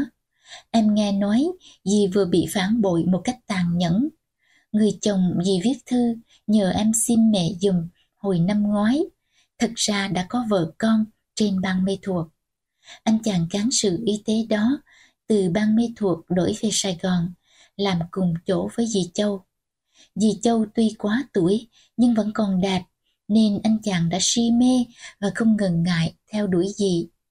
Dì Châu nhẹ dạ, dễ siêu lòng nên một đám cưới đơn giản đã cử hành tại Sài Gòn, hợp thức hóa mối tình của hai người. Không ai biết là anh chàng đã có vợ có con. Cho đến một hôm, cách đây gần một tháng, vợ y từ bang mê thuộc lặn lội về Sài Gòn, cùng hai đứa con, tay bồng, tay dắt, tìm đến nhà dì Châu khóc lóc năn nỉ gì hãy buông tha chồng của bà ta. Dì Châu lặng người, dì Châu ngẹn họng, nhưng với tâm hồn cao thượng, với lòng dạ thẳng ngay, dì Châu không muốn mang tiếng cướp chồng người, nên dì đã lặng lẽ ra đi, dù đã mang thai gần hai tháng. Suốt hai tuần lễ, dì sống như người mất hồn. nay sang nhà người bạn này, mai sang nhà người bạn khác, và cuối cùng dì quyết định trở về Huế. Không có tình cảm nào bao la bằng tình mẫu tử, không có nơi nào nồng ấm êm đềm bằng mảnh đất quê hương. Trước mặt dì Châu, mẹ ngoại không la mắng, mẹ sợ dì có sầu tuổi mà làm những chuyện liều lĩnh, thiệt hại đến thân. Nhưng khi vắng mặt dì Châu, mẹ cứ tìm đến em mà nói. Đó, mi thấy chưa? Lòng già đàn ông con trai, làm răng mà tin được. Bỏ ý định lấy chồng đi. Không rồi mi cũng thân tàn ma dài như con châu rửa. Mẹ nói rồi mẹ khóc, làm em cũng mũi lòng theo. Thôi, tao cũng đành chịu nhục nhã, chưa biết nói răng. Con dài cãi mang, mai một tao lại nuôi thêm một đứa cháu ngoài, không chờ không đợi. Thôi vải trời cho con trâu sinh con trai đi, để tao khỏi phải lo, phải sợ. Thiệt già rồi á, mà cũng chưa yên thân. Chắc kịp trước á, tao cũng là đàn ông, ăn ở bất nhân, nên kịp ni á, tao mới bị quả bạo như rửa. Mẹ càng nói càng gây hoang mang cho em. Không lẽ đàn ông ai cũng tàn tệ như vậy sao? Dù em đang yêu và tin Hải, nhưng em vẫn lo lo.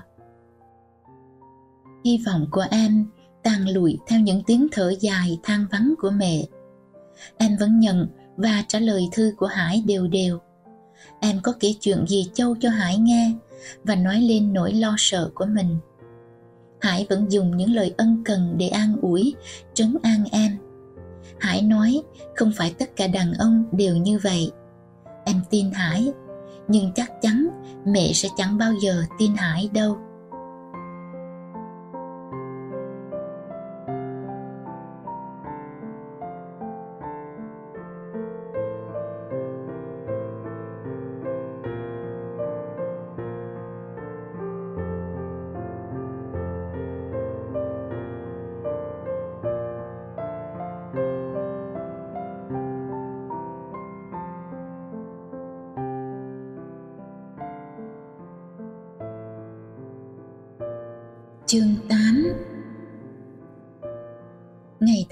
Dần, hai hàng phượng trên đường đã bắt đầu khai hoa và tiếng ve sầu kêu râm ran trong vườn cây xanh mát càng rộn rã lòng em.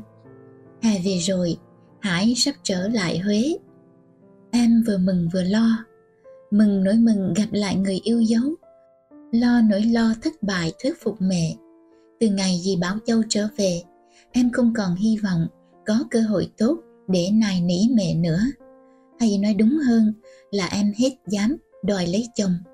Ít nhất là trước mặt mẹ. Hải đã về huế sớm hơn ngày dự định. Anh về dự đám cưới chị lộc. Khi em đang ngắm nghía tấm thiệp hồng của chị lộc vừa đem sang thì mẹ ngoại từ ngoài vườn sòng sọc đi vào. Nị, vứt đi, vứt cái bùa mê thuộc lũ đó đi. Tao ghét lắm, tao không muốn ngó. Em tươi cười. Mẹ nói chi mà là rứa, bác Thuấn mời mẹ qua dự đám cưới chị Lộc mà. Mẹ ngồi xuống phản.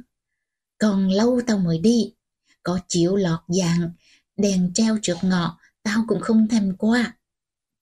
Qua thấy cái mặt nhân nhân về tức ngủ không được. Em nói nhỏ nhỏ, mẹ trưởng ghê. Bỗng mẹ đứng bật dậy. Nị, tao nói cho mi biết, liều cái thân hồn, Thần hại mới về đó. Mi mà lỡ sợ qua bên nở là tao chặt chân. Em run lên, em không giấu nổi niềm vui đang òa vỡ trong tim. Thiệt hả mê, anh hại về thiệt hả mê. Mẹ ngoại nổi sùng. Ngó cái mặt tệ, ngó con gái hư tệ. Nghe nhắc đến thằng đó là cái mặt sáng như gương. Rồi mẹ dằn dằn. Tao mới thấy nó đó. Chắc nó về ăn đám cưới, mà tao cấm mi nè nghe. Em nói. Chị Lộc cũng mời cháu nữa mà. Cháu phải dự đám cưới của chị, kẹo mất lòng. Mẹ ngoại hát to. Mất lòng con ruột, mất ruột con gần. Tao cấm mi, tao cấm cửa thằng hại luôn đó. Ngọ gì châu của mi nó tệ. Cái gương sờ sờ trước mắt á, mi đuôi hay răng mà không thấy. Trường em đã nghỉ hè, em không thể viện cớ lên trường để hẹn hò với Hải được. Những ngày nghỉ Tết đã ngục tù, giờ tiếp những ngày hà cấm cung. Lần này mẹ ngoài cương quyết trông thấy, mẹ theo em từng bước chân, em không còn cách nào để gặp Hải được. Sau khi nhận một lá thư của Hải do Như Mai đem tới, em không còn dịp thấy những nét chữ nghiêng nghiêng quen thuộc đó nữa. Trước kia, Hải gửi thư về cho em theo địa chỉ của chị Lộc. Nhưng từ ngày Hải về, mẹ cấm hẳn em ra vườn chơi. Hải chờ mãi không thấy em ra vườn, mà cũng chẳng thấy em đi đâu, nên Hải mới tìm đến Như Mai, nhờ Như Mai đưa hộ em lá thơ. Ai ngờ mẹ ngoài biết được, mẹ mắng luôn Như Mai, làm cô bé tự ái, không thèm lui tới nhà em nữa. Em chỉ biết âm thầm khóc một mình. Trong nhà chẳng có ai hiểu được em. Thêm vào đó, dì Bảo Châu vì buồn nên lâm bệnh và sinh non. Đứa bé nuôi không được, là mẹ đã gắt gỏng, lại càng gắt gỏng thêm. Mẹ than trời than đất và càng nguyền rủa lòng dạ đàn ông. Dì Bảo Châu từ nhà thương trở về với làn da xanh mướt và lần đầu tiên em nghe từ môi dì thoát ra những lời căm giận. Con sẽ như mà, con sẽ thu ghét đàn ông cho đến ngày nhắm mắt. Mẹ gật đầu ra dáng hài lòng. Mẹ đã có thêm đồng minh và em càng thấy mình lẻ loi hơn. Rồi em hay tin Hải vào Sài Gòn một cách đột ngột, cũng do mẹ ngoại cho biết. Thằng Hải vô lại Sài Gòn rồi, và lần ni á, thằng vô luôn không trở lại Huế nữa mộ. Con Lộc cũng theo chồng nó ra Nha Trang rồi. Từ đây á, tao cho mi tự do ra vườn, cũng như mi tới nhà con Như Mai chơi. Em không vui mà cũng không buồn. Nỗi chán nản đã lên cùng cực làm em tê liệt hết mọi cảm giác thường ngày. Em cũng chả thắc mắc tại sao Hải đến rồi lại đi nhanh như cơn lốc vậy. Bởi trong khoảng thời gian Hải ở Huế, em có cơ hội nào gặp Hải đâu. Dù lá thư hẹn hò của Hải do Như Mai mang lại, em vẫn còn cất giữ trong lòng nhật ký. Vì già ngày Mình đã hiểu. Chiều qua ra cầu bạn chơi Mình đã gặp bác Thuấn. Bác lặng lẽ đưa cho mình lá thư của Hải Mà không nói một lời nào. Hải rời Huế đột ngột như vậy Cũng tài mẹ Tình mình vỡ tan như bọt nước. Cũng tài mẹ Trời ơi, mẹ già rồi, sao mẹ còn chưa chịu tu tâm? Mẹ còn làm khó con cháu đến bao giờ đây? Mình không ngờ mẹ ngoại lại tàn nhẫn như vậy. Mẹ đã tìm gặp hại và mắng xối xạ vào mặt anh. Mình thương hại ghê. Theo như trong thư anh nói suốt cuộc đời anh, chưa bao giờ anh gặp phải một cảnh nhục nhã như vậy. Mẹ ngoài gán cho hại, tôi dụ dỗ gái vì thanh niên. Mẹ thật hồ đồ, mẹ cần suy xét. Mẹ quyết không thấy rằng mình yêu hại tha thiết kia mà. Mẹ chỉ muốn giữ vững lập trường của mẹ. Mẹ chỉ muốn bảo vệ cái thanh kiến quá khắc khe của mẹ. Mẹ ích kỷ quá. Suốt đời mẹ chỉ làm khó con cháu mà thôi. Bàn tay con ngọn dài ngọn ngắn, đàn ông đàn bà gì cũng có năm bầy hàng chứ. Biết bao nhiêu người con gái hưởng hạnh phúc tròn vẹn bên chồng cho đến suốt cuộc đời. Mẹ đã đem nỗi bất hạnh của mình để lo sợ không đâu cho người khác.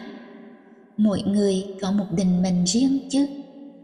Gieo gió gặt bão, ở hiên gặp lan. Đức Phật đã dạy kiếp trước gieo nhân lành, thì kiếp này được trái ngọt. Mọi điều sung sướng, khổ cực, mình hưởng trong cuộc đời này là do nhân đã gieo từ kiếp trước. Đừng oán than ai cả, đừng nguyền rủa ai cả. Đàn ông hay đàn bà đều bất hạnh hoặc diễm phúc giống nhau. Trong thư, hải còn nói, anh vẫn yêu khuyên và mãi mãi chỉ yêu khuyên nhưng anh còn tự ái của một thằng con trai nên anh không thể nản lại Huế một giờ một phút nào để nghe những lời cay chua của mẹ. Có lẽ anh sẽ rời xa Huế mãi mãi. Buồn quá Hải ơi, khuyên chị muốn chết quách cho xong một đời. Vì già ngày, xa nhau vậy mà đã hơn bốn tháng. Từ ngày Hải rời Huế, ngày nào mình cũng nhìn lên tấm lịch đếm từng ngày từng tháng. Mình không hiểu nổi mình nữa. Thời gian còn có nghĩa lý gì khi hai đứa đã vĩnh viễn mất nhau? Chắc mình điên thật rồi, mình loạn trí mất rồi. Hà đã hết từ lâu, mình vẫn tiếp tục những ngày đến lớp, nhưng mình không còn thấy vui nữa. Có lẽ tuổi hồn nhiên của mình đã mất theo cuộc tình đầu nhanh chóng phôi pha. Hôm qua, nhận được thư chị Lộc, chị tin cho biết là Hải đã rớt trong kỳ thi lên lớp cuối năm. Trông Hải có vẻ chán nặng lắm. Mình lại khóc, lại viết tên Hải để trong lòng nhật ký và thầm mong cho Hải thi đầu kỳ hai. Chị Lộc còn nói cho mình hay rằng hiện chị sống rất hạnh phúc. Phong chồng chị cưng chị ghê lắm. Cả bên gia đình chồng cũng vậy. Đối đại với chị hết sức rộng lượng và tràn ngập tình thương. Mình có đem chuyện này kể sơ cho mẹ ngoại nghe, nhưng mẹ biểu môi, mẹ không tin, rồi mẹ lại đa mình. Mi liều hồn đó, chờ nói chi cho con châu hết á.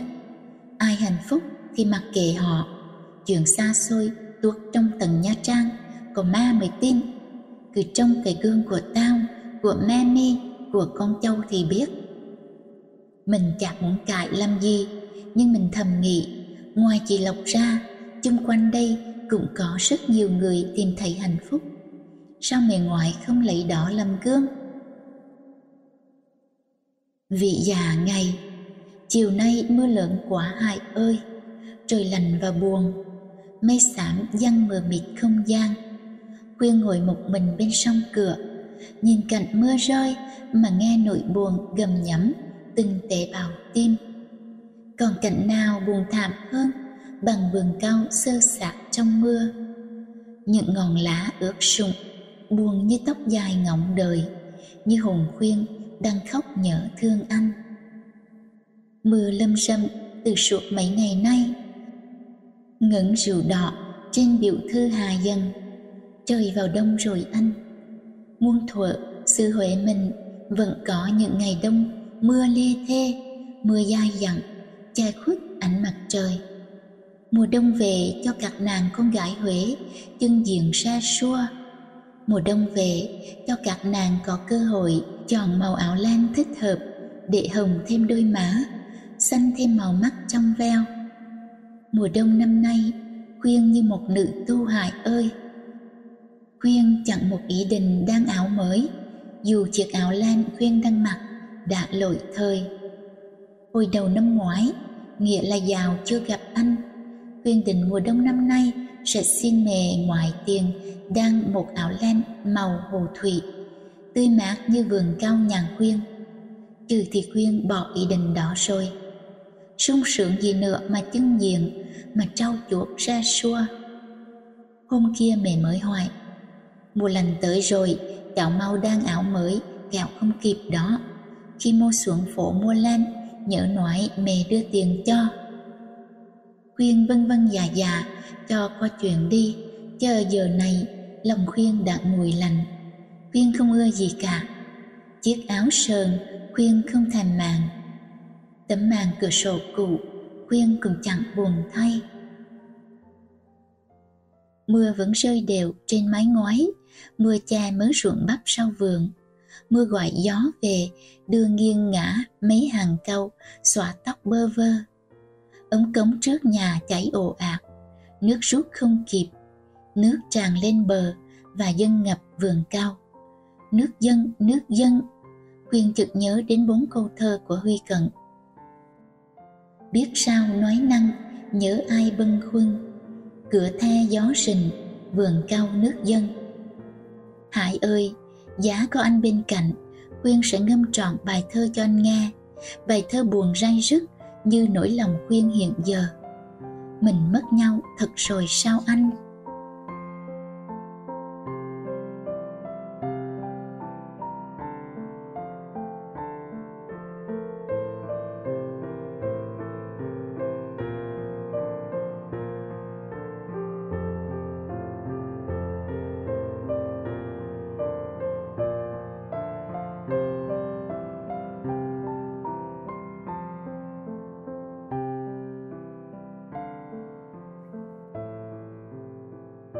Chương 9 Thời gian lặng lẽ trôi, đã sáu lần hoa mai nở và không biết bao nhiêu lần Bảo khuyên âm thầm khóc nhớ thương ai. Vườn cao ruộng bắp nhà khuyên vẫn suốt mùa xanh tốt và hoa lợi thu vào đủ nuôi sống mẹ cháu khuyên. Số người trong gia đình vẫn là ba, mẹ ngoại, Bảo khuyên và O Cam. Dì Châu đã trở lại Sài Gòn làm việc sau một thời gian tịnh dưỡng. vì là công chức, không thể đương nhiên đào nhiệm được. Mẹ ngoại già thêm một chút và Bảo Khuyên cũng thế, năm nay đã 24 tuổi rồi. Sau ngày xa vắng hải, Bảo Khuyên chán nản, sầu buồn, học hành ngày càng sút.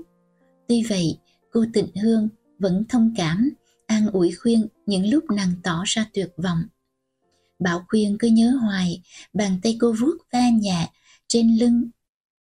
Giọng nói cô dịu dàng thỏ thả, cô quên hại đi bảo khuyên. Nhìn thẳng trước mắt, mình mới có can đảm để sống. Bảo khuyên bơ vơ, bảo khuyên lạc lõng. Bảo khuyên chỉ còn biết tìm nguồn an ủi nơi cô tịnh hương. Nhưng rồi cô cũng bỏ nàng mà đi. Cô theo chồng dời vào Đà Nẵng như mai thì lấy chồng đi lính, rày đây mai đó, chẳng viết về cho khuyên một lá thư. Sau biến cố mậu thân, gia đình bác Thuấn dọn vào Sài Gòn, ngôi vườn bán lại. Bảo khuyên không còn hy vọng biết tin tức của Hải nữa. Dù ngày ra đi, bác có hứa sẽ viết thư về thăm mẹ ngoại và nàng. Chật vật lắm, Bảo khuyên mới đậu được túi tài hai song nàng cảm thấy mình như kiệt sức trên con đường học vấn, không thể tiếp tục lên đại học được. Nàng nhờ người bà con xin cho nàng vào dạy tại một trường tư thục. Ngày qua ngày lên trường gõ đầu trả và buồn bã đem thời gian trôi đều trên mái tóc chờ mong. Tuy vậy, Bảo Khuyên vẫn còn đẹp. Cái đẹp của một trái cây vừa chín mọng và nét sầu thường trên đôi mắt buồn bã kia đã làm cho gương mặt Bảo Khuyên đã đẹp lại còn đẹp não nùng thêm. Chiều nay, Bảo Khuyên đang ngồi theo khăn tay bên cửa sổ. O Cam xách giỏ chợ từ ngoài sân, sòng sọc đi vào. Ba ơi, cô ơi, nguy rồi, đánh nhau ở Đông Hà, dân chúng di cư vô đây nhiều lắm. Mẹ đang tên trầu ngẩng lên, có chi mô mà mi hoảng rồi nè. Ờ, o cam cục hứng, nhưng O vẫn cứ xung xoe. Con thấy rõ ràng, con có thấy người ta ngồi lệch ở thương bạc ạ. Trời ơi, con sợ giống như giàu Tết nở quá. Bảo khuyên biết O Cam muốn nhắc đến giàu Tết mậu thân cách đây 4 năm. Nhưng O quên mất ngày tháng, là ngưng kim. Có mua mà dự rứa. O hay lo chi á, Thấy chẳng ai hưởng ứng, O Cam tiêu nghỉu, xách giỏ xuống nhà bếp. Mẹ ngoại hỏi theo. Đi chợ Đông Ba có mua được chi không? O Cam quay lại. Dạ có, có cả tôm tươi lắm. Có mực nữa, mực to tươi mà rẻ, nên con mua về quét chạ. Mẹ ngoại gật đầu. Ừ, làm cho con bảo khuyên ăn, chứ còn tao á, răng long hết, cẳng chi ra. Đêm ngủ nghe tiếng súng từ xa vọng về, làm bóng tối càng dăng mắt tịch liêu. Bảo Khuyên nằm gác tay lên trán, suy nghĩ mông lung. Cuộc chiến càng ngày càng trở nên khốc liệt. Bảo Khuyên nghe nói hiện nay đang đánh lớn ở Đông Hà và một số dân Quảng Trị cũng đang rục rịch tản cư. những nhà buôn bán lớn ở Quảng Trị bắt đầu dùng xe chở hàng hóa vô Huế. Những người giàu hơn thì họ có ý định vô Huế mua máy bay vào Sài Gòn lánh nạn luôn. Quá khứ Tết Mậu Thân như một ám ảnh nặng nề đang trở lại, đe dọa tâm hồn họ. Mẹ ngoại cũng đã bắt đầu lo.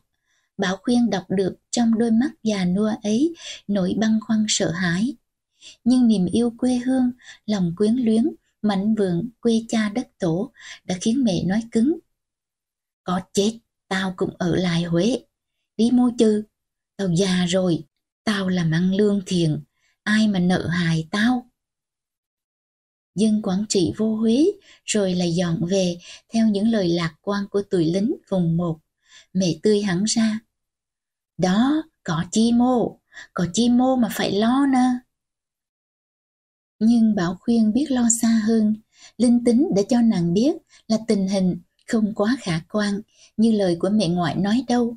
Bầu không khí ngột ngạt bao trùm thành phố Huế. Bảo Khuyên đã sắp sẵn một ít quần áo và vật dụng cần thiết vào vali nhỏ. Nếu có biến cố gì xảy ra, chắc phải bỏ lại ngôi nhà cùng vườn cao sai trái, ruộng bắp phì nhiêu, chứ biết làm sao hơn. Mẹ ngoại thấy, mẹ la. Bồ mi tỉnh bỏ Huế, bỏ tao mà đi hả Khuyên? Mua cỏ mẹ, cháu phải chuẩn bị trước, lỡ có chi mà chạy chứ. Mẹ cương quyết. Mi chạy thì chạy một mình, tao ở lại. Mẹ trưởng ghê á. Đã bao năm qua rồi, Bảo Khuyên vẫn nói hoài câu mẹ chướng ghê. Nhưng mẹ đã bỏ hết tính chướng khi hay đồng bào Quảng Trị lại một lần nữa ùn ùn đổ xô vào Huế. Đường bay Huế Sài Gòn phải mua vé chợ đen. Xe hàng Đà Nẵng cũng vùng vụt tăng giá một cách tàn nhẫn. Bảo khuyên hỏi ý kiến mẹ. Mình có nên dọn đi không mẹ? Răng cháu lo quá. Ý mẹ muốn đi, nhưng lòng còn ngần ngại. Mẹ nhìn khắp gian nhà thân yêu. Những cây cột gỗ lim bóng loáng, treo các câu đối sắc sảo mà đồng. Ba tấm ngựa quy đen muôn dày cỡ đến găng tay. Chiếc rương cần xá cũ đựng chán bát quý. Bao nhiêu là quen thuộc bao nhiêu là gần gũi, nhắc nhở mẹ một thời oanh liệt đã qua. Mẹ chép miệng. Đi rồi, ba cái đồ quỷ giả đi để cho ai? Quyên bàn. Mình khóa cửa lại mà, lo chi mẹ. Mình vô Sài Gòn với dì Châu đi mẹ. Trong đó có sẵn nhà sẵn cửa. Mẹ lại lắc đầu quầy quậy. Thôi thôi, đi vặn trộm vô cài cửa, bưng hết đồ quỷ giá của tao lại còn cau còn bắp nữa. Bỏ bạc triệu ra đi, ai mà điên cái đầu rứa. Trời đã tối, không khí càng ngột ngạt, nhưng hình như gió cũng e dè. Những hàng cau yên lặng ngẩn ngơ. Không gian tĩnh mịch nặng nề, không một tiếng chó sủa đêm, tiếng ve kêu gọi Hà bước đến. ocam bưng sổ chén, mới sửa từ ngoài, bèn bước vào. Chắc chuyện ni con phải về quê bà ơi, con sợ quá. Mẹ nạt vấn an. Về chi mà về, mi khéo bày đặt. Không cần chi mua mà sợ. Mẹ dục bảo khuyên. Ngủ sớm cho khỏe đi cháu, mai còn đi dạy. Bảo khuyên cười, dạy chi bệnh ni nữa mà dạy mẹ. Trường mô cũng đầy đặc đông bào tị nạn. Cháu tới trường chỉ an ủi săn sóc họ thôi. Mẹ ngoài gật gù. Ừ, tội nghiệp, cháu làm rửa là phải lắm. O cam chạy lên. Bà ơi, đóng cửa nghe bà. Mẹ ngoài đứng lên. Ừ, đóng cửa nẹo cho cẩn thận, tao đi ngủ. Bảo khuyên thức giấc vào nửa khuya, khi nghe tiếng la hét kinh hoàng Tiếng chiên trống khua vang trời, vẳng sang từ bên kia sông. O Cam đập cửa phòng nàng rầm rầm. Cô Khuyên ơi, cô Khuyên ơi, nguy quá, dễ sợ quá, lửa cháy đọt cả sông cô ơi. Bảo Khuyên vùng ngồi dậy, nàng mở then cửa, thò đầu ra hỏi. Lửa cháy à, mà lửa cháy ở mô. O Cam mặt tái xanh, tay chân run lẩy bẩy, chỉ ra phía sông. Bên ở, bên kia sông đó cô, Trời ơi, chắc có cháy quá. Mẹ tôi dậy chưa? Dạ rồi, ngoài bển á. Bảo khuyên bước ra sân sau, tiếng la hét vọng về, nghe rõ mồn một. Nàng đi qua ruộng bắp, loan loáng ánh sáng từ đám lửa khổng lồ, cuồn cuộn từ bên kia sông rọi sáng. Nàng bắt gặp mẹ ngoại trở vào với đôi mắt thất thần. Thôi, bỏ hết, bỏ hết, loạn rồi cháu ơi. Chuyện mô cho chuyện ni á, tao đành vô với con châu. Bảo khuyên đỡ lưng mẹ. Mẹ nghĩ rửa là phải lắm. Mất của con người, chơi không lạ, mình ôm của mà chịu chết răng. Mai cháu lên em Việt Nam, mua vé cho mẹ. Ừ, nhưng tao sợ hết quá. Không lo mẹ ơi, cháu có con bạn bạn vẽ ở đó. Nếu mua không được á, thì nhờ nó tốn thêm chục tiền tiền mà đi được sớm. Mẹ nói nhanh. Tốn mấy cũng được, cả gia tài tao cũng được. Ngọ chờ đông ba cháy mà tay chân tao rụng rời. Thôi mẹ vô nghỉ đi. Nghỉ cái chi mà nghỉ, ngủ chi nữa mà ngủ. Tao thức tới sáng, sửa soạn vali áo quần. Mi vô ngủ đi. Nhớ sáng mai, nói tao đưa tiền đi mua vé nghe. Rửa mẹ định để nhà cho ai coi. Cho con cam về làng, còn nhà thì khóa cửa để đồ phó mặc cho trời. Tao tu hành, chắc Phật thương, Phật cũng độ. Chắc không cần chi mô. Mi không nhớ, hồi mẫu thân đó, mình tạm cư xuống tòa khâm, mà khi trở về còn mất chi mô.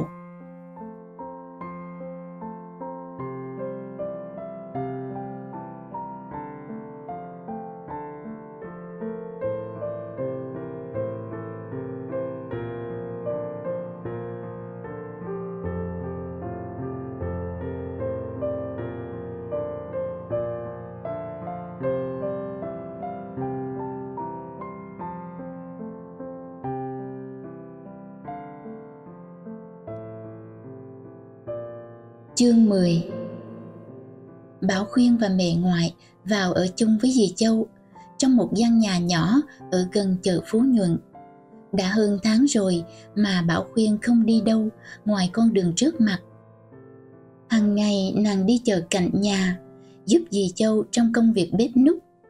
Dì Châu hiện làm việc ở bệnh viện chợ rẫy, nghe dì nói cũng khá gần, chỉ cần đi một chuyến xe lam mà thôi Mẹ ngoại thì suốt ngày đi ra đi vào, than dài thở vắng. Mẹ nhớ Huế, đôi lúc mẹ ngồi ngó mong ra cửa mà nước mắt rưng rưng. Bảo khuyên thương mẹ quá, nhưng biết làm sao hơn. Từng ngày đọc báo, nàng thấy tình hình ngoài kia vẫn còn căng thẳng, nên chưa có thể bàn chuyện trở về sớm với mẹ được. Đây là Sài Gòn, không gian này có hải, nhưng không biết cố nhân đã trôi dạt về nơi đâu. Có một lần dạo mới vào đây, Bảo Khuyên có cùng dì Châu lên Bảo Sanh Viện, Hùng Vương thăm người bạn của dì. Taxi đi ngang qua đường Hồng Thập Tự, nàng nghe lòng rộn ràng kỳ lạ. Những kỷ niệm quá khứ từ đâu tràn về đầy ấp tâm tư. Hình bóng hải hiện ra trong tim nàng, rõ rệt hơn bao giờ hết. Mối tình đầu đời thật khó phôi phai, Người yêu đầu đời chẳng thể quên đi dễ dàng, dù thời gian đã mịt mùng giăng mắt. Bảo Khuyên đã nhìn chầm chặp vào phía dãy nhà so la. Đây rồi, con số quen thuộc những lần viết thư thăm Hải đã hiện ra ngay trước mắt. Nhưng cửa đóng then gài, không biết Hải có còn ở đó hay không. Sau đó nhiều lần Bảo Khuyên muốn một mình thuê taxi tìm đến đó hỏi thăm nhưng nàng cứ ngần ngại mãi. Ý nghĩ Hải đã lập gia đình rồi đã ngăn cản bước chân nàng rõ rệt. Sáu năm rồi còn gì? Sáu năm dài như thiên thu, không một lời hẹn ước. Làm sao Hải đủ can đảm chờ đợi Bảo khuyên khi anh biết chỉ là tuyệt vọng. Mẹ ngoại chẳng bao giờ cho khuyên lấy chồng. Trưa nay đi làm về, dì Châu cho biết. Ni khuyên, tao mới gặp con bạn mi trên bệnh viện. Ai rồi gì? Còn như Mai đó, hẳn vô săn sóc người chồng bị bệnh. Bảo khuyên giật mình. Rứa gì? Chồng của nó mới được đem tới à? Không, anh ta vào đó lâu rồi, gần xuất viện. Nhưng nằm ở khu vực khác nên dì không biết. Mới hồi nãy đây gặp như Mai, nó kêu nên dì mới biết nó chứ. Bảo khuyên hỏi, nó có hỏi thăm cháu không gì? Có, nó hỏi nhiều lắm. Nghe cháu vô đây nó mừng ghê á. Nó nói tối nay hay sáng mai nó tới thăm cháu đó. Bảo khuyên tần ngần. Xí nữa, xí nữa cháu theo gì vô bệnh viện thăm vợ chồng nó được không gì? Được chứ? Ừ đúng đó, vô thăm như mai một chút. Tội nghiệp, bữa ni nó ốm lắm. Mẹ ngoài ăn cơm xong, bỏ đũa xuống. Hai đứa bay vô nghỉ một chút rồi đi. Để chán đó, ngủ dậy tao rửa cho. Sân bệnh viện nắng đổ chang chang, nhiều người thiếu phụ bồng con đi tới đi lui trong hành lang với gương mặt thất thần, đôi mắt đầy vẻ lo âu. Bảo khuyên đi theo dì Châu ngang qua một gian phòng rộng, hai dãy giường thẳng tắp đầy những người, kẻ nằm ngồi lộn xộn. Dì Châu giải thích. Hầu hết những người đó gần bình phục rồi và sắp xuất viện đã khuyên. Cháu đừng đây chờ gì một chút. Dì, rửa chồng như mai ở chỗ mô. Dì Châu bước vào cửa phòng nói nhanh. Chờ dì một chút rồi dì giận đi thăm Mai. Cháu đi theo dì he? Ừ, cũng được. Bảo khuyên đi theo dì Châu, hàng chục đôi mắt chiếu vào nàng và tiếng xì xào cả lên. Y tá mới hả? Y tá mới hả? Cô Châu ơi, giới thiệu tên cô y tá mới cho chúng tôi biết đi. Bỗng như từ cung trăng rơi xuống, như từ vực thẳm bay lên. Bảo khuyên sừng người, Bảo khuyên bàng hoàng muốn xỉu khi trông thấy bệnh nhân đầu băng trắng đang nhìn nàng chăm chăm. Hồ Hải! Như mộng du, Bảo khuyên lui bước sang dãy giường đối diện, quỳ xuống trước chiếc giường thứ ba, úp mặt lên tấm nệm trải ra trắng, khóc nấc lên. Bàn tay người ấy vuốt nhẹ mái tóc nàng. Bảo khuyên! Bảo khuyên vẫn cúi mặt. Trời ơi, hồ hại! Lời người xưa vang lên. Bảo khuyên, em vô đây từ bao giờ? Bảo khuyên ngước lên. Sau vụ Quảng Trị, cả gia đình khuyên chạy vô đây. Anh, anh nói về anh cho em nghe đi. đôi mắt Hải xa xăm. Lâu, lâu lắm rồi, sau ngày chúng ta xa nhau. Mất bảo khuyên, anh học không được nữa. Anh thi rớt kỳ đầu, rồi anh bỏ kiến trúc luôn. Từ đó, anh lung lạc bụng phương trời. Thật đúng với cái tên anh. Bảo Khuyên đứng dậy, nàng ghé ngồi cạnh Hải, thúc thích. Anh Hải, tại sao anh bị thương? Anh có can chứ không? Anh nằm đã lâu chưa? Hải nhìn người yêu cười hiền diệu. Khuyên hỏi chi mà hỏi nhiều rứa. Làm răng anh trả lời cho kịp. Rồi Hải nói thật nhỏ. Con chim vành khuyên của anh vẫn liễu lo như ngày nào. Bảo khuyên đỏ hồng đôi má. Anh Hải, anh trả lời cho khuyên biết đi. Hầu Hải vỗ nhà nhà lên những ngón tay khuyên. Để anh trả lời từng câu hỏi một của khuyên nghe. Thứ nhất, anh bị thương vì tai nạn giao thông. Thứ nhì, anh bị thương nhà ở đầu và cánh tay trái, không can chi cả. Và câu hỏi thứ ba, anh nằm đây cô đơn đã hơn hai tuần rồi bây giờ người yêu mà chiều tới thăm. Bảo khuyên đã nín khóc, nàng lấy khăn bùi xoa thấm nước mắt ướt mềm đôi má. Anh, anh khi mô cũng giỡn được hết á. Khuyên hỏi thật mà. Thì anh cũng trả lời thật chứ bộ. Bảo khuyên nhìn Hải. Rửa me và em của anh mô, bộ không ai vô thăm anh hết à? Hồ Hải sửa lại thế ngồi. Gia đình anh dọn về Nha Trang lâu lắm rồi. Mẹ anh và Loan có vô thăm anh chứ, nhưng họ đã ra lại cả ba tuần nay. Anh nằm một mình buồn hiu. Bảo khuyên nhìn Hải, nàng ngập ngừng. Rửa, rửa, rửa con vợ của anh mố. Hải cười. Vợ của anh à? Khuyên không biết à? Vợ của anh đã bỏ anh gần 6 năm đi. Bảo Khuyên tròn mắt, nhìn Hải dây lát, rồi cúi mặt buồn buồn. Anh Hải tệ ghê á, cưỡi vợ mà không cho Khuyên biết. Hải vẫn cười. Khuyên có muốn biết mặt người vợ tệ bạc của anh không? Bảo Khuyên tò mò. Anh vẫn còn giữ hình ảnh của chị hả? Chắc chị phải đẹp lắm. Anh cho Khuyên coi đi. Hải cầm chiếc bóp xếp của Bảo Quyên lên xăm xoay rồi nói nhỏ. Lạ dĩ nhiên là vợ anh phải đẹp, phải dễ thương thùy mì như Bảo Quyên rứa.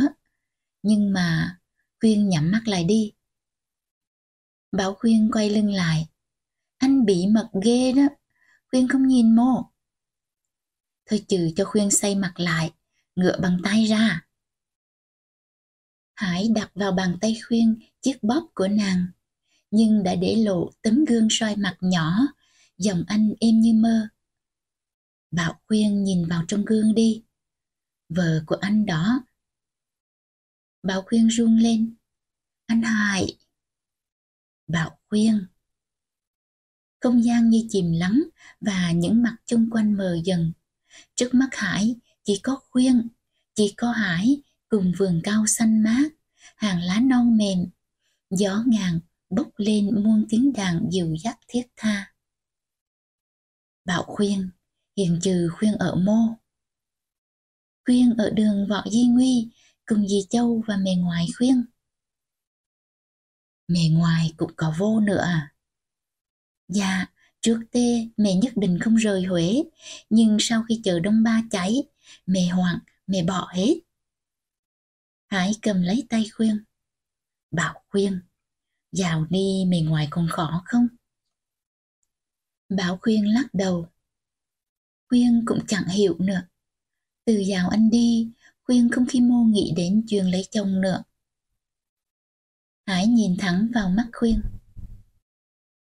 Bảo khuyên, anh vẫn chờ đợi khuyên. Không biết, không biết đến bây giờ mẹ ngoài còn khó nữa không? Bảo khuyên bồi hồi. Anh Hải, anh nói thật hả? Anh chưa quên khuyên à? Hải mân mê những ngón tay khuyên. Khuyên đừng nói rửa mà anh buồn. Khuyên hỏi rửa là khuyên chưa tin anh. Anh đã bao lần nói với khuyên là anh vẫn yêu khuyên hoài cho tới ngày anh chết. Không cưới được khuyên, anh sẽ sống cô đơn đến tròn đời. Bảo khuyên xúc động. Anh Hải, khuyên nguyện sống bên anh. Lo lắng cho anh như bất cứ người vợ hiền nào. Bảo khuyên ơi, không biết mẹ ngoại đã bỏ cái thân kiện khắc khe đó chưa? Anh lo quá. Tội nghiệp hồ hải, không biết đến bây giờ mẹ đã thấy được tấm lòng chân thật của anh chưa? Đâu phải người đàn ông nào cũng tệ bạc như mẹ nghĩ. Đâu phải người đàn ông nào cũng bất lương như mẹ đã cấm. Hơn 6 năm trời ròng rã, không một tin thư, Hải vẫn không quên khuyên và đối với Bảo khuyên, không một hình bóng nào có thể thay thế được Hải trong trái tim nàng. Tình đầu là tình cuối, không còn tìm đâu xa hơn nữa khi hạnh phúc chợt trở về chói lòa rực rỡ. Đôi mắt anh là sao trời, vòng tay anh là nềm ấm. Hải, em sẽ tranh đấu để được sống gần anh. Hải lại hỏi Bảo khuyên. Khuyên, nếu mẹ lại gai gắt một lần nữa, Khuyên có dám vượt qua mọi trở ngại không? Tình yêu dâng cao như trường sóng vỗ bờ. Bảo Khuyên nói không suy nghĩ. Khuyên sẽ vượt qua. Khuyên lớn rồi mà. Khuyên đã qua tuổi vị thành niên. Khuyên có đủ quyền để định đoạt đời Khuyên theo ý mình. Hồ Hải thiết tha. Hôm nay á, là ngày hạnh phúc thứ hai trong đời anh. Ngày đầu là ngày Khuyên bằng lòng gặp anh giữa vườn cao xanh mát, bên dòng sông hiền hòa thơ mộng. Khuyên còn nhớ không? Bảo Khuyên chơi vơi sống lại những ngày qua. Dạ, Khuyên nhớ suốt đời. Nắng chiều xế ngang khung cửa, lung linh soi bóng trên nền xi măng. Hải lại dặn Khuyên. Khuyên, Nhớ về tuổi Ni, nói sơ qua cho mẹ biết. Anh cũng sắp xuất viện rồi. Mẹ anh sẽ vào Sài Gòn thăm mẹ. Bảo khuyên bỗng lo âu. Khuyên, khuyên sợ ma của anh còn giận mẹ. Khuyên đừng lo, tình mẹ anh không có giận dai mô.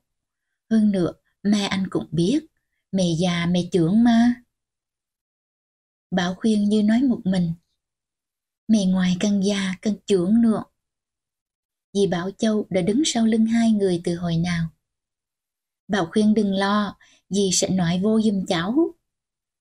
Bảo khuyên ngạc nhiên quay lại. Dì Châu, dì nói thiệt hả? Dì không về cùng pha với mẹ nữa sao? Dì Bảo Châu lắc đầu. Dì đã lầm khuyên nợ. Dạo đó dì bị bỏ rơi. Dì đau khổ quá, nên dì quận trí đã về hùa với mẹ. Tuy không trực tiếp, nhưng dì đã thản nhiên nhìn tình yêu của cháu vợ tan. Bây giờ dì mới biết, đàn ông hay đàn bà cũng vậy. Bao giờ cũng có kẻ xấu người tốt. Đừng bao giờ suy bùng ta ra bùng người. Theo dì nghĩ, mình có tìm thấy hạnh phúc hay không á, là do duyên số. Mình vô phước thì nên cắn răng chịu lấy một mình.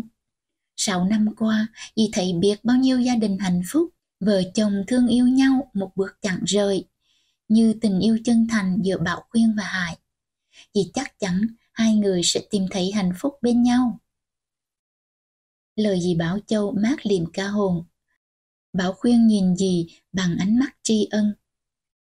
Dì Châu, cháu xin đổi ơn dì. Nhờ dì thưa lại về mẹ giùm cháu nghe dì.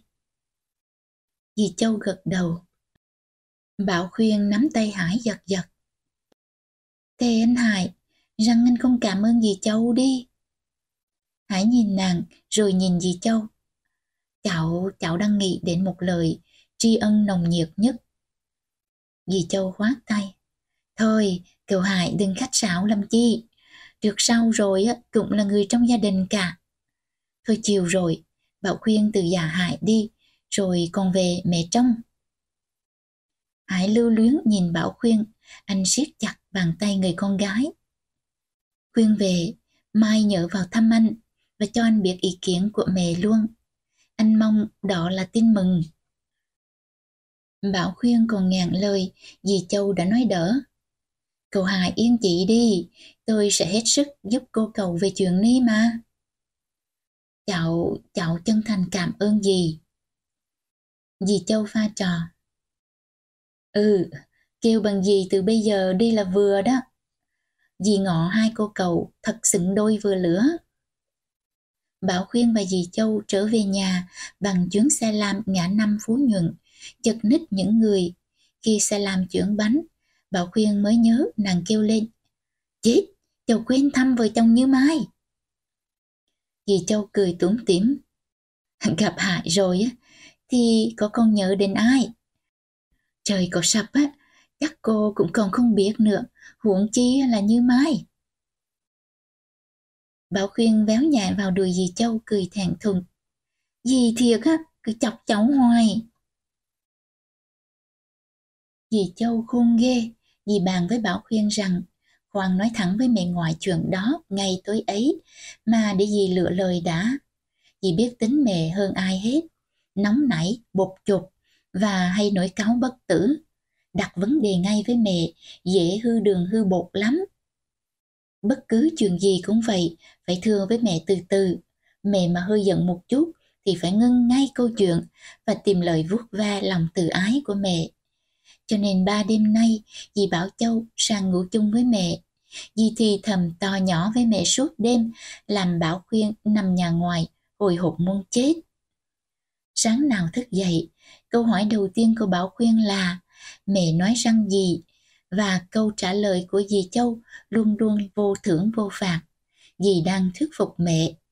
Hải cũng hồi hộp không kém. Mấy ngày nay, Bảo khuyên vào thăm Hải đều đều, nhưng vẫn chưa có tin mừng như Hải đã mong. Anh cứ nói với Bảo khuyên. Anh lo quá. Khuyên cũng rứa. Khuyên ơi, Khuyên có giảm liều khi mẹ không chịu không? Giảm chứ, Khuyên đã hứa với anh mà. Nhưng dù rằng á, có mẹ Khuyên chấp thuận thì mọi việc cũng êm đẹp hơn. Anh cũng mong rửa. Khuyên nì, nếu nghe tin hai đứa mình gặp nhau, chắc chị Lộc mừng lắm. Chị thương khuyên dễ sợ. Chết chưa, gặp anh hoài á mà khuyên quên hoài. Chị Lộc hiền trừ ở mô anh, chị có mấy cháu rồi. Vợ chồng chị Lộc vẫn ở Nha Trang, được hai cháu rồi khuyên, một trai một gái, đứa con gái có tên cùng chữ lọt với khuyên, bé Bảo Hương kháu lắm. Mau ghê anh hề? Ừ, mau thật, anh còn nhớ, ngày đám cưới chị Lộc là ngày hai đứa mình xa nhau. Thôi anh đừng nhắc lại chuyện cũ nữa, dị vàng nên để cho qua đi. Hải nói sang chuyện vợ chồng chị Lộc. Anh Phong mở phòng mạch ở Nha Trang, không đắt lắm nên đời sống của anh chị chẳng dư dạ chi. Nhưng được cái là hai ông bà hạnh phúc, không chỗ chê. Hai con rồi á mà còn tình tử như là vợ chồng mới cưới. Bảo khuyên vuốt nhẹ mái tóc. Khuyên chị ao ước được như rửa. Tiền bạc chỉ là phương tiện mà thôi. Phải có tình yêu ấy thì hạnh phúc mới bền vững. Bảo khuyên, chúng ta sẽ sống bên nhau trong hạnh phúc tràn đầy. Dì Bảo Châu có dẫn khuyên xuống phòng chồng Như Mai nằm để thăm nó. Như Mai gặp lại bạn cũ, mừng tiếu tít. Trời ơi Bảo khuyên, mi càng lớn càng đẹp ra. Thôi đi mi, tao già bất chết. Còn mi á, mi cũng đẹp hơn trước ghê. Mặt mày trắng trẹo, nhưng hơi ốm hơn xưa. À, mà mi được mấy cháu rồi? Tao mới có một đứa thôi mi ơi. Hiền nó ở với bà nội ngoài Tuy Hóa. Con gái mi nở, dễ thương lắm. Nước da trắng bóc như trứng gà lột rửa. Bảo khuyên có cho Như Mai biết nàng vừa gặp lại Hải. Như Mai mừng reo lên. Trời ơi, tao mừng hết lớn. Thôi mau mau đám cưới cho rồi, để tao còn đi may áo mới. Tất cả mọi người, ai cũng mong cho tình yêu giữa Bảo Khuyên và Hồ Hải chóng thành. Duy chỉ có mẹ ngoại, suốt tuần nay mẹ không nói chuyện với Bảo Khuyên một lời, làm nàng đã lo, lại càng lo thêm. Dì Châu cứ nói nhỏ vào tai nàng. Mẹ gần siêu lòng rồi Khuyên ơi. Cho đến bữa cơm trưa hôm đó, ngày Chủ nhật đáng nhớ nhất trong đời Khuyên. Nắng gay gắt đổ xuống mái tôn hừng hực nóng Mẹ ngoài chậm rãi, chàng bắt nước ra vào chén và hỏi Bảo Khuyên. Khuyên, đã sáu bảy năm rồi á, mà cậu Hải vẫn còn nhớ đến cháu à. Bảo Khuyên rộn ràng. Dạ, chúng cháu không thể quên được nhau. Mẹ ngoại trầm ngâm. Mấy ngày ni, dì Châu có kể chuyện cháu gặp lại cậu Hải cho mẹ nghe. Bảo Khuyên ngập ngừng. Mẹ Mẹ đừng dừng cháu như hồi xưa nữa nghe mẹ. Mẹ đáp buông xuôi. Thôi giận dội làm chi nữa cháu. Mẹ già rồi, mẹ sắp về với Phật rồi. Sân si làm chi cho lắm. Dì Bảo Châu mừng rỡ. Ma, rửa là mà đã bò được thanh kiến xưa. Mẹ ngoại bỏ đũa xuống. Kể ra thì mà cũng hơi hẹp hoài. Mấy ngày ni nghe con nói dần dần, mà cũng đã suy nghĩ nhiều. Kể ra thì tìm được một người chân thành như cầu hại cũng hiếm. Dì Châu ngắt lời. Như con đã thưa với mà, đàn ông không phải ai cũng bồi bạc, lừa lọc. Cháu Bảo Khuyên đã tìm thấy được hạnh phúc đích thực. Chúng ta đừng ngăn cản nữa mà tội nghiệp cho cháu. Mà biết rồi, mà hiểu rồi. Xa Huế một thời gian, chịu cực chịu khổ mà đã thấy lòng mình trở nên rộng rãi hơn trước. Thôi mà cũng không khắc khe với con cháu mà làm chi. Như vụ của con đó, mà có ngăn rồi con cũng làm theo ý mình. Con bảo khuyên cũng lớn rồi, thôi muốn chi thì muốn, có sướng hay khổ chi thì ráng mà chiều lấy với nhau. Mà già rồi không là sống đời mà giữ chân giữ tay nó. Bảo khuyên mừng quá, nàng quên cả ý tứ, ôm chầm lấy mẹ ngoại. Trời ơi, mẹ băng long rồi, cháu mừng quá, cháu đồi ơn mẹ, cháu đồi ơn gì châu. Mẹ la lên, quái tê, qua chừng đổ cơm đổ canh, lớn đâu rồi á mà ngọ như con nít. Dì Bảo Châu nói với mẹ, Mà nè, Hải có ý muốn mà cho mẹ của Hải tới thăm mà đó. Thì khoan đã nơ, chi mà tụi bay gấp rửa, ý tao chưa muốn.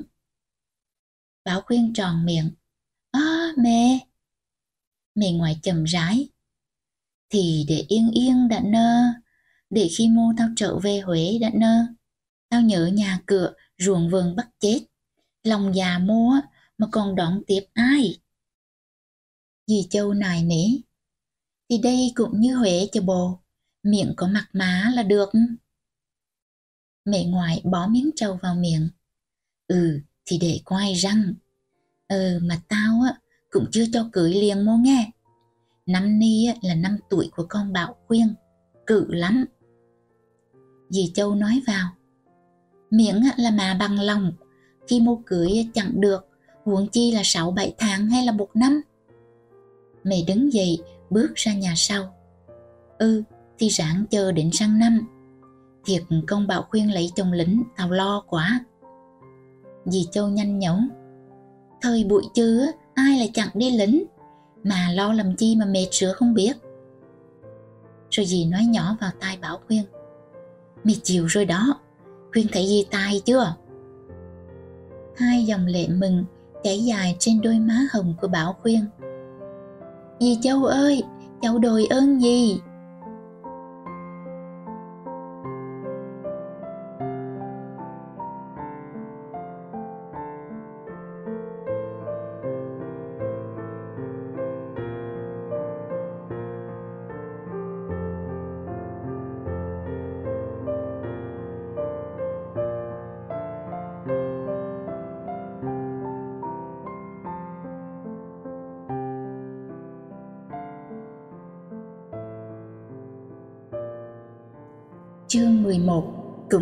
Chương kết.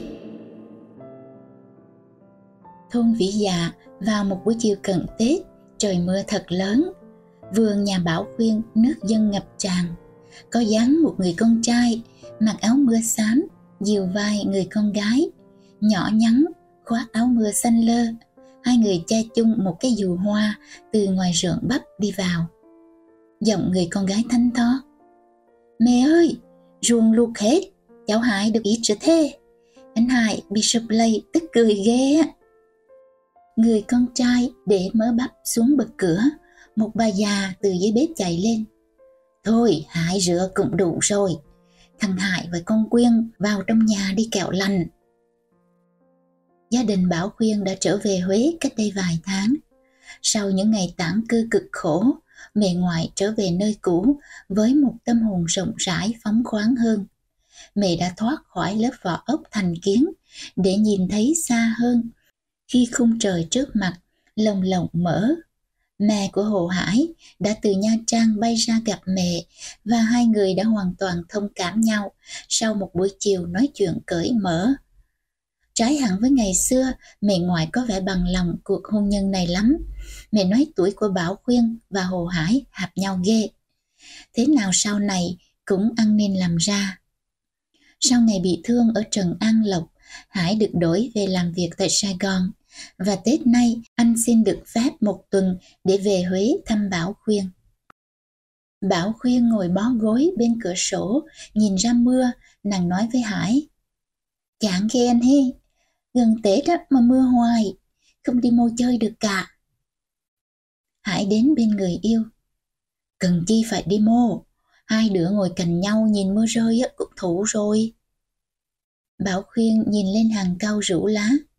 Anh ngõ tê, mưa to quá, làm vườn cao nhà mình sơ sạc ghê. Hải nghiêng người nhìn ra khung cửa. Ừ, mưa to ghê á, vườn nhà mình ngập nước. Bảo khuyên bâng khuâng. Anh biết không, dạo hai đứa mình xa nhau đó. Mỗi lần trời mưa, nhìn hàng câu sơ sát tiêu điều. Quyên buồn, nhớ anh, đến nỗi muốn chết quách cho xong. Hải vẫn nhìn ra mưa. Anh cũng nào khác chi khuyên, mỗi lần hành quân qua những làng quê hẻo lánh, người ta tặng cư, bỏ lại nhà cửa ruộng vườn hoang vu. Cứ ngang qua vườn nào trồng cao á, anh lại nhớ Bảo Khuyên đến quay quắc điên cuồng. Rồi quay lại nhìn Bảo Khuyên hái âu yếm. Bây giờ nhìn vườn cao rụ lá trong mưa, quyên còn buồn nữa không? Bảo quyên cười thật tươi. Có chi mà buồn nữa anh ơi, hai đứa mình đã hết mất nhau rồi, thì trời càng mưa, quyên lại càng thấy ấm cúng. quyên nhìn quay, nước dân ngập cả vườn cao, làm những giọt mưa chạm xuống mặt nước loang loáng như ngàn vì sao vợ. Hải ghé ngồi cạnh người yêu. Đã lâu lắm rồi, Khuyên có hứa sẽ ngâm thơ cho anh nghe, chứ Khuyên ngâm đi. Bảo Khuyên mơ màng, nhìn lên khung trời xám. Khuyên nhớ không tròn bài, Khuyên nhớ chừng mô, ngâm chừng nãy nghe. Anh đang nghe đây. Bảo Khuyên tì tay lên khung cửa. Mưa rơi trên sân, mái nhà nghiêng dần.